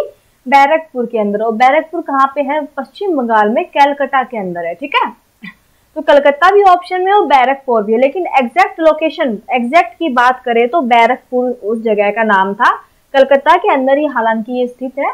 तो उन्हें यहाँ पे फांसी दी गई थी। क्यों? क्योंकि जो कारतूस वाला कांड हुआ था कि अंग्रेज़ों ने जब राइफल्स के वहाँ पे कारतूस लगाने शुरू कर दिए गए थे। तो जो हिंदू जो वहाँ पे सैनिक थे, उनको ऐतराज था इस बात से कि जो कारतूस जो है, हम मास्क को हाथ नहीं लगाएँगे, क्योंकि जो राइफल होती थी, वो मास्क पहले मुँह से छीलनी पड़ती थी। इस वजह से ये लोग विरोध कर रहे थे और उन्होंने जो है, मंगल पांडे ने जो ब्रिटिश के अधिकारी थे, उन पर अटैक किया था। इस वजह से इन्हें फांसी दी गई थी कलकत्ता बैरकपुर के अंदर। सी, डी जो है, वो सही आंसर हो जाएगा हमारा, ठीक नेक्स्ट देखो the period has been described as the golden age of Indian history कौन से काल को भारतीय इतिहास में स्वर्णिम काल के रूप से परिभाषित किया जाता है? ये क्वेश्चन आपसे पूछा गया है। गोल्डन एज क्यों कहा जाता है? क्योंकि इस काल के अंदर बहुत सारे जो है नई नई चीज़ें उभर रही थी, जैसे पेंटिंग डांसिंग बहुत सारे युद्ध भी वहाँ पे जीते गए थे। तो काफ़ी जो एक काल रहा है गोल्डन एज रहा है, और यह काल था गुप्ता एम्पायर का। सी जो है वो राइट आंसर होगा। गुप्त एम्पायर का काल काफ़ी इंपॉर्टेंट है तो इस पर जितने भी एमसीक्यूज बनते हैं वो आने वाले क्वेश्चन में भी देखेंगे। और आप खुद से भी इस क्वेश्चन के साथ ही आप इनके जो एमसीक्यूज बनते हैं, उनको भी सर्च करके पढ़ेंगे यहाँ पे। ठीक है? कनिष्क वॉज़ कनिष्क रूलर जो है, वो कौन से किंग थे, ये आपको बताना है। इनके बारे में इंपॉर्टेंट बात याद रखनी है, जो फोर्थ नंबर की काउंसिल हुई थी, कौन सी काउंसिल बौद्ध धर्म की जो काउंसिल हुई थी, कहाँ पे कश्मीर के अंदर। उसको किसने ऑर्गेनाइज करवाया था? कनिष्क ने करवाया गया था, जो कि एक कुशान राजा थे। ये जो है वो आपका यहाँ पे सही आंसर हो जाएगा। नेक्स्ट क्वेश्चन है हमारा कि मराठा शासन में सरदेश मुखी जो है वो एक क्या था? ये आपसे पूछा गया है कि पेशवा के सम समक्ष एक पद था या कॉइन से वहाँ के टैक्स था, कि क्या था? ये आपसे पूछा गया है, ठीक है? सर देशमुखी का मतलब होता है टैक्स जो वहाँ पे टैक्स लगाया जाता था लोगों के ऊपर। कि राजस्व पर लिया जाने वाला कर, सी जो है आपका यहाँ पे सही आंसर होगा, ठीक है? अब मराठा शासन के सिक्कों की बात कर लेते हैं तो वहाँ पे सिक्कों का नाम था शिवराय। शिवराय, ये कैसे, वहाँ पे सिर्फ़ कैसे सिक्के मिले थे? सिर्फ़ कॉपर कॉइन्स वहाँ पे आपको देखने को मिलते हैं मराठा साम्राज्य में सबसे अधिक संख्या में। ठीक है तो सर देशमुखी क्या था? एक टैक्स था जो वहाँ पे राजस्व के ऊपर लिया जाता था। सी जो है वो आपका सही आंसर है यहाँ पे। अगला देखो। Mughal empire reach its greatest extent under Mughal साम्राज्य जो है, सबसे अधिकतम विस्तार जो है, कौन से आपसे यहाँ पे पूछा गया है, किसके नेतृत्व में पहुँचा था ऐसा? तो ये जो है, मुगल साम्राज्य के पाँचवें नंबर के रूलर थे, जिनका नाम है औरंगज़ेब। तो औरंगज़ेब के शासन में जो है, साम्राज्य का विस्तार हो गया था, क्योंकि इनकी जो शासन वाली नीति थी, वो ये थी कि पूरे भारत पे इन्हें कब्जा करना है। इन्होंने काफ़ी लड़ाइयाँ लड़ी थी उसके लिए। तो डी जो है, ये हमारा यहाँ पे सही आंसर हो जाएगा, ठीक है? Aurobindo Ghosh born in Calcutta in the year Aurobindo Ghosh का जन्म कलकत्ता में कौन से वर्ष में हुआ था? ये क्वेश्चन में पूछा गया है। ये देखिए, अरविंदो घोष की तस्वीर आप देख सकते हैं। ये जो एक योगी भी थे पॉलिटिशियन भी थे, ठीक है? इसके साथ साथ ये गुरु भी थे पोएट भी थे, काफ़ी अच्छी कविताएँ भी लिखते थे। तो 15 अगस्त 1872 को इनका जन्म हुआ था। ये जो है वो सही आंसर हो जाएगा हमारा, ठीक है? अगला क्वेश्चन है हमारा कि the North Indian philosopher who compiled Kamasutra in third century is कि उत्तर भारत के जो दार्शनिक है, जिन्होंने तीसरी शताब्दी में कामसूत्र का संकलन किया, उनका नाम आपसे पूछा गया है। उनका नाम है वात्सायन सी जो है वो आपका सही आंसर हो जाएगा। Vatsyayan is the right answer for this question अगला क्वेश्चन हमारा पूछा गया है कि Jallianwala Bagh Jallianwala Bagh massacre also known as the Amritsar massacre took place in Jallianwala Bagh Amritsar Punjab on Jallianwala Bagh हत्याकांड जो है, मैंने अभी बता दिया है पिछले क्वेश्चन में आपको कब हुआ था? तेरह अप्रैल 1919 को। और उस दिन कौन सा दिन था? बैसाखी का दिन था, ठीक है? बैसाखी का दिन था। तो ए ए जो है ऑप्शन ए हमारा यहाँ पे सही आंसर हो जाएगा। तेरह अप्रैल 1919 जो है राइट आंसर है, ठीक है? इससे इंपॉर्टेंट क्वेश्चन रिलेटेड देख लेते हैं। जनरल डायर का नाम भी हमने पढ़ा था, वो नाम भी आपको याद रखना है। उन्होंने गोली चलाने के आदेश दिए थे। लोग यहाँ पे इकट्ठा हुए थे। किस वजह से? क्योंकि रोलेट एक्ट जो है, वो पास कर दिया गया था। किस चीज़ का विद्रोह कर रहे थे जलियावाला बाग में लोग? रोलेट एक्ट वहाँ पे पास किया गया था, जिसके विद्रोह में लोग वहाँ पे हज़ारों की संख्या में इकट्ठा हुए थे। जनरल डायर ने वहाँ पे निहत्थे लोगों पे गोली चलाने का आदेश दे दिया गया था, ठीक है? तो ये कुछ बातें थी जो आपको याद रखनी और कौन सी कमीशन का गठन हुआ इसके केस के इन्वेस्टिगेशन के लिए हंटर कमीशन का? ये कुछ इंपॉर्टेंट बातें हैं जो आपको याद रखनी है ठीक है? तो कि who among the following was popularly known as parrot of India question ये है कि इनमें से किस से, किसे लोकप्रिय ढंग से भारत के तोते के नाम से जाना जाता है? ठीक है ये आपसे क्वेश्चन में पूछा गया है। पैरेट ऑफ़ इंडिया के नाम से जाना जाता है। आमिर खुसरो को ऑप्शन सी राइट आंसर होगा। He is known as the parrot of India ठीक है? सेकेंड इंपॉर्टेंट बात इसके बारे में कि इनके जो पिता थे, वो इल्तुतमिश जो राजा थे, उनकी सेना में ऑफिसर थे और ये उनके पुत्र थे तो इनकी पूरी जो ज़िंदगी है, वो दिल्ली सल्तनत की सेवा में गुजर गई थी। तो ऑप्शन सी यहाँ पे राइट आंसर होगा। सी यहाँ पे सही ले लेंगे। नेक्स्ट है कि who became the Nawab of Bengal after Alivardi Khan Alivardi Khan के बाद बंगाल का नवाब कौन बना था? अलीवर्दी खान के बाद जो बने थे, उनका नाम है Sirajuddaula option C right answer होगा यहाँ पे। सिराजुद्दौला बने थे, किसके बाद? अलीवर्दी खान के बाद, ठीक है?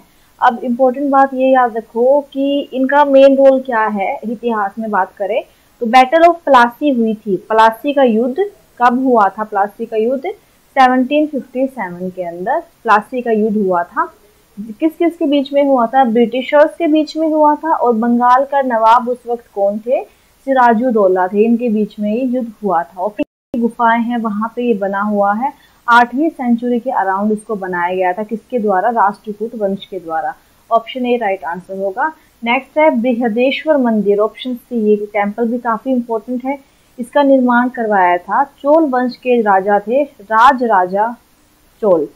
राज राजा चोला, उनके द्वारा इस मंदिर का निर्माण कहाँ पे करवाया गया था तंजोर के अंदर, तंजोर।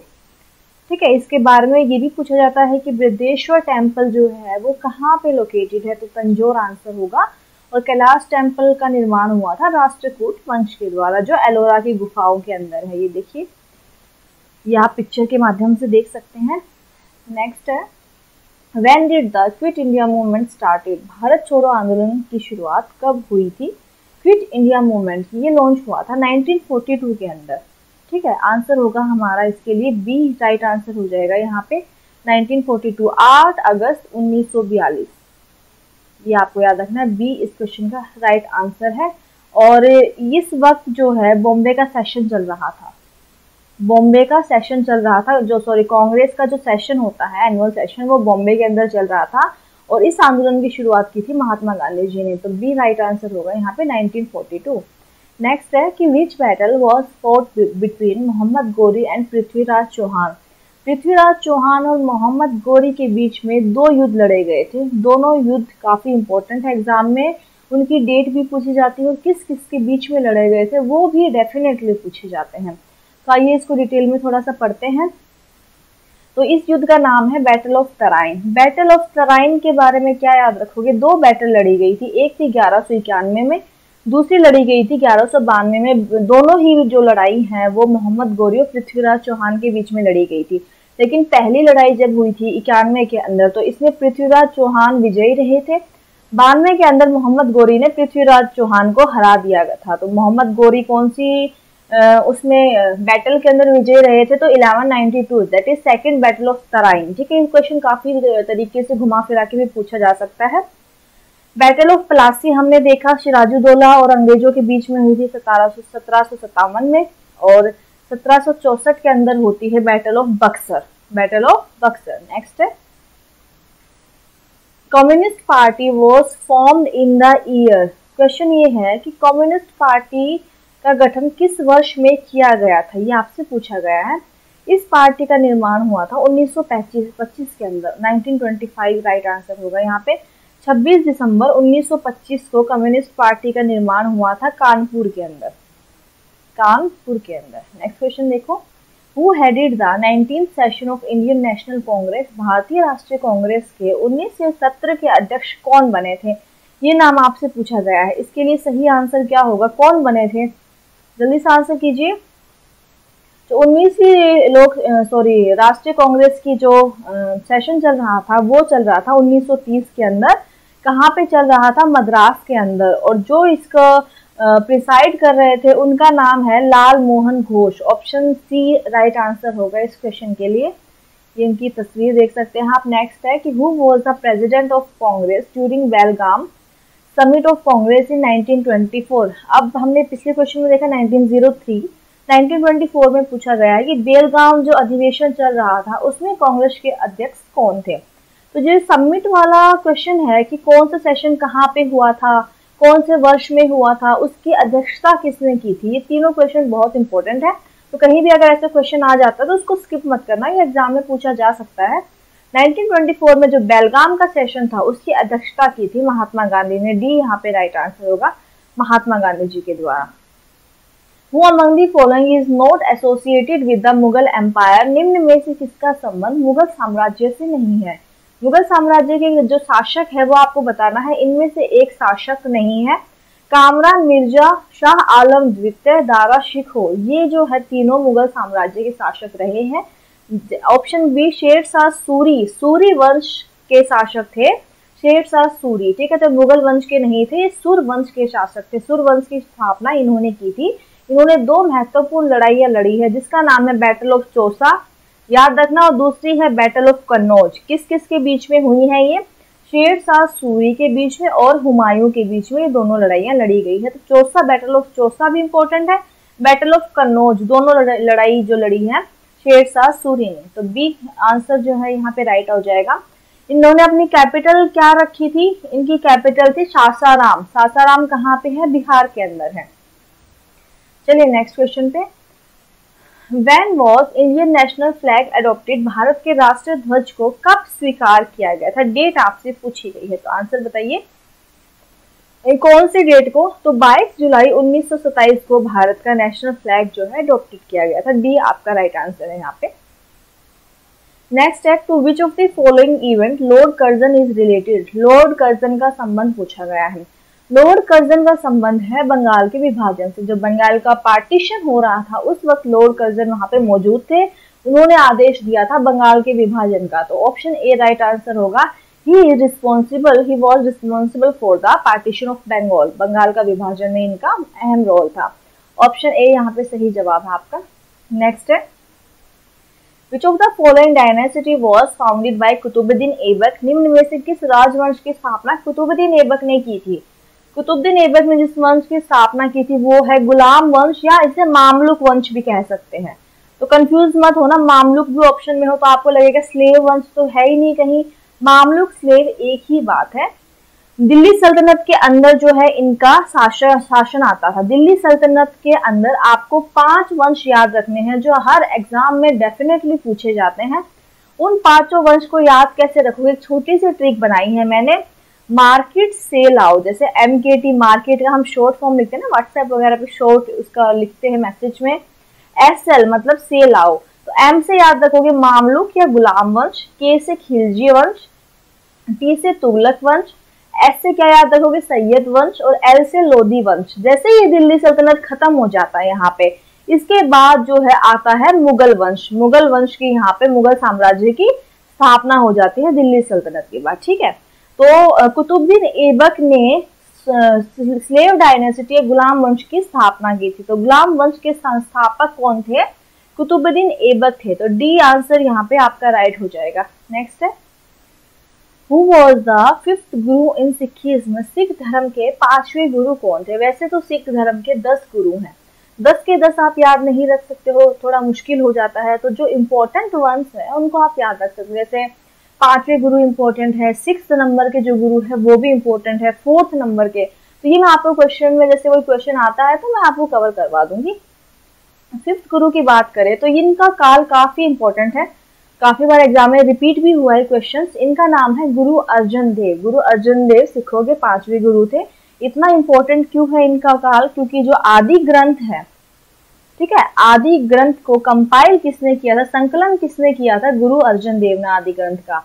ऑप्शन सी यहाँ पे राइट आंसर है इनका एक महत्व योगदान रहा है। इन्होंने निर्माण करवाया गोल्डन टेंपल का।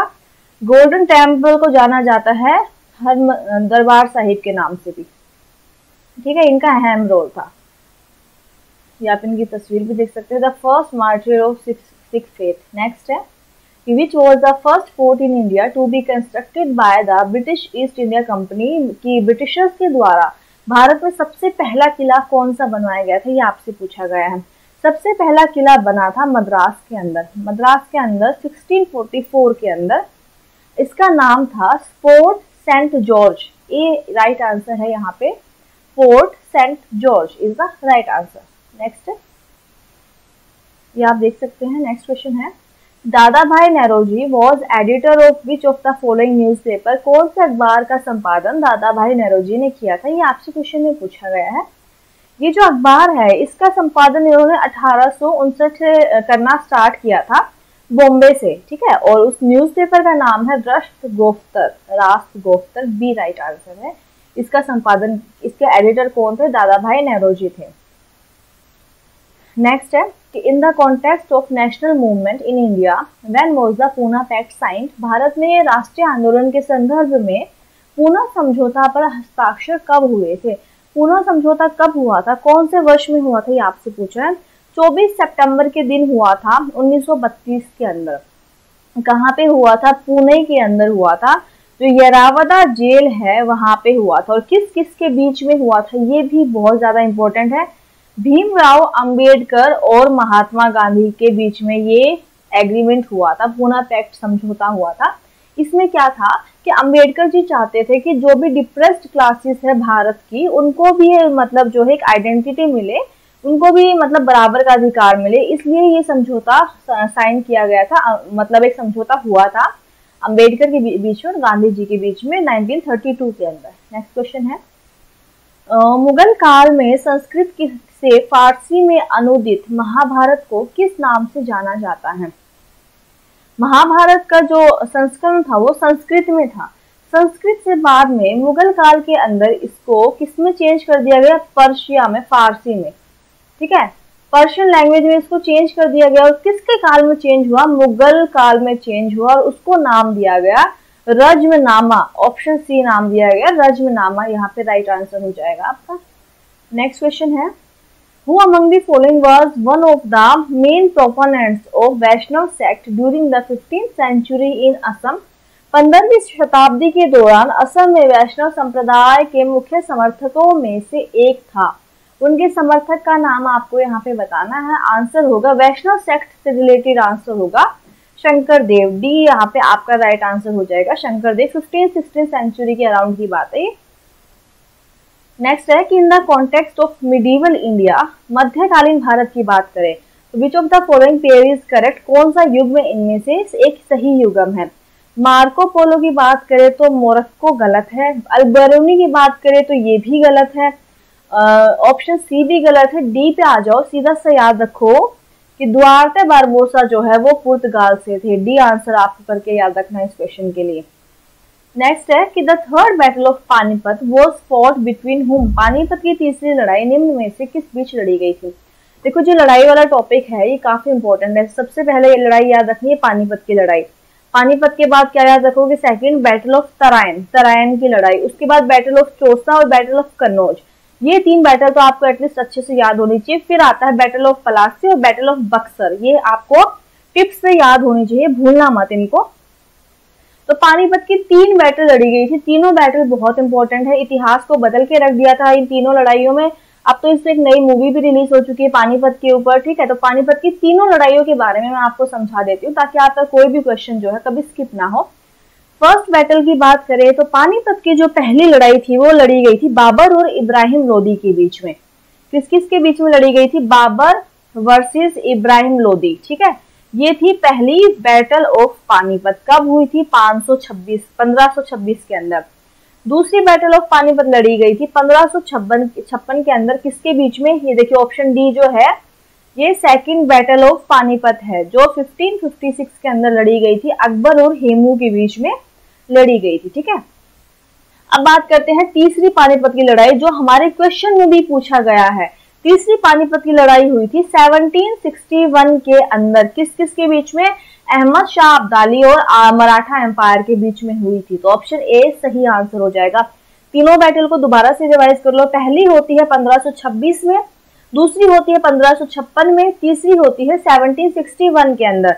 पहली लड़ाई होती है बाबर और इब्राहिम लोधी के बीच में, दूसरी लड़ाई होती है अकबर और हेमू के बीच में तीसरी लड़ाई होती है मराठा, मराठों के बीच में और अहमद शाह अब्दाली, जिसे अहमद शाह दुरानी भी कहते हैं। एक ही बात है ऑप्शन ए सही आंसर हो जाएगा आपका। ऑप्शन बी देखो, पृथ्वीराज चौहान और मोहम्मद गौरी के बीच में हमने देखा कौन सी लड़ाइयाँ हुई थी? बैटल ऑफ़ तराइन जो ग्यारह सौ इक्यानवे और ग्यारह सौ बानवे के बीच में हुई थी, इन दोनों के बीच में, ठीक है? तो ये बहुत ज़्यादा इंपॉर्टेंट टॉपिक है, इसको कभी भी स्किप मत करना। एक क्वेश्चन ज़रूर बनता है इस टॉपिक से आपका। तीनों बैटल मैंने आपको अच्छे से याद करवा दी, इसको एक दो बार रिवाइज करोगे तो आपको आसानी से याद रह जाएँगे, ठीक है? नेक्स्ट क्वेश्चन है which act is known as Montagu Chelmsford reform किस अधिनियम को मोन्टेग्यू चेम्सफोर्ड सुधार के नाम से भी जाना जाता है? यह एक्ट है 1919 का 1919 का जो भारतीय शासन अधिनियम था 1919 उसे जाना जाता है मोन्टेग्यू कैल्सफॉर्म रिफॉर्म्स के नाम पे। इस एक्ट में ऐसा क्या था? क्यों पारित हुआ था? ताकि भारतीय, ज़्यादा से ज़्यादा भारतीय जो है, सरकार में आके वहाँ पे काम करें। इस वजह से ये एक्ट पारित किया गया था। दूसरी इंपॉर्टेंट चीज़ जो इस एक्ट के अंदर है, वो ये है कि इस एक्ट ने डायरकी को इंट्रोड्यूस किया था भारत में। ये बहुत इंपॉर्टेंट क्वेश्चन है, ये काफ़ी बार पूछा जाता है, ठीक है? डायरकी का मतलब क्या होता है कि जो शासन है, जैसे भारत पर, अभी मान लो शासन है केंद्र का, पार्लियामेंट का, बीजेपी का शासन है तो वहाँ पे डायरकी का मतलब क्या होता है कि पूरे भारत में जैसे कैसे शासन होगा? दो लोगों का। एक तो होंगे लेजिस्लेटिव काउंसलर और एक होंगे मिनिस्टर्स मंत्री और एक होंगे लेजिस्लेटिव काउंसलर तो इन दोनों के बीच में शक्तियाँ जो है पावर जो है, वो डिवाइड थी, जिसे डायरकी का नाम दिया जाता है। और ये कौन से एक्ट के थ्रू इनेक्ट हुआ था 1999 1919 का जो एक्ट था, उसने डायरकी को इंट्रोड्यूस किया था भारत के अंदर। नेक्स्ट है कि who among the following constructed the Charminar निम्नलिखित में से किसने चार मीनार बनवाई थी? उनका नाम आपको यहाँ पे बताना है।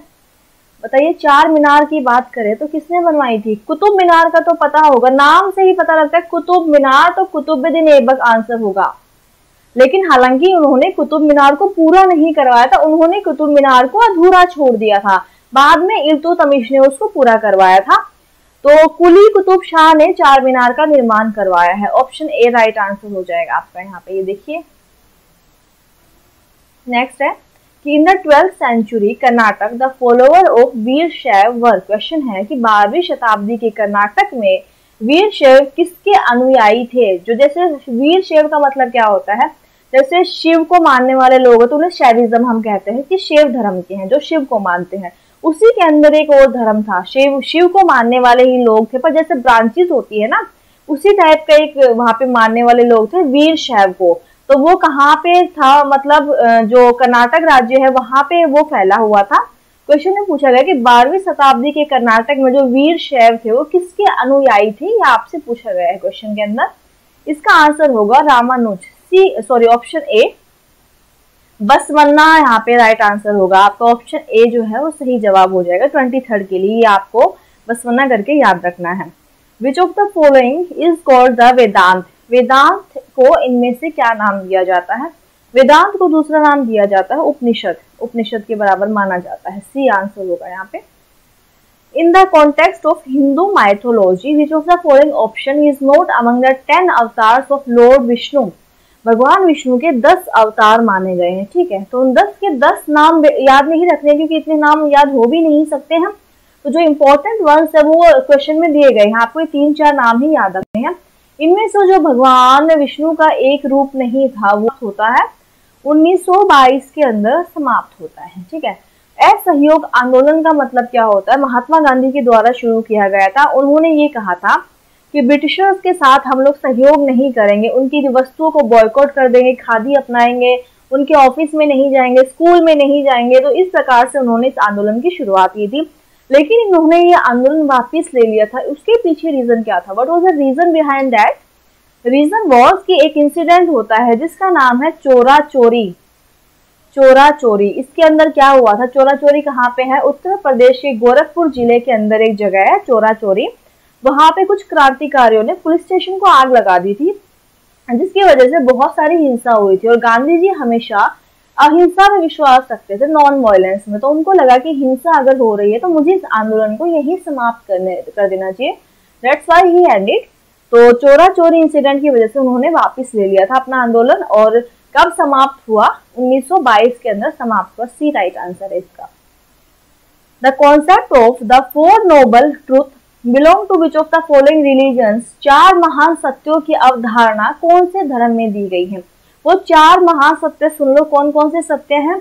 दुख। दुख का मतलब होता है सफरिंग पेन सेकंड है समुदाय। समुदाय, इसका मतलब क्या होता है? ओरिजिन की उत्पत्ति। ठीक है? थर्ड है थर्ड का नाम याद रखोगे निरोधा निरोधा का मतलब होता है एंडिंग किसी चीज़ की समाप्ति होना। और लास्ट वन है मग्गा। मग्गा का मतलब होता है आपको रास्ता मिलना कि आप अपने दुखों से किस प्रकार से निकल सकते हो। आप एक रास्ता ढूंढते हो अपने दुखों से निकलने का, जिसे मग्गा कहते हैं। ये चार महान सत्य हैं जो दिए गए हैं बौद्ध धर्म के अंदर। ऑप्शन डी यहाँ पे आपका सही जवाब हो जाएगा, बौद्ध धर्म। Who was the Mughal emperor during 1857 revolt अठारह की क्रांति के वक्त भारत में मुगल शासक कौन थे? तो हाँ जी, बताइए, कौन थे मुगल शासक जो अठारह की क्रांति जब हो रही थी? राइट right आंसर क्या होगा इसके लिए? बहादुर शाह सेकंड याद रखना है, ये सही आंसर होगा। और आलमगीर टू कब थे मुगल शासक? जब बंगाल का विभाजन हुआ था पार्टीशन हुआ था बंगाल का। ठीक है 1905 के अंदर आलमगीर जो है मुगल शासक थे। अब एक इंपॉर्टेंट बात, अठारह सो एग्जैक्टली एक साल के बाद।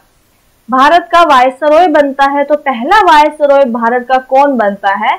लॉर्ड कैनिंग लॉर्ड कैनिंग पहले वायसरॉय थे भारत के where was Guru Nanak Dev born Guru Nanak Dev का जन्म कहाँ हुआ था? ये आपसे क्वेश्चन में पूछा है।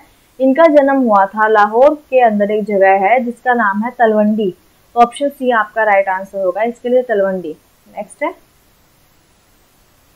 Which dynasty has developed the Gandhara school of art in ancient India? प्राचीन भारत में गांधार कला शैली को किस राजवंश ने विकसित किया है? गंधार स्कूल और जो आर्ट था, उसके जो विकसित किया गया है कुशान वंश के द्वारा ए ऑप्शन राइट आंसर हो जाएगा इसका। आइए नेक्स्ट पे कि what was the name of Swami Vivekananda guru? Swami Vivekananda के गुरु का नाम क्या था? स्वामी विवेकानंद के गुरु का नाम था रामकृष्ण परमहंस। डी आंसर याद रखेंगे आप। रामकृष्ण परमहंस। ये आप देख सकते हैं नेक्स्ट है। When was the national anthem adopted in its Hindi version राष्ट्रगान को इसके हिंदी संस्करण में कब स्वीकार किया गया था? राष्ट्रीय गान जब बनाया था, रविंद्रनाथ टैगोर ने किसके द्वारा बनाया गया था? कंपोज किसने किया था? रविंद्रनाथ टैगोर ने। तो उन्होंने जब ये बनाया था तो इसकी लैंग्वेज थी बंगाली। बंगाली भाषा के अंदर बनाया था। लेकिन बाद में इसको हिंदी के अंदर चेंज कर दिया गया। कब चेंज किया गया? 24 जनवरी 1950 के अंदर। अच्छा एक इंपॉर्टेंट क्वेश्चन बताती हूँ यहाँ से। पहली बार नेशनल एंथम को, राष्ट्रगान को कब गाया गया? कौन से वर्ष में और कहाँ पे गाया गया? 27 दिसंबर 1911 में पहली बार गाया गया था कहाँ पे? कलकत्ता के अंदर। ठीक है, ये इंपॉर्टेंट क्वेश्चन है, इसको याद रखना आप next who introduce Charbagh style of architecture in India Bharat में चार बाग शैली के स्थापत्य की शुरुआत किसने की थी? तो हाँ जी, बताइए किसके द्वारा शुरू हुआ था चार बाग स्टाइल ये देखिए इस प्रकार से, जो आप स्क्वायर टाइप में बाहर की बाउंड्री का स्टाइल देख रहे हैं, ये पूरा। ये चार बाग स्टाइल है, ठीक है? हुमायूं टॉम को अगर आपने विज़िट किया होगा, दिल्ली में देखा होगा, हुमायूं का मकबरा, उसमें इस प्रकार का आर्किटेक्चर है। मुगल शासक जो थे, उन्होंने इसको डेवलप किया था। मुगल काल के दौरान इसकी डेवलपमेंट हुई थी। और ये किसके द्वारा किया गया था? बाबर के द्वारा। बाबर ने शुरू किया था। और बाबर कौन थे? फाउंडर थे मुगल साम्राज्य के। मुगल साम्राज्य की स्थापना किसके द्वारा की गई थी? बाबर के द्वारा की गई थी, ठीक है? बाबर ने किसको हराया था? पानीपत की पहली लड़ाई हुई थी। बैटल ऑफ़ पानीपत पहली हुई थी 1526 के अंदर। इब्राहिम लोदी को हरा के दिल्ली सल्तनत का अंत वहाँ पे होता है और उसी के साथ मुगल साम्राज्य की भारत के अंदर स्थापना होती है। ये राइट आंसर है यहाँ पे। Subhash Chandra Bose was elected president of Haripura Congress session in Subhash Chandra Bose को किस वर्ष में हरिपुर कांग्रेस अधिवेशन का अध्यक्ष चुना गया था? जैसे मैंने पीछे भी बताया है कि जो सेशन वाले क्वेश्चन है प्रेजिडेंट वाले वो काफ़ी इंपॉर्टेंट है। तो किसी का भी नाम पूछा जाए ना, उस क्वेश्चन को ऐसा मत सोचना कि स्किप कर दू, ये तो नहीं आएगा। वो क्वेश्चन ज़रूर आता है। तो सेशन वाला क्वेश्चन कभी मत छोड़ना, कांग्रेस वाला। इसके लिए आंसर होगा 1938 के अंदर बनाया गया था। In which of the following peasant uprising Sardar Vallabh Bhai Patel took part Sardar Vallabh Bhai Patel ने इनमें से कौन से विद्रोह में भाग लिया था? इसके लिए राइट आंसर क्या होगा? 1928 के अंदर देखिए, एक विद्रोह हुआ था किसानों का।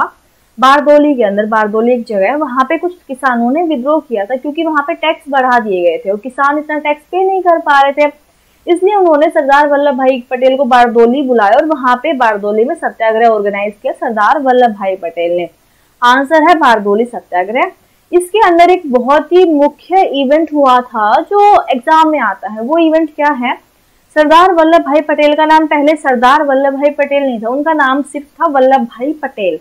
जैसे ही ये सत्याग्रह उन्होंने ऑर्गेनाइज किया 1928 में तो वहाँ की महिलाओं ने इनसे इम्प्रेस होके इन्हें सरदार कहने लगी वो, क्योंकि सरदार जो होता ना कि हेड की इस आंदोलन का हेड कौन है? सरदार वल्लभ भाई। फिर गांधी जी ने क्या किया? उन्होंने नाम जैसे सुना तो उनको लगा कि ये टाइटल इनके लिए उपयुक्त है। तो उन्होंने इनको टाइटल दिया सरदार वल्लभ भाई पटेल। तो टाइटल पूछा जाए कि सरदार टाइटल किसके द्वारा दिया गया? तो आंसर होगा महात्मा गांधी के द्वारा। महात्मा गांधी के द्वारा ये टाइटल दिया गया Sardar Vallabh Bhai Patel, Sardar title first cotton mill in India was set up in which city Bharat में पहली कपास मिल की स्थापना किस शहर में की गई थी? बताइए कौन से शहर में होती है? अठारह सौ चौवन के अंदर शुरुआत होती है, बॉम्बे के अंदर। सी आपका राइट आंसर हो जाएगा। बॉम्बे के अंदर शुरुआत होती है, पहली मिल की, जिसका नाम भी बता दू। नाम भी अगर इन केस पूछा जा सकता है, नाम है the Bombay spinning mill. The Bombay spinning mill के नाम से, ठीक है? चलो नेक्स्ट है। Who renounced his knighthood against the Jallianwala Bagh atrocity knighthood का मतलब क्या होता है? जैसे कि उपाधि, एक प्रकार की उपाधि थी जो अंग्रेज़ों के द्वारा दी जाती थी कि जो इंसान कुछ अच्छा अचीवमेंट हासिल कर लेते, जैसे महात्मा गांधी ने आंदोलन किया तो उन्होंने काफ़ी अचीवमेंट हासिल किए। इसी प्रकार से वो उपाधि देते थे, जिसका नाम था नाइटहुड नाइटहुड एक प्रकार की उपाधि होती है जो आप कुछ अचीव करते थे तो आपको दी जाती है। तो किसने वापस कर दी थी? ये क्वेश्चन आपसे पूछा गया जलिया वाला बाग जब हुआ था इसके बाद। तो हाँ जी, इसके लिए बताइए आंसर क्या होगा? किसने रिअनाउंस किया था? रविंद्रनाथ टैगोर ने। तो ऑप्शन डी आपका राइट आंसर हो जाएगा। उन्होंने कलकत्ता के अंदर कुछ लोगों को इकट्ठा करके वहाँ पे प्रोटेस्ट किया और उन्होंने जो ये उपाधि थी उनकी, उन्होंने इसका त्याग कर दिया। नेक्स्ट क्वेश्चन है। Who was known as calico during pre imperialism period calico शब्द का मतलब क्या होता है? साम्राज्यवाद पूर्व की अवधि में कैलिको के नाम से क्या जाना जाता है? कैलिको शब्द का अर्थ होता है कपास या कोटन डी आंसर हो जाएगा आपका। हु बिल्ट द हवा महल लोकेटेड इन जयपुर जयपुर में जो हवा महल स्थित है, उसका निर्माण किसने किया था? ये देखिए। पैलेस ऑफ़ विंड भी कहा जाता है। इसे इस प्रकार का पिंक और रेड कलर के सैंडस्टोन पत्थर से इसका निर्माण हुआ है। इसका निर्माण किसने करवाया था? आंसर बताइए। सवाई प्रताप सिंह ने। सवाई प्रताप सिंह कौन थे? ये ग्रैंड सन थे। किसके ग्रैंड सन थे? सवाई जयसिंह के। और जयसिंह कौन थे? जयसिंह ने जयपुर शहर की स्थापना की थी, फाउंडर थे जयपुर के। ठीक है, उनके ग्रैंड सन थे सवाई प्रताप सिंह, जिसने हवा महल के निर्माण करवाई। आप देख सकते हैं। Which of the following site is associated with the birth of Gautam Buddha Gautam Buddha का जन्म कहाँ हुआ था और उनकी मृत्यु कहाँ हुई थी? ये दोनों क्वेश्चन इंपॉर्टेंट है। फ़र्स्ट देखो कि उनका जन्म कहाँ पे हुआ था। लुम्बिनी। लुम्बिनी है नेपाल के अंदर। उनकी डेथ कहाँ पे हुई थी? खुशीनगर के अंदर, ठीक है? तो बर्थ और डेथ दोनों ही चीज़ें आपको याद रखनी है। निम्न में से कौन लगभग 280 वर्षों के फ्रांसीसी शासन के बाद उन्नीस में भारत का एक केंद्र शासित प्रदेश बना? ये क्वेश्चन में आपसे पूछा गया है, ठीक है? तो आंसर होगा इसका पुदुचेरी पौंडेचेरी राइट आंसर होगा। दो टेरिटरीज एग्ज़ाम में बेसिकली पूछी जाती है। एक तो है पौंडेचेरी और दूसरी है गोवा। पौंडेचेरी को भारत ने किससे एक्वायर किया था? फ्रेंच का शासन था जो फ्रेंच लोग थे उनका शासन था पहले पुदुचेरी के ऊपर। उससे फिर बाद में uh, के अंदर भारत ने पुदुचेरी को कैप्चर कर लिया। ऐसे ही एक और पूछी जाती है एग्ज़ाम में वो है गोवा। गोवा को कहाँ से कैप्चर किया? पोर्तुगीज से। पुर्तगालियों का शासन था गोवा के ऊपर उन्होंने कैप्चर कर रखा था। इसको फिर भारत बाद में जब भारत आज़ाद हुआ तो गोवा को कहाँ से कैप्चर किया? पुर्तगाली से ठीक है? पुर्तगाल से के लोगों से। तो ऑप्शन सी पुरंडेचेरी यहाँ पे राइट आंसर होगा। चलिए नेक्स्ट क्वेश्चन देखते हैं। Which of the following religion is not originated in India निम्न में से किस धर्म की उत्पत्ति भारत में नहीं हुई है? उस धर्म का नाम क्वेश्चन में पूछा गया है। तो वो कौन सा रिलीजन ऐसा है जिसका ओरिजिन जो है वो इंडिया से नहीं है? ये क्वेश्चन में आपको बताना है। तो इसके लिए राइट right आंसर क्या होगा? सेकंड क्वेश्चन है कि कौन सा इंडिया में ओरिजिन नहीं हुआ था? ये क्वेश्चन में पूछा गया है। उस धर्म का नाम है पारसी धर्म। पारसी धर्म जो है वो भारत के अंदर इसका ओरिजिन नहीं है। ऑप्शन ए सही होगा। तो फिर इसका ओरिजिन कहाँ पे देखा गया है? ईरान से इसका ओरिजिन है। ओरिजिन करने वाले थे प्रोफेट जोरस्टर, ठीक है? उनके नाम पे इसका धर्म का नाम रखा गया है, पारसी धर्म। लगभग 3500 साल पहले की बात है ये। तो ईरान से इसका ओरिजिन है। बाकी जो ऑप्शन हैं आपके साथ, बुद्धिज्म सिखिज्म जैनिज्म, ये सब जो है, इनका ओरिजिन भारत से है। लेकिन आपका जो ऑप्शन ए है, उसका ओरिजिन भारत से नहीं है, ठीक है? तो चलिए अगले क्वेश्चन पे। Who was the organiser of revolt of 1857 in Bihar question है कि बिहार में अठारह की क्रांति के जो लीडर थे, आयोजक थे, वो कौन थे? उनका नाम बेसिकली आपसे पूछा गया है, ठीक है? वो आपको बताना है आंसर थर्ड क्वेश्चन है कि who was the organiser of revolt of 1857 in Bihar कि बिहार में अठारह की क्रांति के आयोजक पूछे गए हैं कि आयोजक कौन है? ठीक है, ये पूछा गया है। तो 1857 की जो क्रांति हुई थी तो बिहार से जो इसके लीडर थे, जिन्होंने लीड किया था इस क्रांति को, उनका नाम था Kunwar Singh. Option D right answer होगा बिहार के कॉन्टेक्स्ट में। ठीक है इनके ही इस कार्य की वजह से इनकी नाम से जयंती भी मनाई जाती है बिहार में, कुंवर सिंह जयंती भी मनाई जाती है वहाँ पे। तो काफ़ी फ़ेमस लीडर रहे हैं ये 1857 के रिवोल्ट के। तो डी राइट आंसर हो जाएगा यहाँ पे। चलिए नेक्स्ट क्वेश्चन है।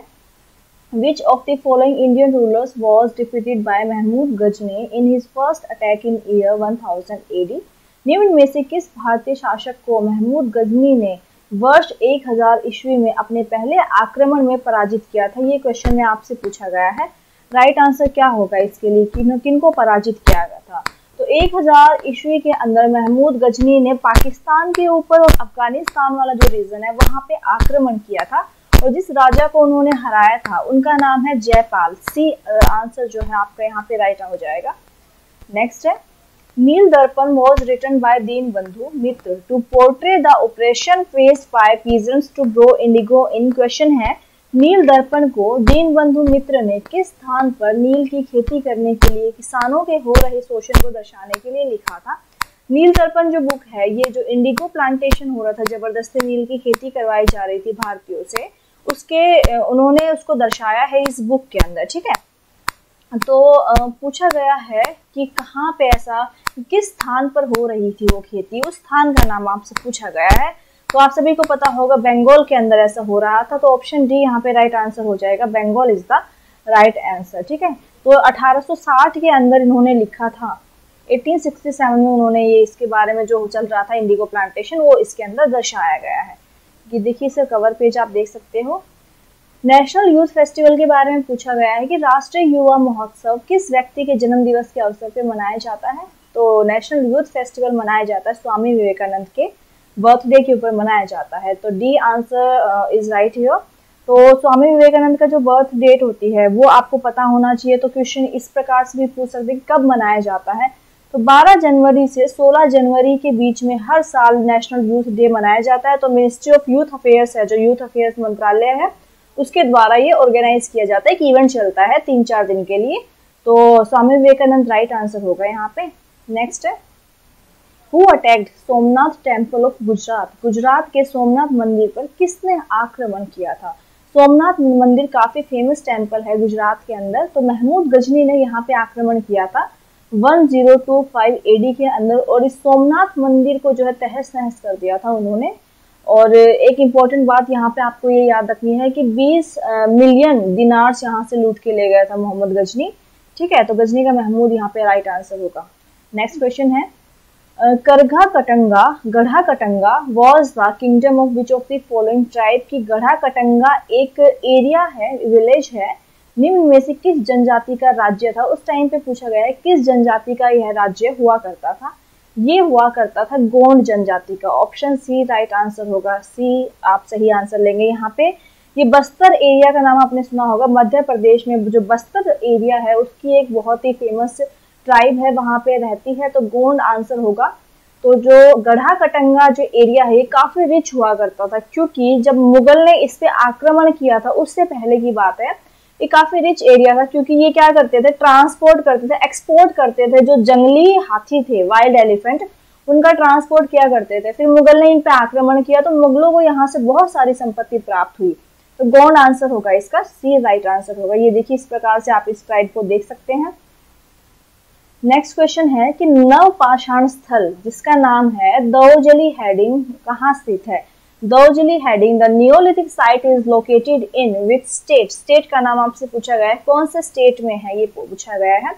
ये नियोलिथिक साइट है। देखो, पाषाण युग की बात करते हैं तो स्टोन एज। स्टोन एज को हम तीन एज में डिवाइड करते हैं। पहली होती है पैलियोलिथिक, दूसरा होता है मीजोलिथिक, तीसरा होता है नियोलिथिक। नियोलिथिक मतलब मॉडर्न स्टोन एज या नव पाषाण स्थल। ये सबसे पुराना होता है, ये बीच का होता है, ये सबसे न्यू होता है मॉडर्न होता है। तो स्टोन एज को हम तीन पार्ट में डिवाइड करते हैं। 2.6 मिलियन ईयर्स पहले की बात है, जब स्टेन स्टोन एज हुआ करता था। तो जब हम एंशंट हिस्ट्री को पढ़ते हैं, ठीक है, प्राचीन इतिहास को पढ़ते हैं तो सबसे पहले हम पाषाण युग से पढ़ना शुरू करते हैं। उसको फिर आगे आगे जो है, जैसे इंडस वैली सिविलाइजेशन ऋग वैदिक काल, ये सब आते जाते हैं। तो सबसे पहला जो एज होती है, वो स्टोन एज आती है। स्टोन एज को तीन पार्ट में डिवाइड करते हैं।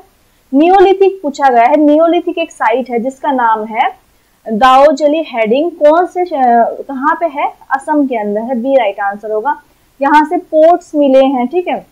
किचन के जो आइटम्स है, वो भी बहुत सारी चीज़ें यहाँ से खुदाई के दौरान मिली गई है। नेक्स्ट क्वेश्चन है in which of the following period ostriches were found in India निम्न में से किस काल में भारत में शुतुरमुर्ग पाए जाते थे तो ऑस्ट्रिच पूछा गया है। ये फिर से वही क्वेश्चन आ गया, पाषाण काल का स्टोन एज के बारे में पूछा गया है। तो कौन सी वाले स्टोन एज है जो आपको बताना है? तो इसके लिए आंसर क्या होगा बताओ। आप आंसर बताते हो, इतने में आपको एक छोटी सी चीज़ यहाँ पे समझा दूँगी जो आपके काफ़ी एग्ज़ाम्स में काम आएगी और काफ़ी क्वेश्चन भी आपके उससे सॉल्व हो जाएँगे और अभी तक नहीं समझ में आई है तो समझ में भी आ जाएगी कि किस प्रकार के क्वेश्चन स्टोन एज से आते हैं। तीन स्टेजेस होती है, पहली होती है पैलियोलिथिक फिर मिजोलिथिक फिर नियोलिथिक पूरा पाषाण काल, फिर आता है मध्य पाषाण काल, फिर नव पाषाण काल। ठीक है, अब इसमें से जो क्वेश्चन बनते हैं कि पैलियोलिथिक साइट को किसने खोजा था? इसके पत्थर को सबसे पहले खोजा था रॉबर्ट ब्रूस ने। रॉबर्ट ब्रूस ने 1803 के अंदर, अठारह के अंदर, ठीक है? और इसके अंदर किस प्रकार का पत्थर यूज़ किया जाता था? क्वार्टजाइट पत्थर यहाँ पे यूज़ किया जाता था। मीजोलिथिक के लिए बस एक शब्द याद रखो माइक्रोलिथिक टूल छोटे छोटे टूल्स यहाँ पे पत्थरों से बना के यूज़ किए जाते थे। माइक्रोलिथिक जिन्हें कहते हैं नियोलिथिक की बात करें तो यहाँ पे एग्रीकल्चर वगैरह मतलब नया जो युग आ, आ चुका था यहाँ पे जो नव पाषाण काल है। ठीक है माइक्रोलिथिक टूल्स मीजोलिथिक में होगा। यहाँ पे हंटिंग फिशिंग वगैरह भी शुरू हो चुके थे। ये कुछ प्रकार के क्वेश्चन है जो यहाँ से पूछे जाते हैं। तो क्वेश्चन ने पूछा था ऑस्ट्रिचिस कब कहाँ पाई जाती थी? पेलियोलिथिक पीरियड के अंदर स्टार्टिंग वाले फ़र्स्ट पीरियड के अंदर पाए जाते थे। तो ए आंसर यहाँ पे राइट होगा। नेक्स्ट है कि who among the following was called as Ajatashatru by Gandhi ji Gandhi ji ने निम्न में से किसे अजात शत्रु कहा था? ये क्वेश्चन में पूछा गया है। अजात शत्रु का मतलब होता है जिसका कोई भी शत्रु ना हो एनिमी ना हो कोई।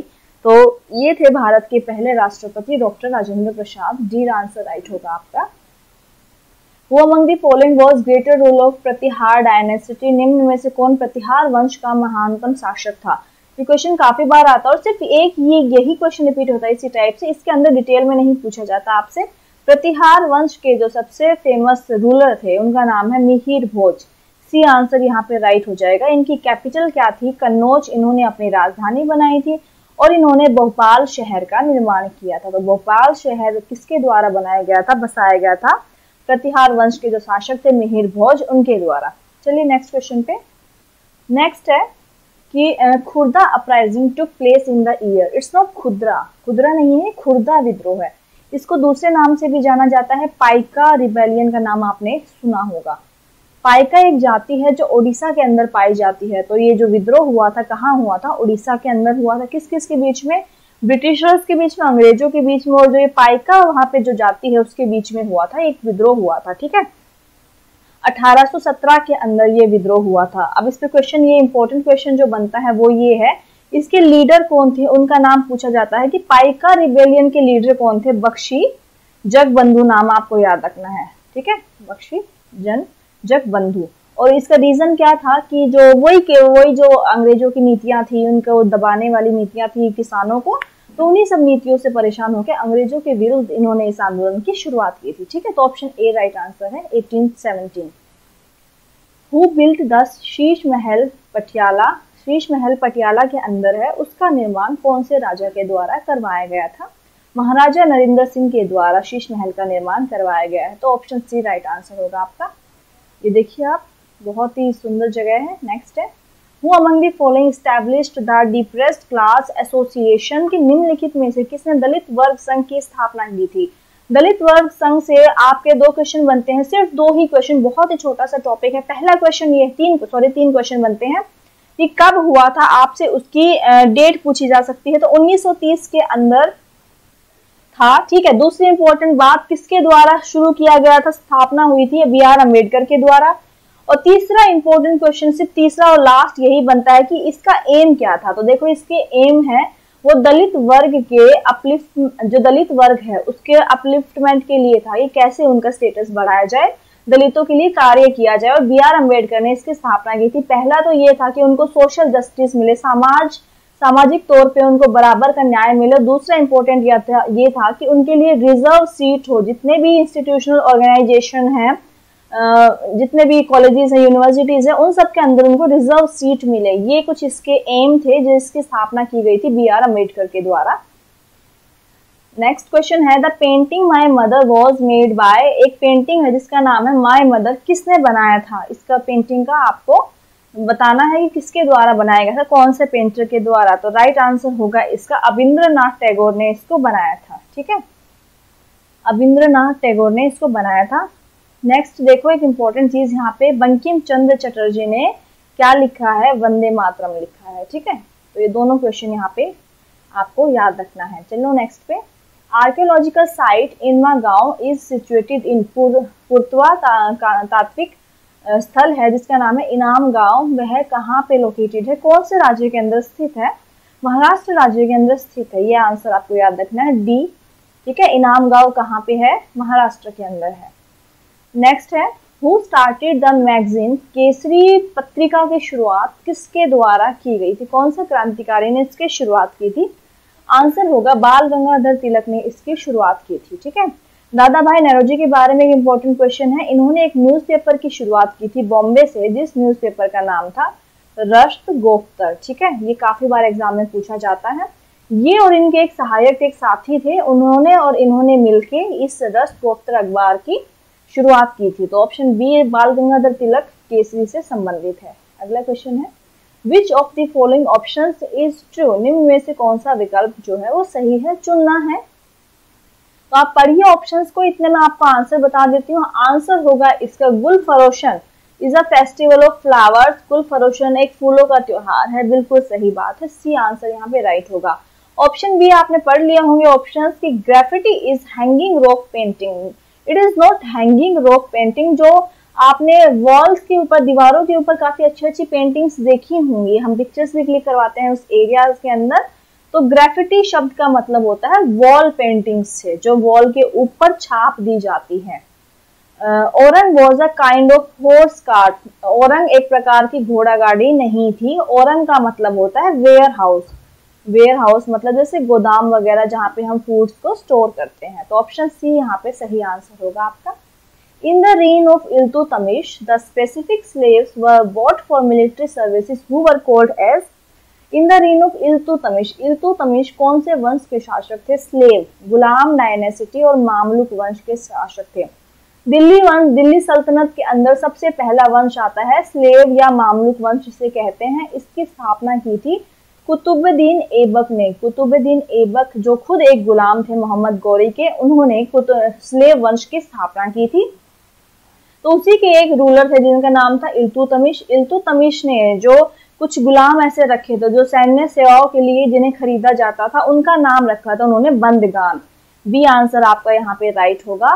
और एक इंपॉर्टेंट बात, इनकी बेटी का नाम था रजिया सुल्तान। रजिया सुल्तान भारत की पहली मुस्लिम महिला है जो गद्दी पे बैठी थी। हालाँकि इन्हें बाद में उतार दिया गया था। तो ऑप्शन बी यहाँ पे राइट आंसर हो जाएगा आपका ट्वेंटी के क्वेश्चन के लिए। नेक्स्ट है after the revolt of 1857 which of the following changes was not made by British government? अठारह की जो क्रांति थी, पहला ही प्रयास था ब्रिटिश के ब्रिटिशर्स के अगेंस्ट जो अठारह की क्रांति हुई थी। उसके बाद कौन कौन से चेंजेस आए थे, वो तो आपको स्वाभाविक है कि आप आइडिया लगा सकते हैं, आपको पता भी होंगे। तो कुछ ऐसे चेंजेस थे जो ब्रिटिश सरकार ने नहीं लेके आए थे, वो क्वेश्चन में आपको पहचानना है। ठीक है, जब ये क्रांति हुई थी अठारह में तो क्या हुआ था इसके बाद कि भारत का सेक्रेटरी ऑफ़ स्टेट नियुक्त किया गया था। पहला ऑप्शन बिल्कुल सही है। एक नेक्स्ट इंपॉर्टेंट चीज़ यहाँ पे आपको एक बात बता दूँ कि जो रूल था, पहले क्या था कि इंग्लैंड की तरफ़ से जो एक कंपनी आई थी ब्रिटिश इंडिया जो कंपनी थी जिसने भारत में व्यापार करना शुरू किया था, इसका शासन था। लेकिन जैसे ये क्रांति हुई तो उस उसके बाद क्या हुआ कि जो इस कंपनी से शासन छीन गए भारत का, जो विक्टोरिया जो सॉरी जो इंग्लैंड की क्वीन थी विक्टोरिया उनके हाथ में शासन चला गया तो वहाँ पे क्वीन विक्टोरिया के संदर्भ में जो शब्द यूज़ किया जाता है, वो होता है क्राउन की जो पावर का ट्रांसफ़र है शक्तियों का ट्रांसफ़र है, वो क्राउन को दे दिया गया। क्राउन का मतलब क्वीन विक्टोरिया से है, ठीक है? तो नेक्स्ट ऑप्शन है कि number of Indian soldiers was increase ऐसा बिल्कुल नहीं हुआ था, बल्कि वो डर गए थे सतावन की क्रांति के बाद, और उन्होंने क्या किया कि भारतीय सैनिकों की संख्या घटा दी थी आर्मी से, ठीक है? Right of East India company were handed over the British empire option C बिल्कुल सही है। ब्रिटिश एम्पायर कह लो या क्राउन कह लो या इंग्लैंड कह लो। ऑप्शन फोर है गवर्नर जनरल ऑफ़ इंडिया देखो, अठारह से पहले गवर्नर जनरल ऑफ़ इंडिया कहा जाता था। लेकिन अठारह से शुरू किया गया वायसरॉय ऑफ़ इंडिया तो सबसे पहला वायसरॉय कौन था, वो भी याद रखना है।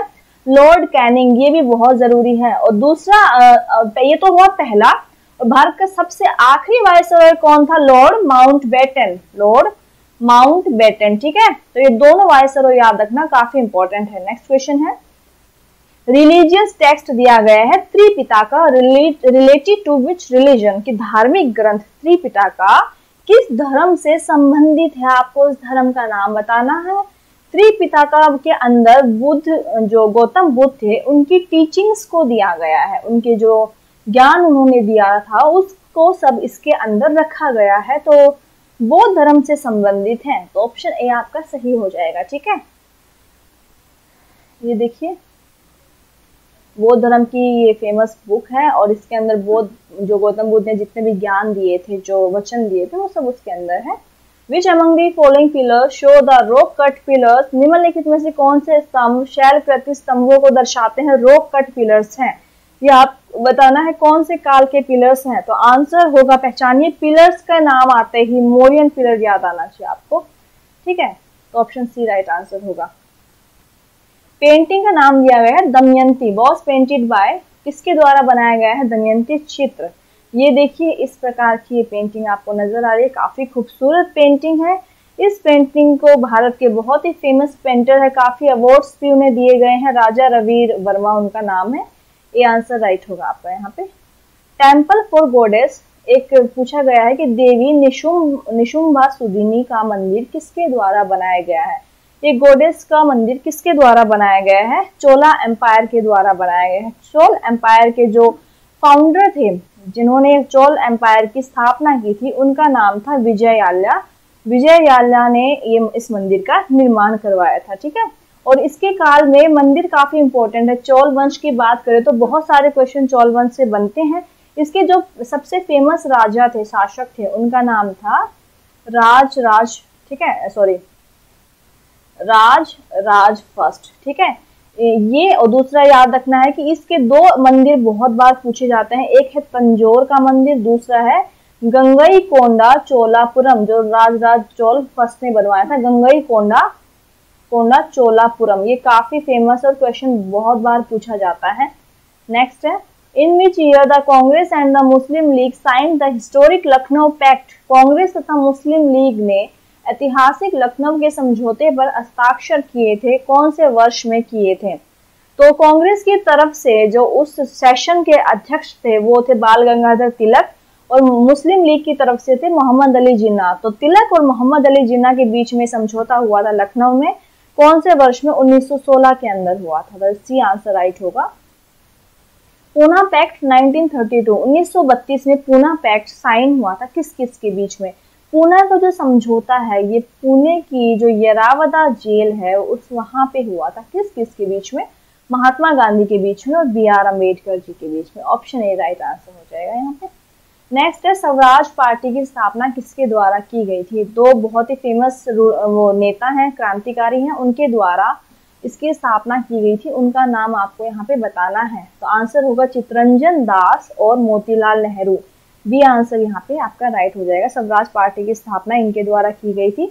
1922 और 23 के बीच में मतलब 22 के एंड में और 23 के स्टार्टिंग में इसकी स्थापना की गई थी। बी आंसर राइट होगा यहाँ पे।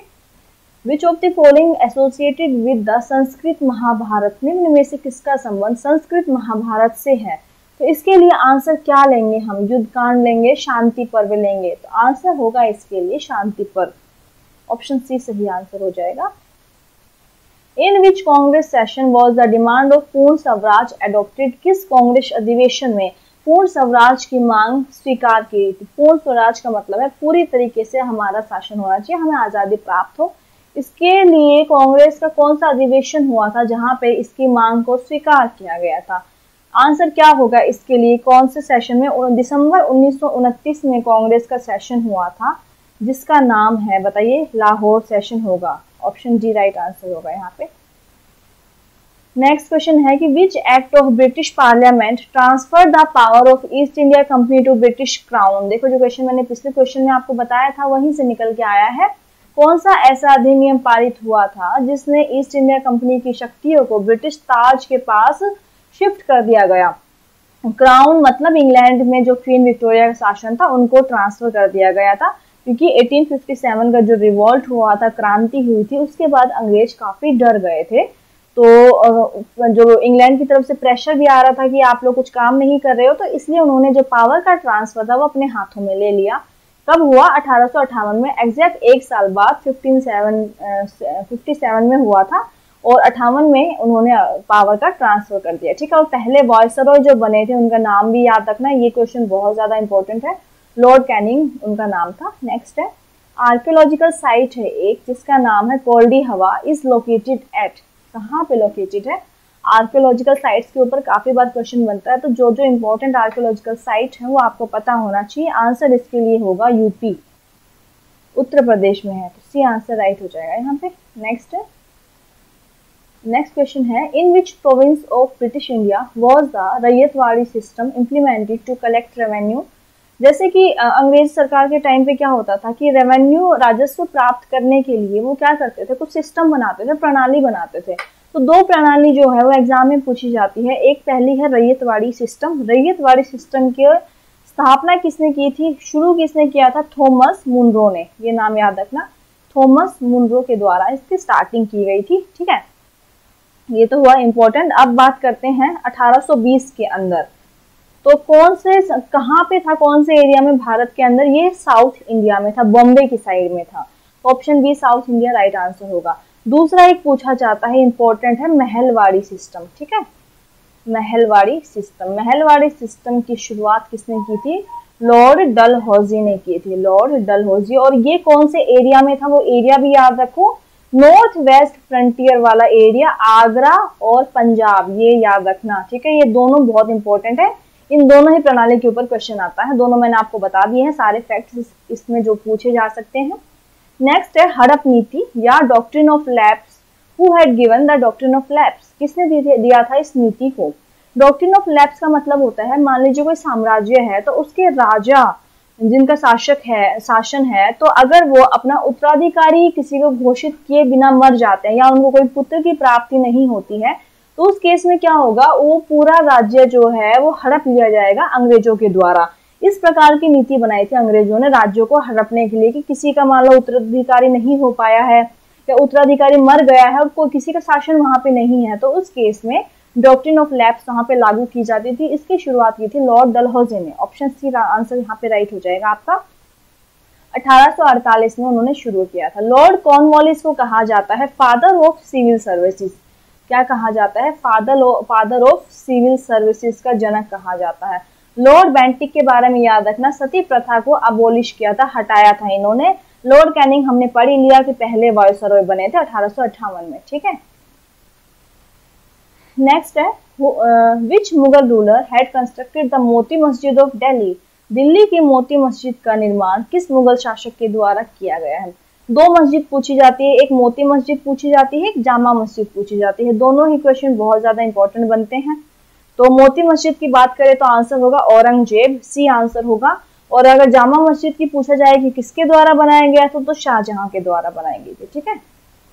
और अकबर के बारे में पूछा जाता है इंपॉर्टेंट दिल्ली के अंदर कि हुमायूं टॉम, हुमायूं का मकबरा किसके द्वारा बनाया गया था? अकबर के द्वारा बनाया गया था। ये देखिए, मोती मस्जिद नेक्स्ट है। Who was defeated by British in the Battle of Srirangapatna 1799 1799 में श्रीरंगपट्टनम की लड़ाई में अंग्रेज़ों ने किसको हराया था? ये क्वेश्चन आपसे पूछा गया है। तो ये लड़ाई हुई थी अंग्रेज़ों के बीच में और टीपू सुल्तान के बीच में। भी आंसर राइट हो जाएगा आपका यहाँ पे। होज ए सुल्तानी इज़ होज ए सुल्तानी एक क्या है? ये आपसे पूछा गया। एक टावर है पैलेस है मॉस्क है कि क्या है? बताइए। आंसर क्या होगा? इसका निर्माण करवाया था इल्तु तमिश ने। ठीक है इल्तु तमिश कौन से रूलर थे? अभी अभी हमने पढ़ा, गुलाम वंश के शासक थे। स्लेव डायनेसिटी के या मामलुक वंश इसको कह सकते हो। तो इन्होंने निर्माण करवाया था होज ए सुल्तानी और होज ए सुल्तानी एक बड़ा जलाशय है, ये आप देख सकते हैं। इस प्रकार का एक बिग रिजर्वॉयर है तो आंसर होगा हमारा बी आंसर राइट हो जाएगा यहाँ पे, ठीक है? In which of the following state was lord Mahavir born भगवान महावीर का जन्म निम्न में से किस राज्य में हुआ था? ये आपसे पूछा गया है, भारत में, बिहार में हुआ था। बी आंसर राइट होगा। ठीक है B is the right answer Kshatriya family में उनका हुआ था, जन्म हुआ था। अब देखो डेथ भी पूछी जाती है। डेथ इनकी हुई थी पावापुरी के अंदर। पावापुरी कहाँ पे है? Again it is located in Bihar तो लॉर्ड महावीर का हमने पढ़ा, ऐसे ही गौतम बुद्ध का भी पूछा जाता है, उनके जन्म और उनके मृत्यु स्थान पूछा जाता है। तो देखो, दोनों क्वेश्चन को मैं एक में ही कवर करवा देती हूँ, ताकि कंफ्यूजन बहुत रहता है महावीर में, गौतम बुद्ध में। इनका जो बर्थ प्लेस थी, वो है नेपाल, लुम्बिनी ठीक है? और डेथ प्लेस थी, वो भी नेपाल में ही थी, वो है खुशीनगर। खुशीनगर या खुशीनगर जो भी आप इसको कहना चाहें, ठीक है? तो ये दोनों बात आपको याद रखनी है। नेक्स्ट है। Settlement of peasant under Chola dynasty was known as Chola वंश के अंतर्गत किसानों की बस्तियों को किस नाम से जाना जाता था? जहाँ पे किसान रहते थे। उनको कहा जाता था और नाम से जाना जाता था। सी आंसर आपका राइट हो जाएगा। नेक्स्ट देखो। Who led the civil disobedience movement in India Bharat में नागरिक सविन्य अवज्ञा आंदोलन का नेतृत्व किसने किया था? ये आपसे पूछा गया है। तो 1930 के अंदर इसका आंदोलन का नेतृत्व किया था और नेतृत्व करने वाले थे Mahatma Gandhi. B answer right हो जाएगा, ठीक है? तो अब देखो एनी बेसेंट और बाल गंगाधर तिलक के बारे में पूछा जाता है। इन्होंने कौन सा आंदोलन शुरू किया था? तो होम रूल मूवमेंट की शुरुआत की थी इन्होंने। होम रूल मूवमेंट चलिए कंदरिया महादेव मंदिर का निर्माण किसके द्वारा करवाया गया था? ये मंदिर जिसका नाम है कंदरिया महादेव, इसका निर्माण कौन से वंश के समय पे हुआ था? ये आपका क्वेश्चन है आपको बताना है। बताइए आंसर क्या होगा? इसके लिए सही जवाब होगा चंदेल, चंदेलाज के द्वारा। एक, जो एक इम्पोर्टेंट टेंपल है, जो एग्ज़ाम में पूछा जाता है, काफ़ी फ़ेमस है, जिसका नाम है खजुराहो मंदिर, मध्य प्रदेश के अंदर है।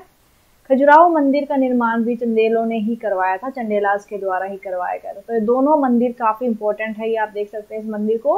और खजुराहो का मंदिर जो मध्य प्रदेश में है, ये दोनों मंदिर काफ़ी इंपॉर्टेंट है एग्ज़ाम पॉइंट ऑफ़ व्यू से दोनों का निर्माण सेम चंदेलास ने ही करवाया था। चोल एम्पायर के टाइम पे एक बहुत फ़ेमस मंदिर का निर्माण हुआ था, जो एग्ज़ाम में पूछा जाता है, उसका नाम है गंगई कोंडा चोलापुरम गंगई कोंडा चोलापुरम इसका भी आपको नाम याद रखना है। काफ़ी बड़ा है बट ये इम्पोर्टेंट है। जो चोल एम्पायर के टाइम पे इसको बनवाया गया था। नेक्स्ट क्वेश्चन है।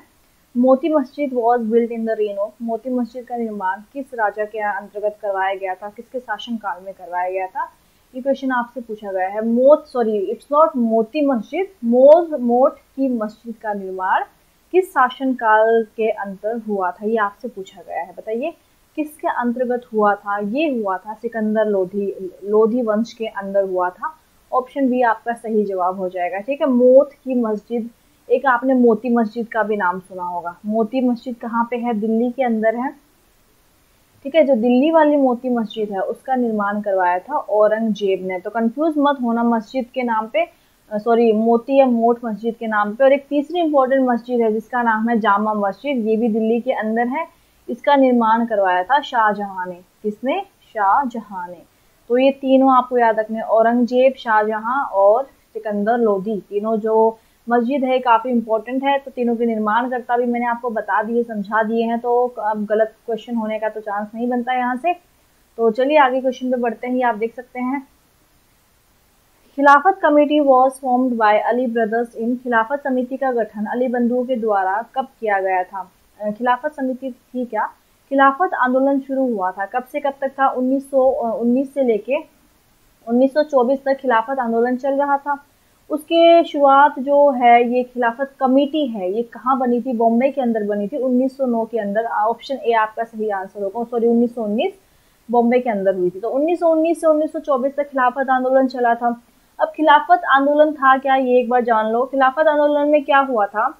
कि जो ओटोमन एम्पायर था, ठीक है, जैसे एक एम्पायर था ओटोमन एम्पायर उसके जो खलीफ थे, खलीफ मतलब हेड हेड को खलीफ बोला है तो वो चाहते थे कि उस खलीफ का जो पोस्ट है, वो वहीं पे मेंटेन रहे तो वो चाहते थे कि उन्हीं को जो प्रोफेट मोहम्मद की पोस्ट मिले। प्रोफेट मोहम्मद क्या होता है? इस्लाम धर्म में सबसे हाई पोस्ट होती है, सबसे बड़ा दर्जा दिया जाता है, वो चाहते थे कि ओटोमन एम्पायर के जो खलीफ है, उनकी पोस्ट एज इट इज़ बनी रहे। इसलिए वो अंग्रेज़ों के ऊपर दबाव बना रहे थे। इसलिए उन्होंने 1919 के अंदर बॉम्बे में एक समिति का निर्माण किया, खिलाफत समिति, और खिलाफत आंदोलन की शुरुआत यहीं से होती है। जो भारत के मुस्लिम्स थे, उन्होंने इस आंदोलन की शुरुआत की थी। तो खिलाफत कमेटी कब बनी थी? बॉम्बे के अंदर 1919 के अंदर बनी थी, ठीक है? चलिए नेक्स्ट क्वेश्चन देखते हैं। Indian statutory commission 1928 was headed by भारतीय वैधानिक आयोग 1928 की अध्यक्षता के द्वारा की गई थी। तो इंडियन स्टेट्यूटरी कमीशन जो 1800 1928 में बनी थी, उसके हेड कौन थे, अध्यक्ष कौन थे, ये आपसे पूछा गया है। ये था क्या? इस कमीशन के बारे में जान लो। इस कमीशन को साइमन कमीशन भी कहते हैं। क्या कहते हैं? साइमन कमीशन भी कहते हैं। साइमन कमीशन भारत में आई थी 1928 के अंदर। इसमें क्या हुआ था? कि सात जो कमीशन जो कमीशन थी आयोग था, इसमें सिर्फ़ सात मेंबर्स थे। और सातों के सातों मेंबर्स कौन थे? अंग्रेज़, अंग्रेज़ों की तरफ़ से थे। एक भी भारतीय उसमें शामिल नहीं था। इसलिए इसका विरोध हुआ। Simon, go back. साइमन, वापस जाओ के नारे यहाँ पे लगे। ठीक है तो उस वक्त जो अध्यक्ष थे, उनका नाम, इसी नाम पे है सर जॉन साइमन। आप याद रख सकते हैं साइमन कमीशन को। ठीक है, वहाँ पे साइमन, गो बैक। साइमन, वापस जाओ के नारे लगने लगे। अब जो इम्पोर्टेंट क्वेश्चन बनते हैं, वो समझा देती हूँ। पहला इंपॉर्टेंट क्वेश्चन कि इसमें जब नारे लग रहे थे साइमन, वापस जाओ। क्यों? क्योंकि उसमें कोई भारतीय था नहीं उस कमीशन में। इस वजह से लोग विरोध कर रहे थे। तो उस वक्त एक बहुत ही क्रांति, हमारे अच्छे क्रांतिकारी, बहुत ही फ़ेमस थे, जिनकी हत्या वहाँ पे हो गई थी। उनको लाठी लगी थी सर पे।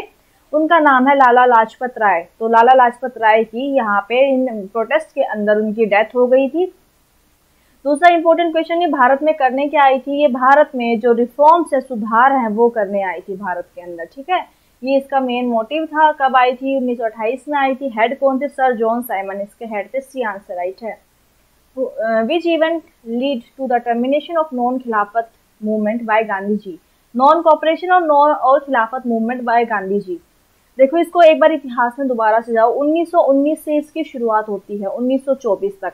कौन सा आंदोलन चला था? खिलाफत आंदोलन चला था। वो मैंने अभी पिछले क्वेश्चन में आपको समझा दिया है।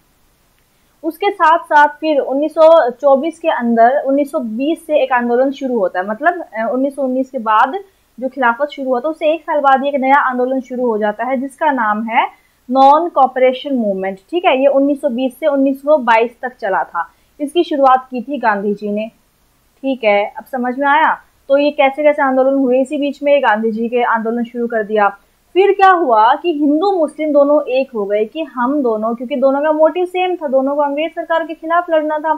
दोनों ने हाथ मिलाया, एक दूसरे से दोनों मूवमेंट तो एक ऐसा पहला मूवमेंट बताओ, एक ऐसा आंदोलन बताओ जिसमें हिंदू मुस्लिम दोनों साथ में लड़े थे तो उस आंदोलन का नाम यहाँ से होगा असहयोग आंदोलन, ये आंसर होगा। आगे सुनो, आगे देखते हैं नेक्स्ट इंपॉर्टेंट क्या बनता है यहाँ से। कि उन्होंने साथ दिया हिंदू मुस्लिम में। फिर क्या हुआ? 1922 में एक घटना होती है, जिस घटने का नाम है, घटना का नाम है चोरा चोरी हत्याकांड 1922 में चोरा चोरी गोरखपुर ज़िले में है, उत्तर प्रदेश के अंदर। वहाँ पे क्या हुआ? कुछ क्रांतिकारियों ने, जो पुलिस स्टेशन था, उसको आग लगा दी और पुलिस स्टेशन को खत्म वहाँ के लोग काफ़ी संख्या में मर गए थे। तो गांधी जी का हमेशा विश्वास था नॉन वायलेंस में, अहिंसा में। उनको लगा कि हिंसा हो रही है, इस वजह से उन्होंने असहयोग आंदोलन को वापस ले लिया। किसकी वजह से चोरा चोरी हत्याकांड या घटना की वजह से। तो ऑप्शन बी यहाँ पे राइट आंसर होगा, ठीक है? The split of Congress occurred in which of the following session Congress का विभाजन निम्न में से किस अधिवेशन में हुआ था? ये क्वेश्चन आपसे पूछा गया है। कांग्रेस कब बनी थी? अठारह सौ पचासी के अंदर बनी थी। किसने बनाई थी? एओ ह्यूम ने बनाई थी। जब कांग्रेस बनी थी तो धीरे धीरे कांग्रेस में क्या हुआ? एक नरम दल बनता गया, एक गरम दल बनता गया। नरम दल के काफ़ी जो सदस्य थे तो गरम दल के याद रख लो, क्योंकि वो तीन ही है जो इंपॉर्टेंट है। एक्सट्रीमिस्ट कहा जाता है या गरम दल, या इन्हें गरम दल भी कहा जाता है, ठीक है? ये याद रखना, लाल बाल पाल लाल बाल पाल लाला लाजपत राय बिपिन चंद्र पाल और लाला लाजपत राय, ठीक है? बाल गंगाधर तिलक। तो ये तीन है, इन्हें ट्रायो भी कहा जाता है। इतिहास में ट्रायो के नाम से भी क्वेश्चन आता है। तो ये गरम दल थे। अब क्या हुआ कि नरम दल में और गरम दल में लड़ाई हो गई। कब लड़ाई हुई, वो हुई 1907 के अंदर। 1907 में सूरत के अंदर जो सेशन हुआ था, उसमें लड़ाई हो गई थी। फिर ये दो हिस्सों में बट गए थे। एक मॉडरिस्ट और एक एक्सट्रीमिस्ट दो हिस्सों में बट गए थे। नरम दल में और गरम दल में बट गए थे। पहले इनका, पहले बंटवारा नहीं था, पहले ये सब कांग्रेस में थे। लेकिन क्या था कि इनकी विचारधारा कुछ की गरम दल जैसी थी, कुछ की, कुछ कुछ लोगों की नरम दल जैसी थी। लेकिन बाद में फिर जैसे 1907 में सूरत का सेशन हुआ तो उसमें आधे लोग गरम दल की तरफ़ चले गए, आधे नरम दल की, ठीक है? सूरत सेशन में हुआ 1905 के अंदर। तो 1905 में सात में 1905 में बंगाल का विभाजन हुआ था।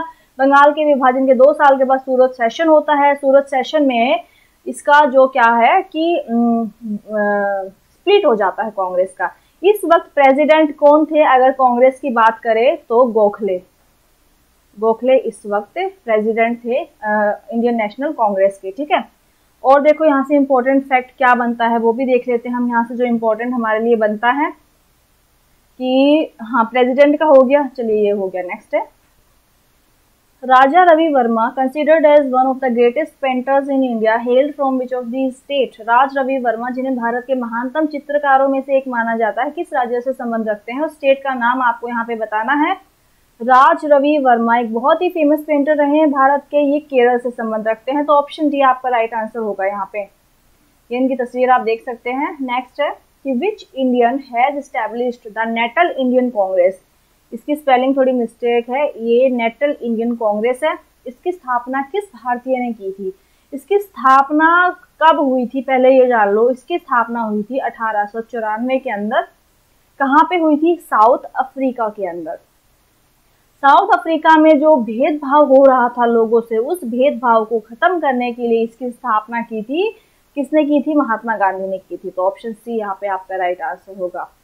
चलिए अगले क्वेश्चन पे। Which of the following leader was kept captive in Robben Island the famous world heritage site of UNESCO निम्नलिखित में से किस नेता को बंदी बनाकर प्रसिद्ध यूनेस्को का जो विश्व धरोहर स्थल है, जिसका नाम है रोबेन आइलैंड उसमें रखा गया था। बहुत ही फ़ेमस लीडर है, जिनका नाम है नेल्सन मंडेला ऑप्शन डी यहाँ पे आपका आंसर होगा। ठीक है? नेल्सन मंडेला आपको याद रखना है। एटीन सेंचुरी फ्रीडम फाइटर अठारहवीं शताब्दी के एक स्वतंत्रता सेनानी है, जिनका नाम है वीर पांड्या कट्टा बोमन किस वर्तमान राज्य से हैं? ये आपको राज्य का नाम बताना है। बताइए, क्या सही आंसर होगा टेंथ के लिए? तमिलनाडु आपको याद रखना है इनके ये छोटे छोटे क्वेश्चन हैं, जिनमें काफ़ी मिस्टेक होती है, याद करने वाले क्वेश्चन है तो तमिलनाडु आप इसके लिए याद रखेंगे। चलिए नेक्स्ट पे। Who return his knighthood title after Jallianwala Bagh massacre Jallianwala Bagh नरसंहार के बाद किसने अपने नाइटहुड की उपाधि लौटा दी थी? नाइटहुड का मतलब क्या होता है? ये एक प्रकार की उपाधि होती थी जो अंग्रेज़ सरकार लोगों को देती थी, जैसे कि उन्होंने अच्छा काम किया है, कुछ अचीव किया है अपनी लाइफ में। तो उनको उपाधि दी जाती थी नाइटहुड की, और ये मिली थी रविंद्रनाथ टैगोर को, ठीक है? इन्होंने अपनी उपाधि वापस क्यों की? क्योंकि 1919 में जो जलियावाला बाग हत्याकांड हुआ था 13 अप्रैल 1919 में, इनको खबर कब मिलती है? 22 मई को इनको खबर मिलती है। तो इन्होंने क्या किया? अपनी उपाधि को वापस कर दिया ताकि वो विरोध कर सके जलियावाला बाग हत्याकांड और उन्होंने वेस्ट बंगाल के अंदर एक टीम बनाई और वहाँ पे प्रोटेस्ट किया और अपनी जो उपाधि है, इसको वापस कर दिया गया। ठीक है, अब गांधी जी ने भी अपनी एक उपाधि वापस की गांधी जी को उपाधि मिली थी केसर ए हिंद की। केसर ए हिंद की उपाधि भी गांधी जी ने वापस कर दी थी। दोनों उपाधि याद रखना, ये महात्मा गांधी जी की उपाधि है। नाइटहुड का क्वेश्चन आए तो रविंद्रनाथ टैगोर राइट आंसर होगा। नेक्स्ट क्वेश्चन देखते हैं। Mahatma Gandhi has violated salt law in which coastal city Mahatma Gandhi ने किस तटीय शहर में नमक कानून को तोड़ा था? नमक कानून के ऊपर जो क्वेश्चन आते हैं, उसमें याद रखना डांडी मार्च। डांडी मार्च गांधी जी ने शुरू की थी। कहाँ से कहाँ तक की थी? डांडी से लेके साबरमती आश्रम तक इन्होंने शुरू किया था। ठीक है? काफ़ी लोगों का एक दल इकट्ठा करके इन्होंने शुरुआत की थी और वहाँ पे समुद्र के तट पे जाके इन्होंने नमक का कानून तोड़ा था। क्यों? रीजन क्या था इसके पीछे? कि नमक के ऊपर जो टैक्स है वो बढ़ गए थे। सॉल्ट टैक्स बढ़ गए थे। गांधी जी का मानना था कि नमन तो जो नमक है वो एक कॉमन पीपल थिंग है आम लोगों की चीज़ है उस पर कभी भी टैक्स नहीं लगना चाहिए। इस वजह से उन्होंने ये डांडी मार्च की शुरुआत की थी ठीक है? साबरमती आश्रम डांडी से, से लेके साबरमती आश्रम तक की। तो यहाँ पे पूछा है कि उन्होंने कानून कहाँ तोड़ा? तो डांडी मार्च से। ऑप्शन ए राइट आंसर होगा इसके लिए याद रखना है आपको ठीक है? कब शुरू किया गया डेट भी याद कर लो पाँच अप्रैल को स्टार्ट किया था। नेक्स्ट है। Members of which national association were led by Chandrashekhar Azad Bhagat Singh तो चंद्रशेखर आज़ाद भगत सिंह और साथ में नाम याद रखना सुखदेव, राम प्रसाद बिस्मिल, ये नाम भी याद रखो, राम प्रसाद बिस्मिल। इन चारों ने मिलकर एक पार्टी का निर्माण किया था। उस पार्टी, उस एसोसिएशन को, उस एसोसिएशन का नाम क्या है? एच एस आर ए 1928 के अंदर। कब किया था? 1928 डेट याद रखना। कहाँ पे हुआ था? ये दिल्ली का जो फिरोज शाह कोटला है, ठीक है? फिरोज शाह कोटला मैदान है, वहाँ पे इन्होंने निर्माण किया था। Hindustan Socialist Republic Association H S R A की शॉर्ट फॉर्म होती है 1928 के अंदर, ठीक है? कम्युनिस्ट पार्टी ऑफ़ इंडिया पे इंपॉर्टेंट क्वेश्चन बनता है। पहले कांग्रेस का देख लो ऑप्शन बी इसकी स्थापना होती है अठारह सौ पचासी के अंदर। किसने बनाई? ए ओ ह्यूम ने कांग्रेस की स्थापना की थी। ठीक है, कम्युनिस्ट पार्टी ऑफ़ इंडिया की स्थापना किसने की थी? ये भी आपको जानना ज़रूरी है। कब हुई थी? ये भी जानना ज़रूरी है। 1925 में ताशकंत में हुई थी। ताशकंत में कम्युनिस्ट पार्टी ऑफ़ इंडिया की स्थापना हुई थी। सॉरी, ताशकंत में हुई थी। 1920 में शुरुआत हो गई थी। भारत में आई 1925 के अंदर। तो 1925 से डेट आप गूगल भी सर्च करेंगे तो 1925 डेट आपको मिलेगी। और कहाँ पे, भारत में कहाँ पे हुई वो पूछा जाता है, मैं थोड़ा सा इरेज कर देती हूँ। भारत में कहाँ पे हुई थी इसकी स्थापना? काउनपोर। काउनपोर पहले नाम था, अब काउनपोर को क्या कहते हैं? कानपुर कानपुर के अंदर। इसके सदस्य कौन कौन थे? दो सदस्य का नाम याद रख लो, बस वो इंपॉर्टेंट है। एम एन रॉय और अबानी मुखर्जी। एबेन एम एन रॉय और अबानी मुखर्जी, दो नाम याद कर लो। और कब हुई थी? 1928 दिल्ली में सॉरी 1928 और किसने की थी एम एन रॉय, अबानी मुखर्जी? कहाँ पे? कानपुर, जिसे काउनपुर भी कहते थे पहले 1925 के अंदर। इसकी स्थापना हुई। है काफ़ी इंपॉर्टेंट क्वेश्चन है। नेक्स्ट क्वेश्चन है। In which year was the battle of Saragarhi fort Saragarhi की लड़ाई किस वर्ष लड़ी गई थी? किस किस के बीच में हुई थी सारागढ़ी की लड़ाई? अफगानी ट्राइब जो अफ़गानिस्तान के जो ट्राइब थे, अफगानी ट्राइब और वर्सेस ब्रिटिश अंग्रेज़ों के बीच में हुई थी। अठारह के अंदर याद रखना है। ऑप्शन सी आपका यहाँ से राइट आंसर हो जाएगा। नेक्स्ट क्वेश्चन है। The battle of Karnal in 1739 was fought between Nadir Shah जो सत्रह की जो बैटल थी बैटल ऑफ़ करनाल किस किस के बीच में हुई थी, यह आपसे पूछा गया है। इस बैटल के अंदर नादिर शाह जीत गए थे। अहमद शाह, मोहम्मद शाह और नादिर शाह के बीच में ये लड़ाई हुई थी। तो ऑप्शन डी यहाँ पे राइट आंसर हो जाएगा। चलिए नेक्स्ट करनाल कहाँ पे है? हरियाणा के अंदर एक जिला है Karnal. Had started the self respect movement आत्मसम्मान आंदोलन की शुरुआत किसने की? आत्मसम्मान आंदोलन था क्या? इस आंदोलन में क्या हुआ था? कि जिन्होंने इसकी शुरुआत की थी, उनका मानना था कि समाज के जो भी बैकवर्ड क्लास है, पिछड़ी जनजातियाँ हैं उनको बराबर का अधिकार है समाज के अंदर equal human rights they they are having equal rights उनका ऐसा मानना था। तो उन्होंने आत्मसम्मान के लिए उनके लड़ाई लड़ी कि उनका भी सेल्फ रिस्पेक्ट है, उनको भी रिस्पेक्ट समाज में मिलनी चाहिए। इस वजह से उन्होंने इस आंदोलन की शुरुआत की। उनका नाम है E V Ramaswamy Naicker option A इसका राइट आंसर हो जाएगा, ठीक है? 1973 के अंदर उन्होंने इसकी शुरुआत की थी। किसके लिए? बैकवर्ड क्लास ये भी क्वेश्चन पूछा जा सकता है बैकवर्ड क्लास के इक्वल राइट्स के लिए। किसके लिए? इक्वल राइट्स के लिए उन्होंने इसकी शुरुआत की ठीक है? The chaitya and viharas are constructed for the monks of which religion chaitya और विहारा की जो पूछा गया है कि किस धर्म के भिक्षुओं के लिए चैत्र चैत्य और विहारा का निर्माण किया गया था? ये है क्या? इस शब्द का मतलब क्या है? चैत्य और विहारास ये वर्शिप प्लेस होती थी। वर्शिप प्लेस ऐसी प्लेस जहाँ पे पूजा अर्चना होती है। जैसे हमारे अभी मंदिर के अंदर जो पूजा अर्चना होती है, वैसे वहाँ पे जहाँ पे पूजा अर्चना होती थी उस वक्त, उस, उनको नाम दिया गया था चैत्य और इनका संबंध है बौद्ध धर्म से। ऑप्शन सी राइट आंसर हो जाएगा यहाँ पे, ठीक है? The famous battle of Plassey in seven 57 was fought in which region of India? दो बैटल काफ़ी बार एग्ज़ाम में आती है। एक है बैटल पलासी एक है बैटल बक्सर, ठीक है? बैटल प्लासी क्वेश्चन में है जिस, जो कब हुई थी? सत्रह सौ सतावन के अंदर हुई थी। किस किस के बीच में हुई थी? ये भी एक बार जान लो। ये हुई थी नवाब ऑफ़ बंगाल। बंगाल का जो नवाब था उस वक्त, उसका नाम एग्ज़ाम में पूछा जाता है। उसका नाम था सिराज उद दौला, ठीक है? और वर्सेस किसके बीच में हुई थी? अंग्रेज़ों के बीच में। ये लड़ाई हुई थी सत्रह में, जिसे बैटल ऑफ़ पलासी के नाम से जाना जाता है। पलासी एक जगह है, कहाँ पे है, जो वेस्ट बंगाल के अंदर है। तो ऑप्शन डी यहाँ का राइट आंसर हो जाएगा। Dandi march took place in the reign of which viceroy Dandi march जब हुई थी तो उस वक्त हमने डांडी मार्च पढ़ी पिछले क्वेश्चन में तो दोबारा ज़रूरत नहीं होगी रिवाइज करने की। किसके शासन, जो, कौन से वायसरॉय के शासन काल के दौरान दांडी यात्रा हुई थी? ये क्वेश्चन में आपसे पूछा गया है। दांडी से लेके साबरमती तक गांधी जी ने यात्रा की थी। उस वक्त वायसरॉय कौन थे? लॉर्ड इरविंग याद रखना है। ऑप्शन सी आपका यहाँ पे सही आंसर हो जाएगा लॉर्ड इरविन लॉर्ड बेंटी के बारे में इंपॉर्टेंट क्वेश्चन जो बनता है कि सती को एबोलिश किया था, सती प्रथा को खत्म किया था। लॉर्ड मैट कैफ़े के बारे में क्वेश्चन आता है प्रेस से संबंधित। प्रेस की स्वतंत्रता के लिए इन्होंने लिबर्टी के लिए इन्होंने काम किया था तो ये नाम काफ़ी इंपॉर्टेंट है लॉर्ड मैटकेफ नेक्स्ट है which Mughal emperor had build the Agra fort Agra का किला किस मुगल सम्राट ने बनवाया था? आगरा का किला बनवाया था अकबर ने। ऑप्शन सी आंसर राइट होगा। अकबर ने आगरा का किला बनवाया। हुमायूं टॉम हुमायूं का जो मकबरा है दिल्ली में, वो भी अकबर ने बनवाया। जोधाबाई पैलेस है, जोधाबाई पैलेस, वो भी अकबर ने बनवाया। अब देखो ऑप्शंस पे आ जाओ। शाहजहां ने बनवाई जामा मस्जिद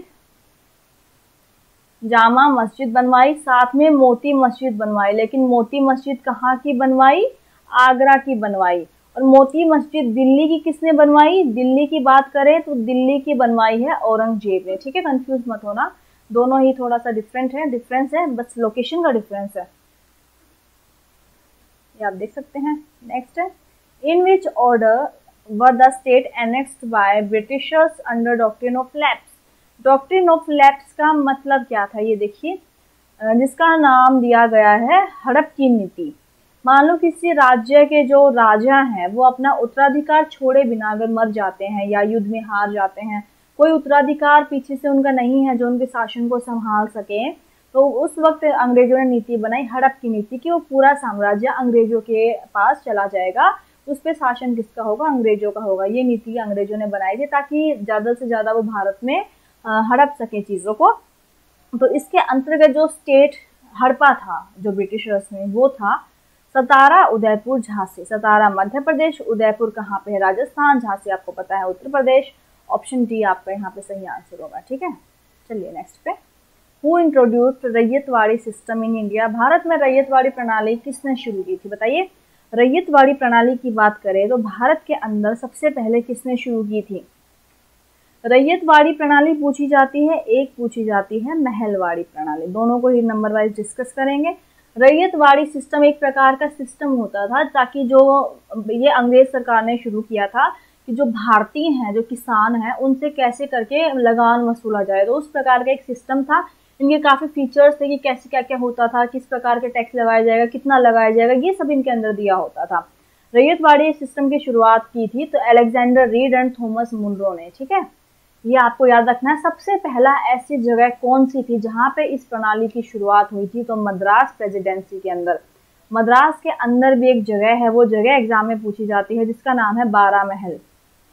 बारा महल, यहाँ पे सबसे पहले रैयतवाड़ी सिस्टम को अपना लगाया गया था, ठीक है? सेकेंड है, महलवाड़ी सिस्टम की शुरुआत की थी लॉर्ड कॉर्नवालिस ने, ये याद रखना, लॉर्ड कॉर्नवालिस ने।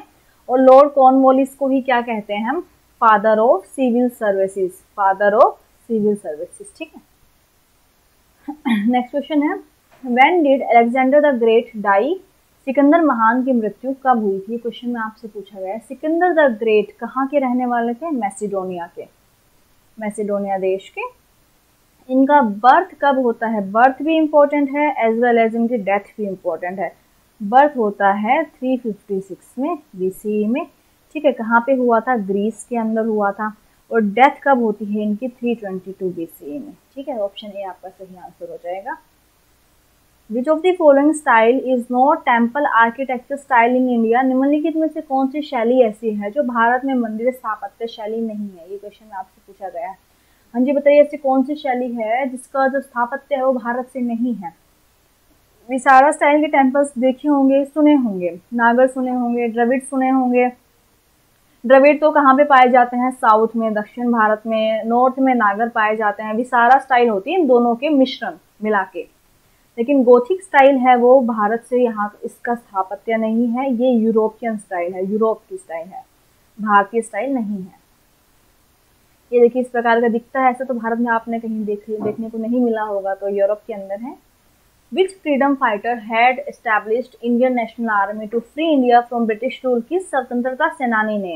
भारत को ब्रिटिश शासन से मुक्त करने के लिए आज़ाद हिंद फौज की स्थापना की थी? ये क्वेश्चन आपसे पूछा गया है।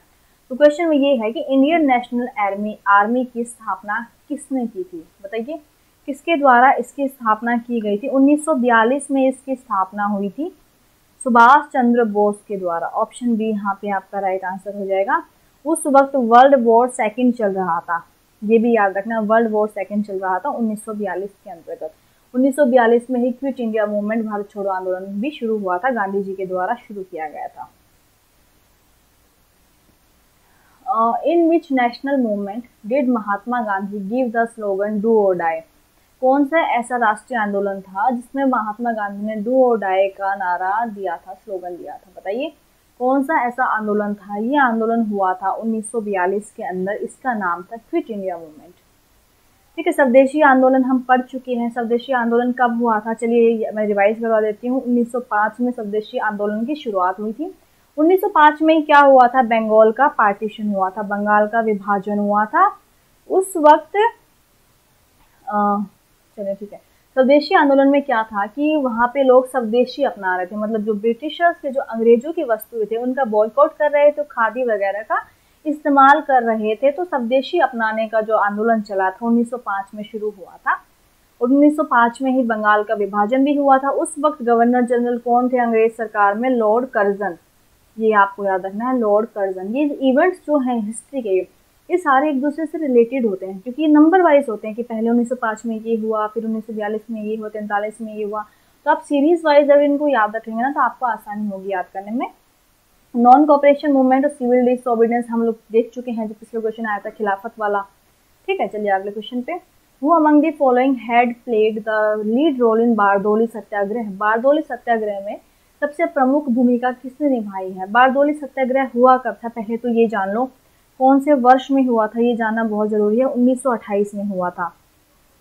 ठीक है, बारदोली में सत्याग्रह में क्या हुआ था कि वहाँ के जो किसान हैं, उनका टैक्स बढ़ा दिया था अंग्रेज़ सरकार ने। तो उन्होंने शिकायत की और वल्लभ भाई पटेल को वहाँ पे बुलाया ताकि आप हमारी तरफ़ से लड़े। जो टैक्स हम पे बढ़ाया है, उसको आप कम करवाएँ। तो वहाँ पे इन्होंने बहुत अच्छा नेतृत्व किया और वो विजय भी हासिल की उन्होंने टैक्स कम करवाने में। फिर क्या हुआ? वहाँ की औरतों ने इनको सरदार सरदार कहने लगे वल्लभ भाई पटेल को। इनका पहले नाम था सिर्फ़ वल्लभ भाई पटेल। बाद में जब ये आंदोलन हुआ, इसके बाद से इनको सरदार कहा जाने लगा। फिर महात्मा गांधी ने जैसे ये नाम सुना तो उन्होंने टाइटल दिया इनको सरदार वल्लभ भाई पटेल। क्वेश्चन एग्ज़ाम में इस प्रकार से आता है कि सरदार जो टाइटल है, वो वल्लभ भाई पटेल को किसके द्वारा दिया गया था? तो वहाँ पे बच्चे कंफ्यूज हो जाते हैं कि बारदोली सत्याग्रह की महिलाओं ने दिया था या गांधी जी ने दिया था तो याद रखना क्लियर कट याद रखना गांधी जी ने इन्हें ये टाइटल दिया था, ठीक है? तो ऑप्शन ए आपका यहाँ पे सही आंसर है। चलिए नेक्स्ट क्वेश्चन पे। What was the real name of sister Nivedita sister Nivedita का वास्तविक नाम क्या है? ये किसकी भक्त थी? ये इनके गुरु थे स्वामी विवेकानंद, ठीक है? स्वामी विवे, विवेकानंद इनके गुरु गुरु थे आयरलैंड से आई थी। और इनका पूरा जो एग्जैक्ट नेम है वो है Margaret Elizabeth Noble. Option C यहाँ पे आपका राइट आंसर हो जाएगा ठीक है? चलिए नेक्स्ट क्वेश्चन पे बढ़ते हैं। Who had built the great grand chariot cave temples in Mahabalipuram किसने महाबलीपुरम के भव्य रथ गुफाओं मंदिर का निर्माण करवाया था? ये क्वेश्चन में आपसे पूछा गया है, बताइए किसने महाबलीपुरम के भव्य रथ गुफा मंदिर, बहुत ही फ़ेमस है महाबलीपुरम के, इनका निर्माण हुआ था पल्लव वंश जो था, पल्लव वंश के टाइम पे इनका निर्माण हुआ था, निर्माण करवाया था नरसिंह ने। ऑप्शन बी जो है आपका यहाँ पे राइट आंसर हो गया, पल्लव किंग थे, पल्लव साम्राज्य से इनका संबंध था। When was home rule league movement started by Bal Gangadhar Tilak. बाल गंगाधर तिलक द्वारा होम रूल लीग कब शुरू किया गया था? कौन से वर्ष के अंदर शुरू किया गया था? ये आपको बताना है, कब हुआ था बताइए। कब उन्होंने इसकी शुरुआत की थी? कहाँ से की थी? बॉम्बे से की थी। और इनके साथ कौन थे? एनी बसंत। एनी बसंत और बाल गंगाधर तिलक दोनों ने मिलकर होम रूल लीग मूवमेंट की स्टार्ट की थी 1916 के अंदर। बी आंसर आपका राइट होगा यहाँ पे। चलिए नेक्स्ट क्वेश्चन पे। कैप्टन हॉकिंस और sir Thomas Roe visited during the reign of कि कैप्टन हॉकिंस और सर थॉमस रे किसके सा, किसके साम्राज्य या किसके शासनकाल के दौरान उन्होंने भारत को विज़िट किया था। क्यों किया था भारत में सबसे पहले आने वाले थे पुर्तगाली पोर्तुगीज पुर्तगाली उन्होंने कम से कम भारत में 100 वर्ष तक शासन किया तो उनकी फैक्ट्रीज भी भारत में स्टैब्लिश थी। फिर अंग्रेज़ जैसे भारत में आए तो उन्होंने 1611 में इनको भेजा। वे 1600 ईस्वी में अंग्रेज़ भारत में आए थे। फिर वो चाहते थे कि हम अपनी फैक्ट्रीज बनवाएँ, ठीक है? तो वो किसके, जहांगीर के कोर्ट में गए थे उनसे रिक्वेस्ट करने की हमें भी फैक्ट्रीज बनाने की अनुमति दी जाए। तो ऑप्शन सी आपका यहाँ पे राइट आंसर होगा।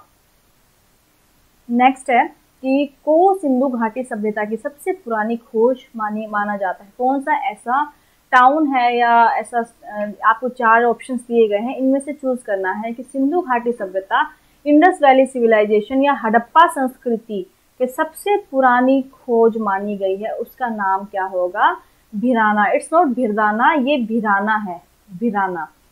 भिराना जगह कहाँ पे है? हरियाणा के जो फतेहाबाद डिस्ट्रिक्ट है, हरियाणा वहाँ पे स्थित है। इसका नाम भिडाना नहीं है, इसका नाम भिराना है, भिराना। ठीक है? चलो नेक्स्ट क्वेश्चन देखते हैं। When was Satyagraha Sabha established by Gandhi ji Gandhi ji द्वारा सत्याग्रह सभा की स्थापना कब की गई थी? कौन से वर्ष में गांधी जी ने सभा की स्थापना की थी? जब रोलेट एक्ट पास हुआ था। रोलेट एक्ट कब पास हुआ था? उसकी वजह से रोलेट एक्ट में क्या था कि हम अंग्रेज़ सरकार ने एक पास किया था। एक्ट जिसमें ये था, किसी भी भारतीय को सिर्फ़ संदेह के अनुसार या उस पर डाउट होने के मान नाम मात्र से हम उसको कैद कर सकते हैं, उसको जेल हो सकती है तो उस पर ना कोई मुकदमा लड़ा जाएगा, ना कोई केस होगा उसके तो इस प्रकार का एक एक्ट बनाया था, इसका विद्रोह कर, विरोध कर रहे थे लोग। कहाँ पे? जलियावाला बाग हत्याकांड में। जलियावाला बाग हत्याकांड में लोग विद्रोह कर रहे थे 13 अप्रैल 1919 में। आपको पता होगा जलियावाला बाग हत्याकांड के बारे में तो ठीक है 1919 फिर गांधी जी ने 1919 में ही सत्याग्रह सभा की स्थापना की, ठीक है? चलिए next question goddess Aranyani is the goddess Aranyani is the goddess of as per the Vedic period Rig वैदिक काल की बात करें तो अरायणी किसकी देवी मानी जाती है? अरायणी देवी मानी जाती है। फॉरेस्ट विंड और जल्दी से आंसर कीजिए, किसकी देवी मानी जाती है? आंसर क्या होगा इसके लिए सही? आंसर होगा फॉरेस्ट वन और वन के अंदर जितने भी वाइल्ड एनिमल्स रहते हैं, जंगली जानवर जो भी हैं, उनकी देवी मानते हैं किनको? अरायणी को।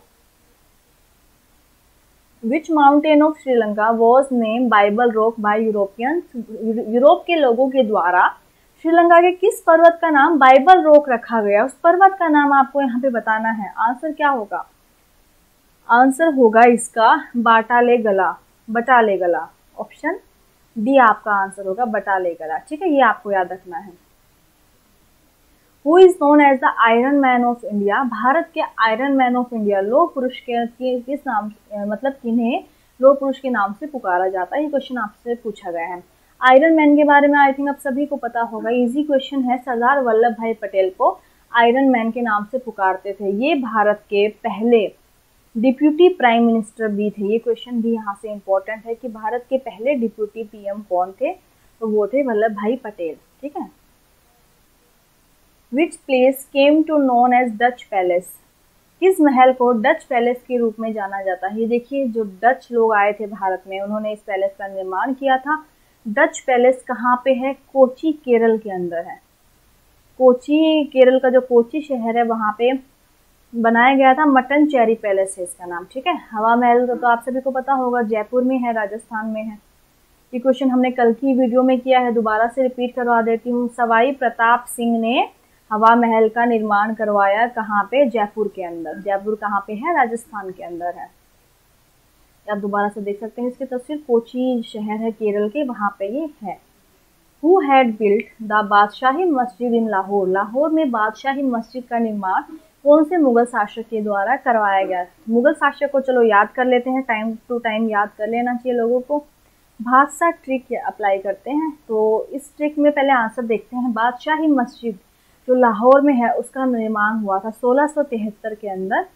जो आखिरी शासक थे, जिनका नाम है औरंगज़ेब, उन्होंने इसका निर्माण करवाया था। पहला है बाबर हुमायूं अकबर जहांगीर शाहजहां, फिर आता है औरंगज़ेब, ठीक है? इस प्रकार से आप जो मेन मुगल शासक है, उनको याद रख सकते हैं। जिन पे क्वेश्चन आता है तो ऑप्शन सी यहाँ पे आपका राइट आंसर होगा। ये आप देख सकते हैं। Who among the following famous personalities is known for the Bhoodan and Sarvodaya movement किस प्रसिद्ध व्यक्तियों में से भूदान और सर्वोदय आंदोलन के लिए जाना जाता है? ये आपसे पूछा गया है। भूदान का आंदोलन का मतलब क्या था कि सभी वर्ग के लोगों के लिए जो नेचुरल रिसोर्सेज हैं रिसोर्स है, जैसे लैंड है, ये सब चीज़ें बराबर मात्रा में उनको मिलनी चाहिए। उनका भी हक है, वो यूज़ कर सकते हैं, ठीक है? तो इस मूवमेंट की जो आंदोलन की शुरुआत हुई थी उन्नीस में तेलंगाना से। और शुरुआत की थी जिन लोगों ने। उनका एक का नाम है आचार्य विनोबा भावे, दूसरे का नाम आपको याद रखना है जेपी नारायण। तो ऑप्शन में आप लोग कोई भी नाम दे सकते हैं, जेपी नारायण का भी नाम मिल मिल सकता है। तो दोनों नाम आपको याद रखना है ताकि क्वेश्चन आपका गलत नहीं होना चाहिए, ठीक है?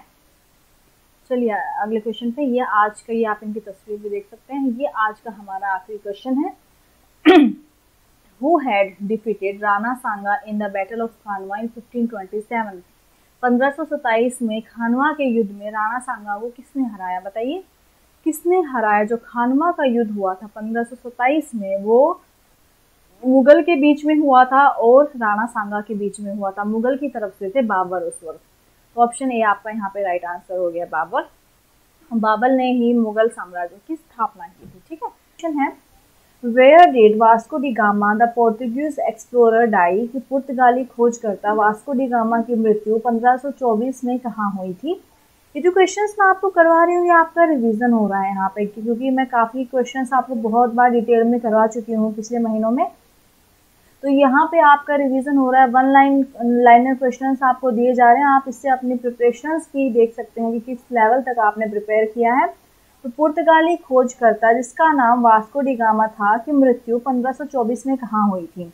दो इंपॉर्टेंट क्वेश्चन यहाँ से बनते हैं। पहला, कि वास्को डिगामा भारत में कब आया था? वास्को डिगामा ने भारत की खोज की थी। कौन से वर्ष में भारत की खोज की थी? 1498 1498 के अंदर भारत की खोज की थी वास्को डिगामा ने। पहला क्वेश्चन दूसरा क्वेश्चन ये बनता है यहाँ से दूसरा इंपॉर्टेंट क्वेश्चन क्या बनता है बताओ? सेकेंड इंपॉर्टेंट क्वेश्चन है कि भारत में आने, सबसे पहले आने वाले कौन थे? तो पुर्तगाली या पोर्तुगीज भारत में सबसे पहले आए थे, इन्होंने भारत पे शासन किया था। वास्को डी गामा जब तीसरी बार भारत आए थे, वो 1524 में आए थे। तीसरी बार जब वो भारत आए तो उनकी मृत्यु हो गई थी कोची के अंदर, ठीक है? तो ऑप्शन ए राइट आंसर होगा, Kochi is the right answer what was the name of last Hindu dynasty of Gujarat which ruled from 1244 से 1304 की? गुजरात के उस आखिरी हिंदू राजवंश का नाम क्या था जिसका शासन 1244 से 304 तक चला था? ये आपसे क्वेश्चन में पूछा है गुजरात के वह आखिरी हिंदू राजवंश का नाम आपको बताना है इस क्वेश्चन के अंदर। आंसर क्या होगा? जो हिंदू आखिरी राजवंश था गुजरात का, उसका नाम क्या था? वघेला वंश या वघेला राजवंश। इसका राइट आंसर हो जाएगा ऑप्शन सी सही जवाब है। ये आखिरी रूलर था, आखिरी हिंदू रूलर थे जिन्होंने गुजरात पे शासन किया है। तो ऑप्शन सी वाघेला। राजवंश इसके लिए सही आंसर है, ठीक है? Is known as Amba Vilas also Amba Vilas के नाम से किसे जाना जाता है? अम्बाला अम्बा विलास के नाम से जाना जाता है। मैसूर के अंदर जो मैसूर का महल है, मैसूर पैलेस उसका दूसरा नाम क्या है? अम्बा पैलेस। ये आपको याद रखना है। नाम में कंफ्यूज हो सकते हैं। ठीक है, हवा महल कहाँ पे है? हवा महल है जयपुर के अंदर। जयपुर कहाँ पे है? राजस्थान के अंदर है। हवा महल किसने बनाया था? सवाई प्रताप सिंह ने। ठीक है? किसके द्वारा बनाया गया? सवाई प्रताप सिंह के द्वारा बनाया गया। जयपुर, राजस्थान के अंदर है। सांची स्तूप कहाँ पे है? मध्य प्रदेश के अंदर है। लेह, आपको नाम से पता लग रहा है। लेह महल। ये आप इसकी तस्वीर देख सकते हैं, मैसूर पैलेस की। ये केंद्र हुआ करता था उस वक्त। English education act 1835 was based on the report of which commission की अंग्रेज़ी शिक्षा अधिनियम जो है, किस आयोग की रिपोर्ट पर आधारित था? देखो इंग्लिश एजुकेशन एक्ट क्या था कि भारत के अंदर इंग्लिश एजुकेशन इंग्लिश की जो शिक्षा थी, उसका शुरुआत हो रही थी भारत के अंदर 1835 में। तो कौन सी यहाँ पे रिपोर्ट पूछी है कि कौन सी रिपोर्ट के अनुसार इस एक्ट को पारित किया जा रहा था? ये रिपोर्ट किसने बनाई थी? ये रिपोर्ट बनाई थी लॉर्ड मैकुलेज मिनट इसे नाम दिया जाता है मैकुले का मिनट ठीक है? इस नाम की रिपोर्ट बनाई गई थी। तो इसका मेन मोटिव क्या था? भारत के अंदर इंग्लिश एजुकेशन को लाना इस कमेटी का मेन ये जो मोटिव था, ठीक है? और कौन लेके आने वाला था इसे? Lord William Bentinck lord William Bentinck जिन्होंने हाँ सती का भी बिल्कुल सही जवाब दे रहे हैं। सती को भी खत्म किया था इन्होंने भारत के अंदर। सती का एबोलिशन किया था। उन्होंने इंग्लिश एजुकेशन को भी भारत में लाने की कोशिश की थी, ठीक है? दोनों इंपॉर्टेंट फैक्ट इनके बारे में बनते हैं जो आपको याद रखने हैं। एक इंपॉर्टेंट चीज़ यहाँ से बनती है वुड्स डिस्पैच ऑप्शन सी पे आ जाओ। इसका मेन उद्देश्य क्या था? भारत के अंदर पश्चिमी एजुकेशन को लेके आना, वेस्टर्न एजुकेशन की शुरुआत भारत में किसके द्वारा हुई थी? वुड्स डिस्पैच के द्वारा, ठीक है? दोनों आपको याद रखना है। Mauryan capital found in Sarnath is known as. Sarnath में पाए जाने वाले मौर्य स्तंभ शीर्ष को किस नाम से जाना जाता है? क्वेश्चन में आपसे पूछा बताइए। The Mauryan capital found in Sarnath is known as किस नाम से जाना जाता है? आंसर होगा लायन फोर हेडेड कैपिटल देखिए, इस प्रकार की कैपिटल का मतलब यहाँ पे राजधानी नहीं है। ये जो एम्बलम आप देख रहे हैं, यहाँ पे चार लॉइन एक पीछे की साइड भी एक लॉइन है। चारों लॉइन इस प्रकार से अरेंज है। ये पाया गया है सारनाथ में और 1950 के अंदर जो आपने हमारा एम्बलम भी देखा होगा, इंडिया का एम्बलम उसके अंदर भी सेम ऐसा ही है। कहाँ से लिया है हमने? ये अशोक का जो इंस्क्रिप्शन थे, वहाँ से हमने लिया है। सारनाथ से लिया है। तो दोनों इंपॉर्टेंट क्वेश्चन यहाँ से बनते हैं, अशोका अशोका और सारनाथ, ठीक है? अब देखो जो नेक्स्ट इंपॉर्टेंट क्वेश्चन बनता है, यहाँ से हमने ये चक्र आप देख रहे हैं, चक्र। इसको कहा जाता है अबैकस जिसपे ये लॉइन आपको खड़े दिखाई दे रहे हैं, वो अबैकस कहलाता है। और यहाँ पे छोटे छोटे चार एनिमल्स आपको नज़र आएँगे। अगर आप गौर से देखेंगे, ये चार एनिमल्स पूछे जाते हैं कौन कौन से होते हैं? एक होता है हॉर्स यहाँ पे होता है दूसरा क्या होता है? यहाँ पे हॉर्स के साथ बुल होता है। बुल एक होता है एलिफेंट और फोर्थ वन आप देख रहे हैं लायन यहाँ पे होता है। ठीक है, ये चार होते हैं। तो ये भी आपको याद रखने हैं, काफ़ी इंपॉर्टेंट है। आंसर यहाँ पे क्या हो जाएगा क्वेश्चन का? देख चुके हैं आंसर हम, मैं बता चुकी हूँ। और मौर्यन कौन से मौर्य के काल में? अशोका। अशोक। नेक्स्ट देखिए after which battle did East India Company start appointing the resident of Indian state किस लड़ाई के बाद ईस्ट इंडिया कंपनी ने भारतीय राज्यों में निवासी नियुक्त करना शुरू कर दिया गया था?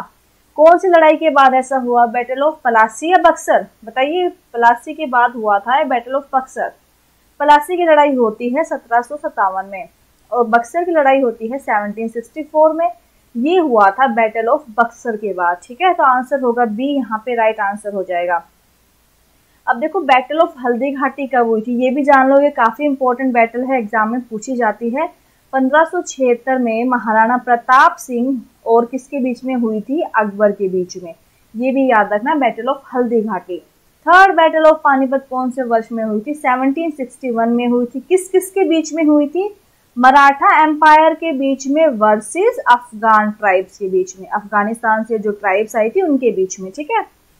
बैटल ऑफ़ पलासी किस किस के बीच में हुई थी, ये मैंने आपको नहीं बताया है। बैटल ऑफ़ पलासी हुई थी ब्रिटिश ईस्ट इंडिया मतलब अंग्रेज़ों के बीच में वर्सेस जो बंगाल के नवाब थे उस वक्त उनके बीच में हुई थी। एग्ज़ाम में क्वेश्चन इस प्रकार से आता है कि जब पलासी की लड़ाई हो रही थी, उस वक्त नवाब कौन थे बंगाल के तो याद क्या रखोगे? सिराजुद्दौला उनका नाम क्या था? सिराज उद्दौला ठीक है?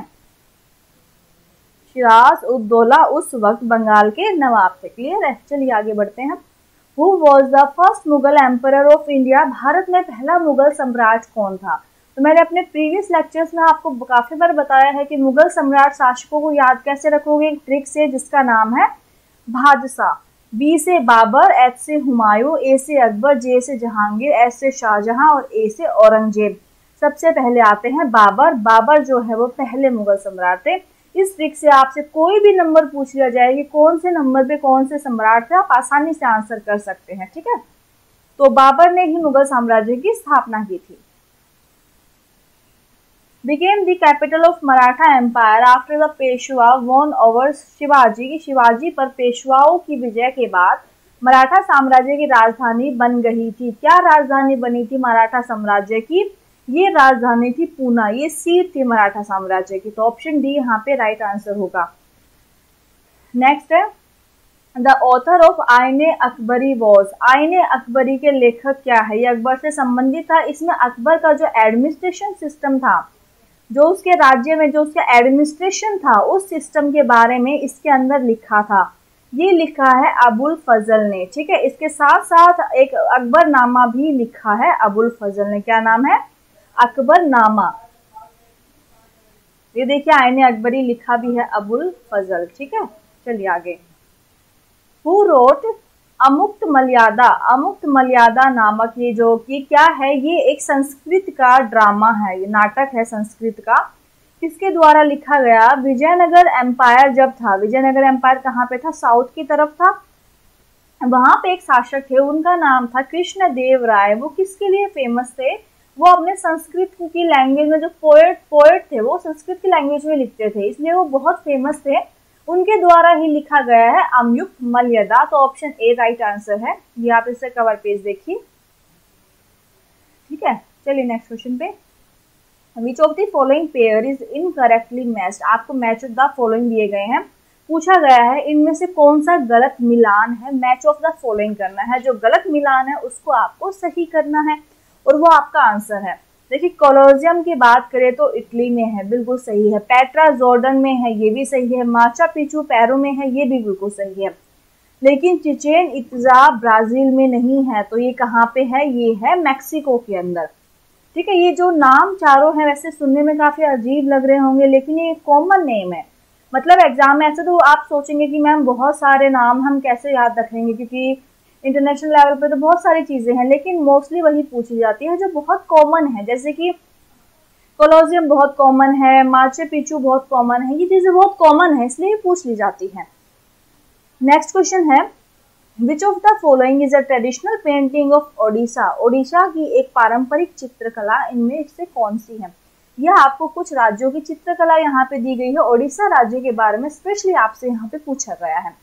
ओडिशा की जो चित्रकला है, उसका नाम है पट्टचित्र। ऑप्शन बी यहाँ पे राइट आंसर होगा, पट्टचित्र। ये जो बनाई जाती है पेंटिंग इसमें नेचुरल कलर से बिल्कुल नेचुरल कलर्स वहाँ पे यूज़ किए जाते हैं, ठीक है? अब ऑप्शंस पे आ जाओ वर्ली पेंटिंग कहाँ की फ़ेमस है? वर्ली है महाराष्ट्र की। सांची पेंटिंग कहाँ की फ़ेमस है? उत्तर प्रदेश की। और मधुबनी एज यू नो की बिहार की एक फ़ेमस पेंटिंग है, ठीक है? तो सारे ऑप्शंस क्लियर है। चलिए आगे बढ़ते हैं। नेक्स्ट क्वेश्चन है।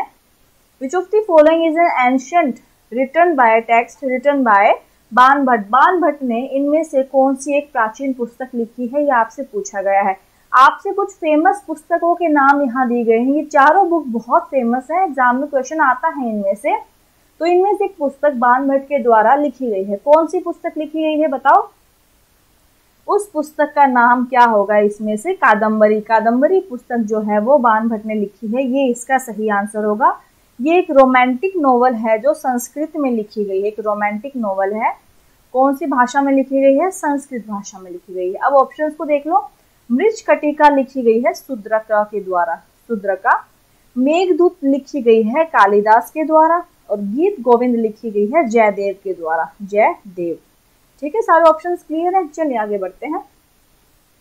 Which British official was responsible for Jallianwala Bagh massacre Jallianwala Bagh नरसंहार के लिए इनमें से कौन सा ब्रिटिश अधिकारी जिम्मेदार है? क्वेश्चन आपसे पूछा गया है। जलियावाला बाग हत्याकांड कब हुआ था? तेरह अप्रैल 1919 को हुआ था। अब इससे थोड़ा सा पीछे जाओ। ऐसा क्या हुआ था जिस वजह से हत्याकांड हुआ था?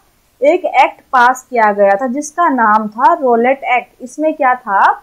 किसी को भी पकड़ के हम जेल में डाल देंगे, कोई भी भारतीय हो, उसको पकड़ के हम जेल में डाल सकते हैं दो साल के लिए। ना तो उस पर कोई सुनवाई होगी, ना उस पर कोई केस चलेगा। मात्र संदेह के आधार पर उसको जेल में डाल सकते हैं। इस प्रकार का एक काला कानून उन्होंने पास किया था ताकि क्रांतिकारियों पे लगाम लगाई जा सके। इस वजह से लोग जो है जलियावाला बाग है, अमृतसर में, वहाँ पे लोग इकट्ठा होकर बैसाखी के दिन विरोध कर रहे थे इस चीज़ का।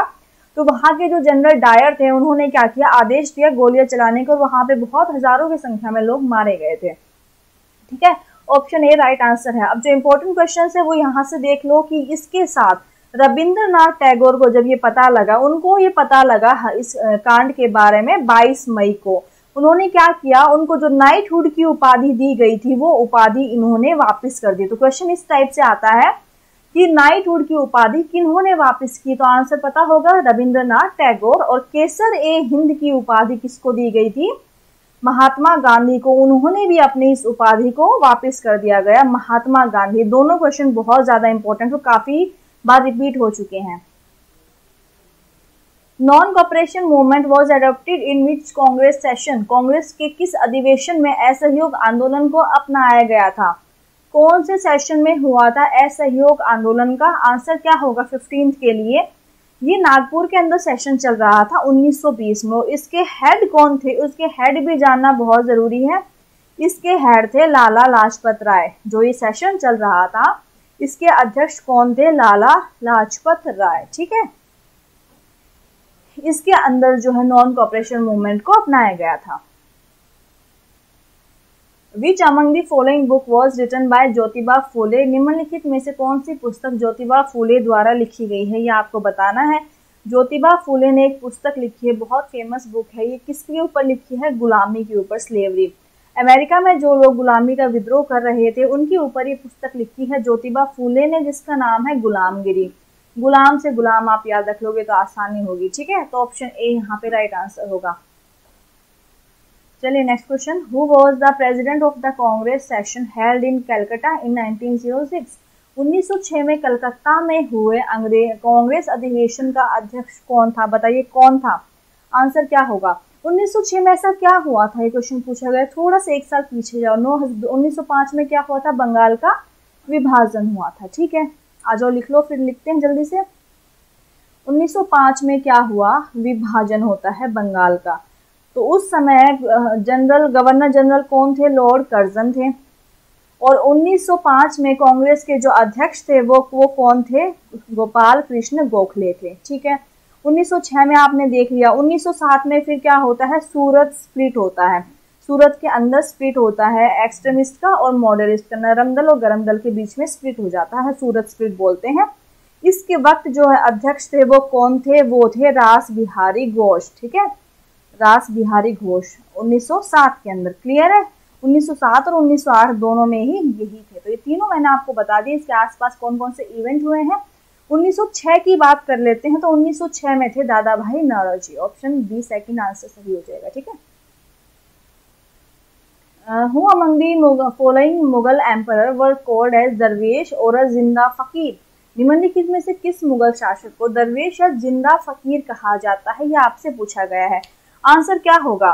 सोलह में मुगल गद्दी पे जो सिंहासन पे बैठते थे, उनका नाम था औरंगज़ेब। औरंगज़ेब को सोलह में सिंहासन पे बैठाया गया। इन्हें आलमगीर के नाम से भी जाना जाता है। तो क्वेश्चन में ज़िंदा फकीर हो या आलमगीर हो, उसका आंसर क्या होगा? औरंगज़ेब ही होगा। ये फकीरों की तरह ज़िंदगी जीते थे, ना ये शराब पीते थे, ज़मीन पे सोते थे। इस वजह से लोग इन्हें ज़िंदा फकीर कहते थे। इन्होंने जो हिंदू के टेम्पल्स है जितने भी हिंदू के मंदिर थे उन सबको तुड़वा दिया था। ये मुस्लिम धर्म को मानने वाले मुस्लिम धर्म के कर, हिंदू धर्म के खिलाफ थे ठीक है? नेक्स्ट इंपॉर्टेंट थिंग कि जजिया जो कर लगाया जाता था जजिया कर को दोबारा से इन्होंने लगा दिया था ठीक है? ये कुछ बातें हैं। Rajghat is a memorial of Rajghat किसकी समाधि है? राजघाट कहाँ पे है? दिल्ली के अंदर है। ये समाधि है महात्मा गांधी की तो ऑप्शन सी यहाँ पे सही आंसर हो जाएगा। Rajghat is a memorial of Mahatma Gandhi. Which among the following is the largest among the four ancient civilization चार प्राचीन सभ्यता आपको दी गई है। क्वेश्चन में पूछा गया है कि इन चारों में से सबसे पुरानी सभ्यता कौन सी है, ये आपको बताना है। तो हाँ जी, बताइए, सबसे पुरानी कौन सी है? मैसोपोटामिया है। देखो, चाइना का आप समझ सकते हैं, चाइना में जो सभ्यता थी इजिप्ट का आप समझ सकते हैं, इंडस वैली सिविलाइजेशन, सिंधु घाटी सभ्यता भी आप समझ सकते हैं। कहाँ कहाँ पे थी? ये थी अफ़गानिस्तान में फैली हुई थी, पाकिस्तान में फैली हुई थी और भारत के अंदर। तो सबसे बड़ी थी सिंधु घाटी सभ्यता, जिसे हड़प्पन सिविलाइजेशन या हड़प्पा संस्कृति भी कहते हैं। मेसोपोटामिया वाली में कौन कौन से देश आते थे? जैसे ईरान हुआ, इराक हुआ, कुवैत हुआ। तो जो वेस्टर्न एशिया है वेस्टर्न एशिया है, वो वाले देश आते हैं मेसोपोटामिया में, ठीक है? Which among the following famous memorials is known as palace of winds निम्न में से किस प्रसिद्ध स्मारक को पैलेस ऑफ़ विंग्स के नाम से जाना जाता है? विंग्स के से आप आइडिया लगा लो। विंग्स जैसे पक्षी उड़ते हैं, कहाँ उड़ते हैं? हवा में उड़ते हैं। हवा से यहाँ पे एक छोटी सी ट्रिक बना लो। हवा महल, इसका सही आंसर होगा पैलेस ऑफ़ विंग्स ठीक है? हवा महल कहाँ पे है? पिछले क्वेश्चन में भी कर चुके हैं। ये है जयपुर के अंदर। जयपुर कहाँ है? राजस्थान के अंदर है। विक्टोरिया मेमोरियल कहाँ पे है? ये है पश्चिम बंगाल में। तो क्वीन विक्टोरिया थी उनके सम्मान में इसको बनवाया गया। ताजमहल आप सभी को पता होगा, आगरा के अंदर है। नेक्स्ट क्वेश्चन है। Lala Lajpat Rai was the founder of which of the following bank Lala Lajpat Rai निम्नलिखित में से किस बैंक के संस्थापक थे? इसके लिए आंसर होगा, पंजाब नेशनल बैंक की स्थापना की थी, लाला लाजपत राय, उसके संस्थापक थे, ठीक है? नेक्स्ट क्वेश्चन है, Mohenjo Daro is situated on the bank of which river Mohenjo Daro किस नदी के तट पर स्थित है? ये कौन सा एक इम्पोर्टेंट साइट है? Harappan Indus valley civilization Sindhu घाटी सभ्यता या हड़प्पा संस्कृति का एक केंद्र था? कौन सी नदी के ऊपर स्थित है? सिंधु घाटी सभ्यता से ही आंसर लगा लो, सिंधु आंसर सही होगा। हो गया आंसर सही? डी आंसर सही आ गया यहाँ से। सिंधु। नेक्स्ट क्वेश्चन है। Who among the following is known as Lok Nayak निम्नलिखित में से किसे लोक नायक के नाम से जाना जाता है? लोक नायक मतलब दुनिया का भला करने वाला। किस, किन्हें जाना जाता है? इन्हें भारत रत्न से भी सम्मानित किया गया है। इनके मरणोपरांत और इनका नाम है जेपी नारायण या जयप्रकाश नारायण इनका नाम है, ठीक है? तो ऑप्शन बी यहाँ पे सही आंसर हो जाएगा। 1999 के अंदर इन्होंने जो सामाजिक कार्य किए थे सोशल वर्क उन्नीस में सामाजिक कार्य किए थे सोशल वर्क किए थे, उस वजह से इन्हें भारत रत्न से सम्मानित किया गया, इनके मरणोपरांत। चलिए नेक्स्ट क्वेश्चन है। Who is the writer of the book thoughts on Pakistan पुस्तक का नाम है थॉट्स ऑन पाकिस्तान के लेखक कौन है? उनका नाम आपसे यहाँ पे पूछा गया है। किसने लिखी थी कि थॉट्स ऑन पाकिस्तान आंसर क्या होगा इसके लिए? ये पुस्तक लिखी है हमारे संविधान के जो निर्माण करता है, उनका नाम है डॉक्टर बी आर अंबेडकर इन्हें कहा जाता है फादर ऑफ़ कॉन्स्टिट्यूशन मतलब हमारे संविधान के जनक कौन है? बी आर अंबेडकर है। बी आर अंबेडकर ने आर्टिकल 32 आर्टिकल 32 कौन से हैं? हमारे फंडामेंटल राइट्स, मौलिक कर्तव्य हैं हमारे। उसको कहा है heart and soul of constitution मतलब हृदय और दिल कहा है संविधान का। देखो, क्वेश्चन अगर ऐसे लिंक करके याद रखोगे ना तो कभी भूल नहीं सकते। हिस्ट्री की क्लास चल रही है और हमने पॉलिटी का क्वेश्चन भी इससे लिंक कर लिया है। ऐसे याद रखोगे तो कोई क्वेश्चन गलत हो ही नहीं सकता। जैसे बी आर अंबेडकर का नाम आते ही याद होना चाहिए कि इन्होंने आर्टिकल बत्तीस को क्या कहा है? Heart and soul of constitution ऐसे रिलेट करके आप याद रखना। Hanging garden of Babylon is associated with which of the following ancient cultures कि बेबीलोन के झूलते उपवन का संबंध निम्न में से किस प्राचीन संस्कृति से है? इसके लिए आंसर होगा मैसोपोटामिया संस्कृति से। मैसोपोटामिया मैंने बताया ना, जो वेस्टर्न एशिया में फैली हुई है, जैसे कि ईरान, इराक, कुवैत वगैरह के जो रीजन है, वहाँ पे फैली हुई है। ठीक है क्लियर है? चलिए नेक्स्ट क्वेश्चन सीरिया, जैसे सीरिया है, मैं आपको लिख देती सीरिया, ईरान, इराक, कुवैत, ये सब यहाँ पे कौन सी सभ्यता पाई जाती है? पाई जाती थी मेसोपोटामिया सभ्यता। ठीक है, चलिए नेक्स्ट क्वेश्चन पे। Who is the author of the book Nil Darpan Nil Darpan नामक बुक किसने लिखी है? आंसर क्या होगा इसके लिए? नील दर्पण जो बुक है, वो एक प्रकार का नाटक था जो बंगाली के अंदर लिखा गया था। और बंगाली भाषा के अंदर 1860 में इसको पब्लिश किया गया। किसके द्वारा लिखा गया? दीन बंधु मित्र के द्वारा। तो ऑप्शन सी यहाँ पे राइट आंसर हो गया है। चलिए नेक्स्ट क्वेश्चन पे। Which of the following book is written by Varaha Mihira निम्नलिखित में से किस पुस्तक के लेखे, लेखक वाहरा मिहिर हैं? ये क्वेश्चन आपसे पूछा गया है। ये कुछ पुस्तकों के नाम आप, आपको दिए गए हैं। आपसे लेखक पूछा गया है वाहरा मिहिर का। इन्होंने जो पुस्तक लिखी है, उसका नाम है Brihat Samhita. Brihat Samhita option C right answer होगा। कुमार संभव, शकुंतलम और ऋतु संभ ये तीनों में किसने लिखी है? कालिदास ने, ठीक है? कालिदास ने ये लिखा है। चलिए नेक्स्ट क्वेश्चन पे। In which of the following order were the satyagraha movement organised by Mahatma Gandhi Mahatma Gandhi के द्वारा सत्याग्रह आंदोलन का आयोजन निम्न में से किस क्रम में किया गया था? ये आपको ऑप्शंस दिए गए हैं। ऑप्शंस को पढ़ो। इनका ईयर याद करो, कौन से वर्ष में हुआ था और फिर आंसर करो, ठीक है? आंसर मैं बता देती हूँ क्योंकि मैं पढ़ चुकी हूँ ऑप्शंस को। आंसर इसका होगा, चंपारण, फिर खेड़ा, फिर रोलेट फिर डांडी मार्च। देखो, चंपारण सत्याग्रह गांधी जी भारत में कब आए थे? 1915 में आए थे साउथ अफ्रीका से।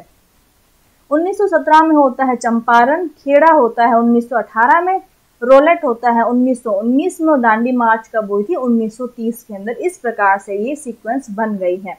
तो ऑप्शन सी यहाँ पे राइट आंसर हो जाएगा, ठीक है? चलिए नेक्स्ट क्वेश्चन पे। Who was the founder of Hyderabad state Hyderabad राज्य के संस्थापक कौन है? इसके लिए सही आंसर क्या होगा? देखो, ये क्वेश्चन थोड़ा सा डिस्प्यूटेड है।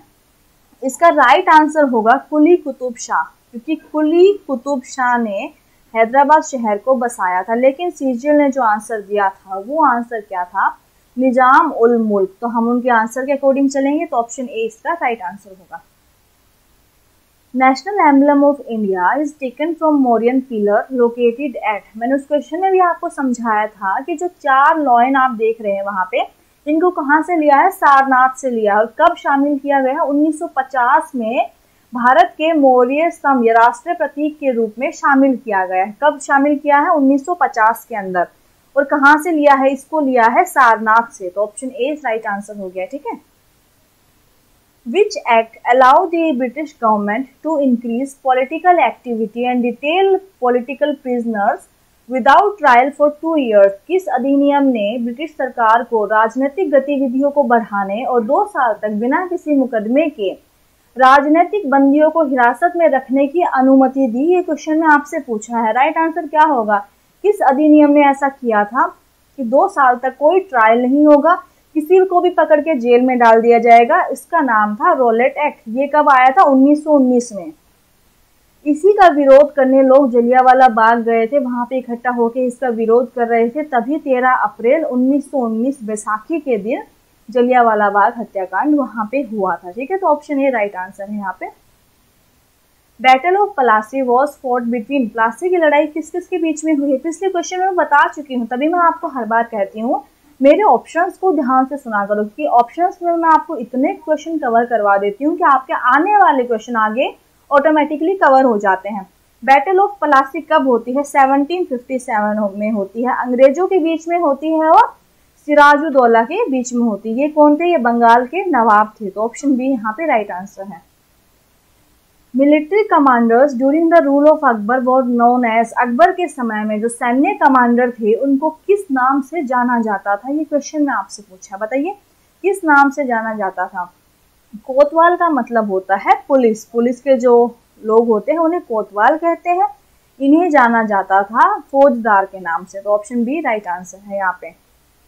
Which of the following newspaper was not launch by Lala Lajpat Rai निम्नलिखित में से किस समाचार पत्र की शुरुआत लाला लाजपत राय के द्वारा नहीं की गई है?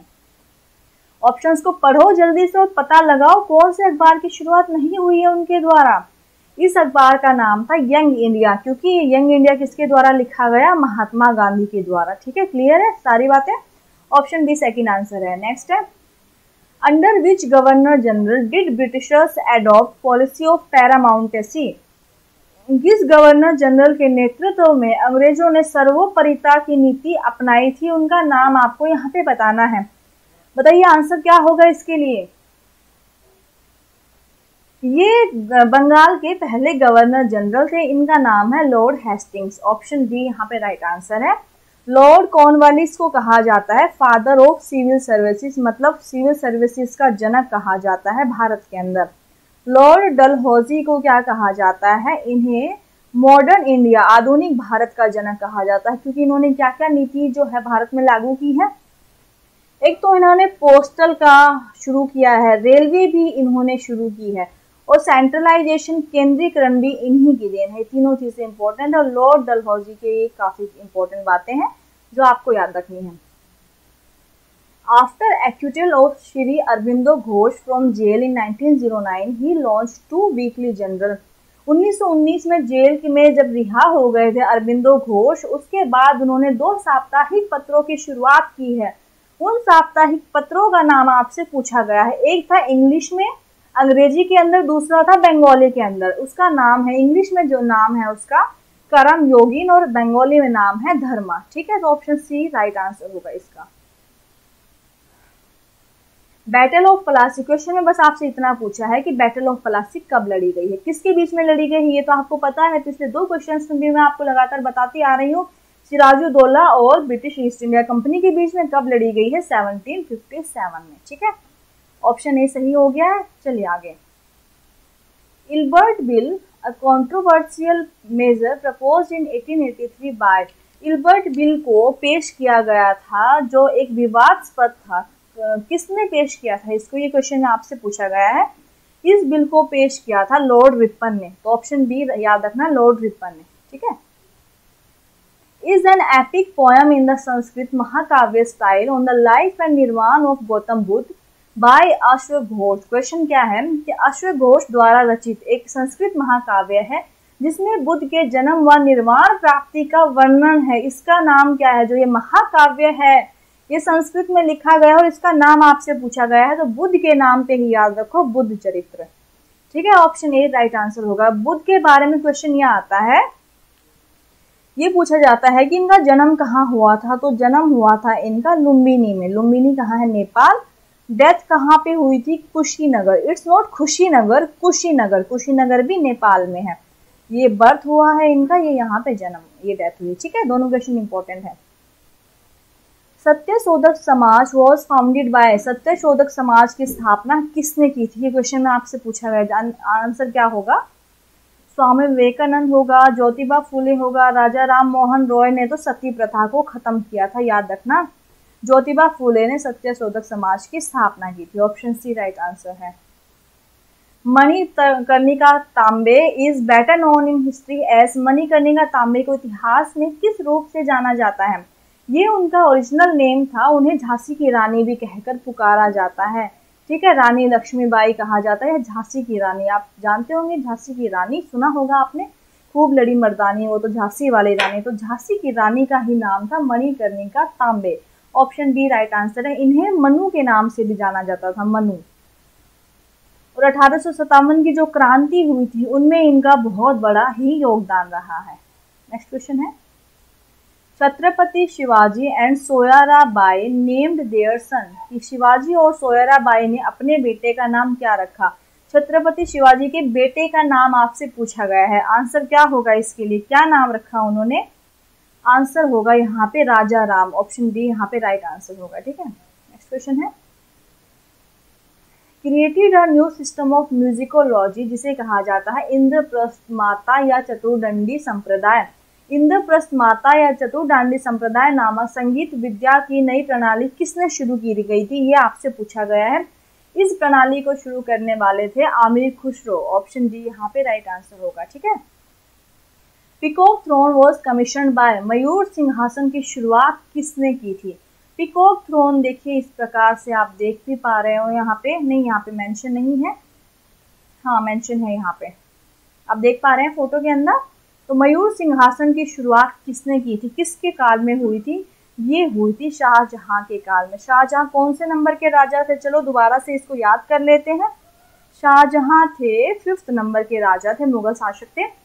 इन्होंने जो दिल्ली में जामा मस्जिद है, उसका भी निर्माण करवाया, जामा मस्जिद, ठीक है?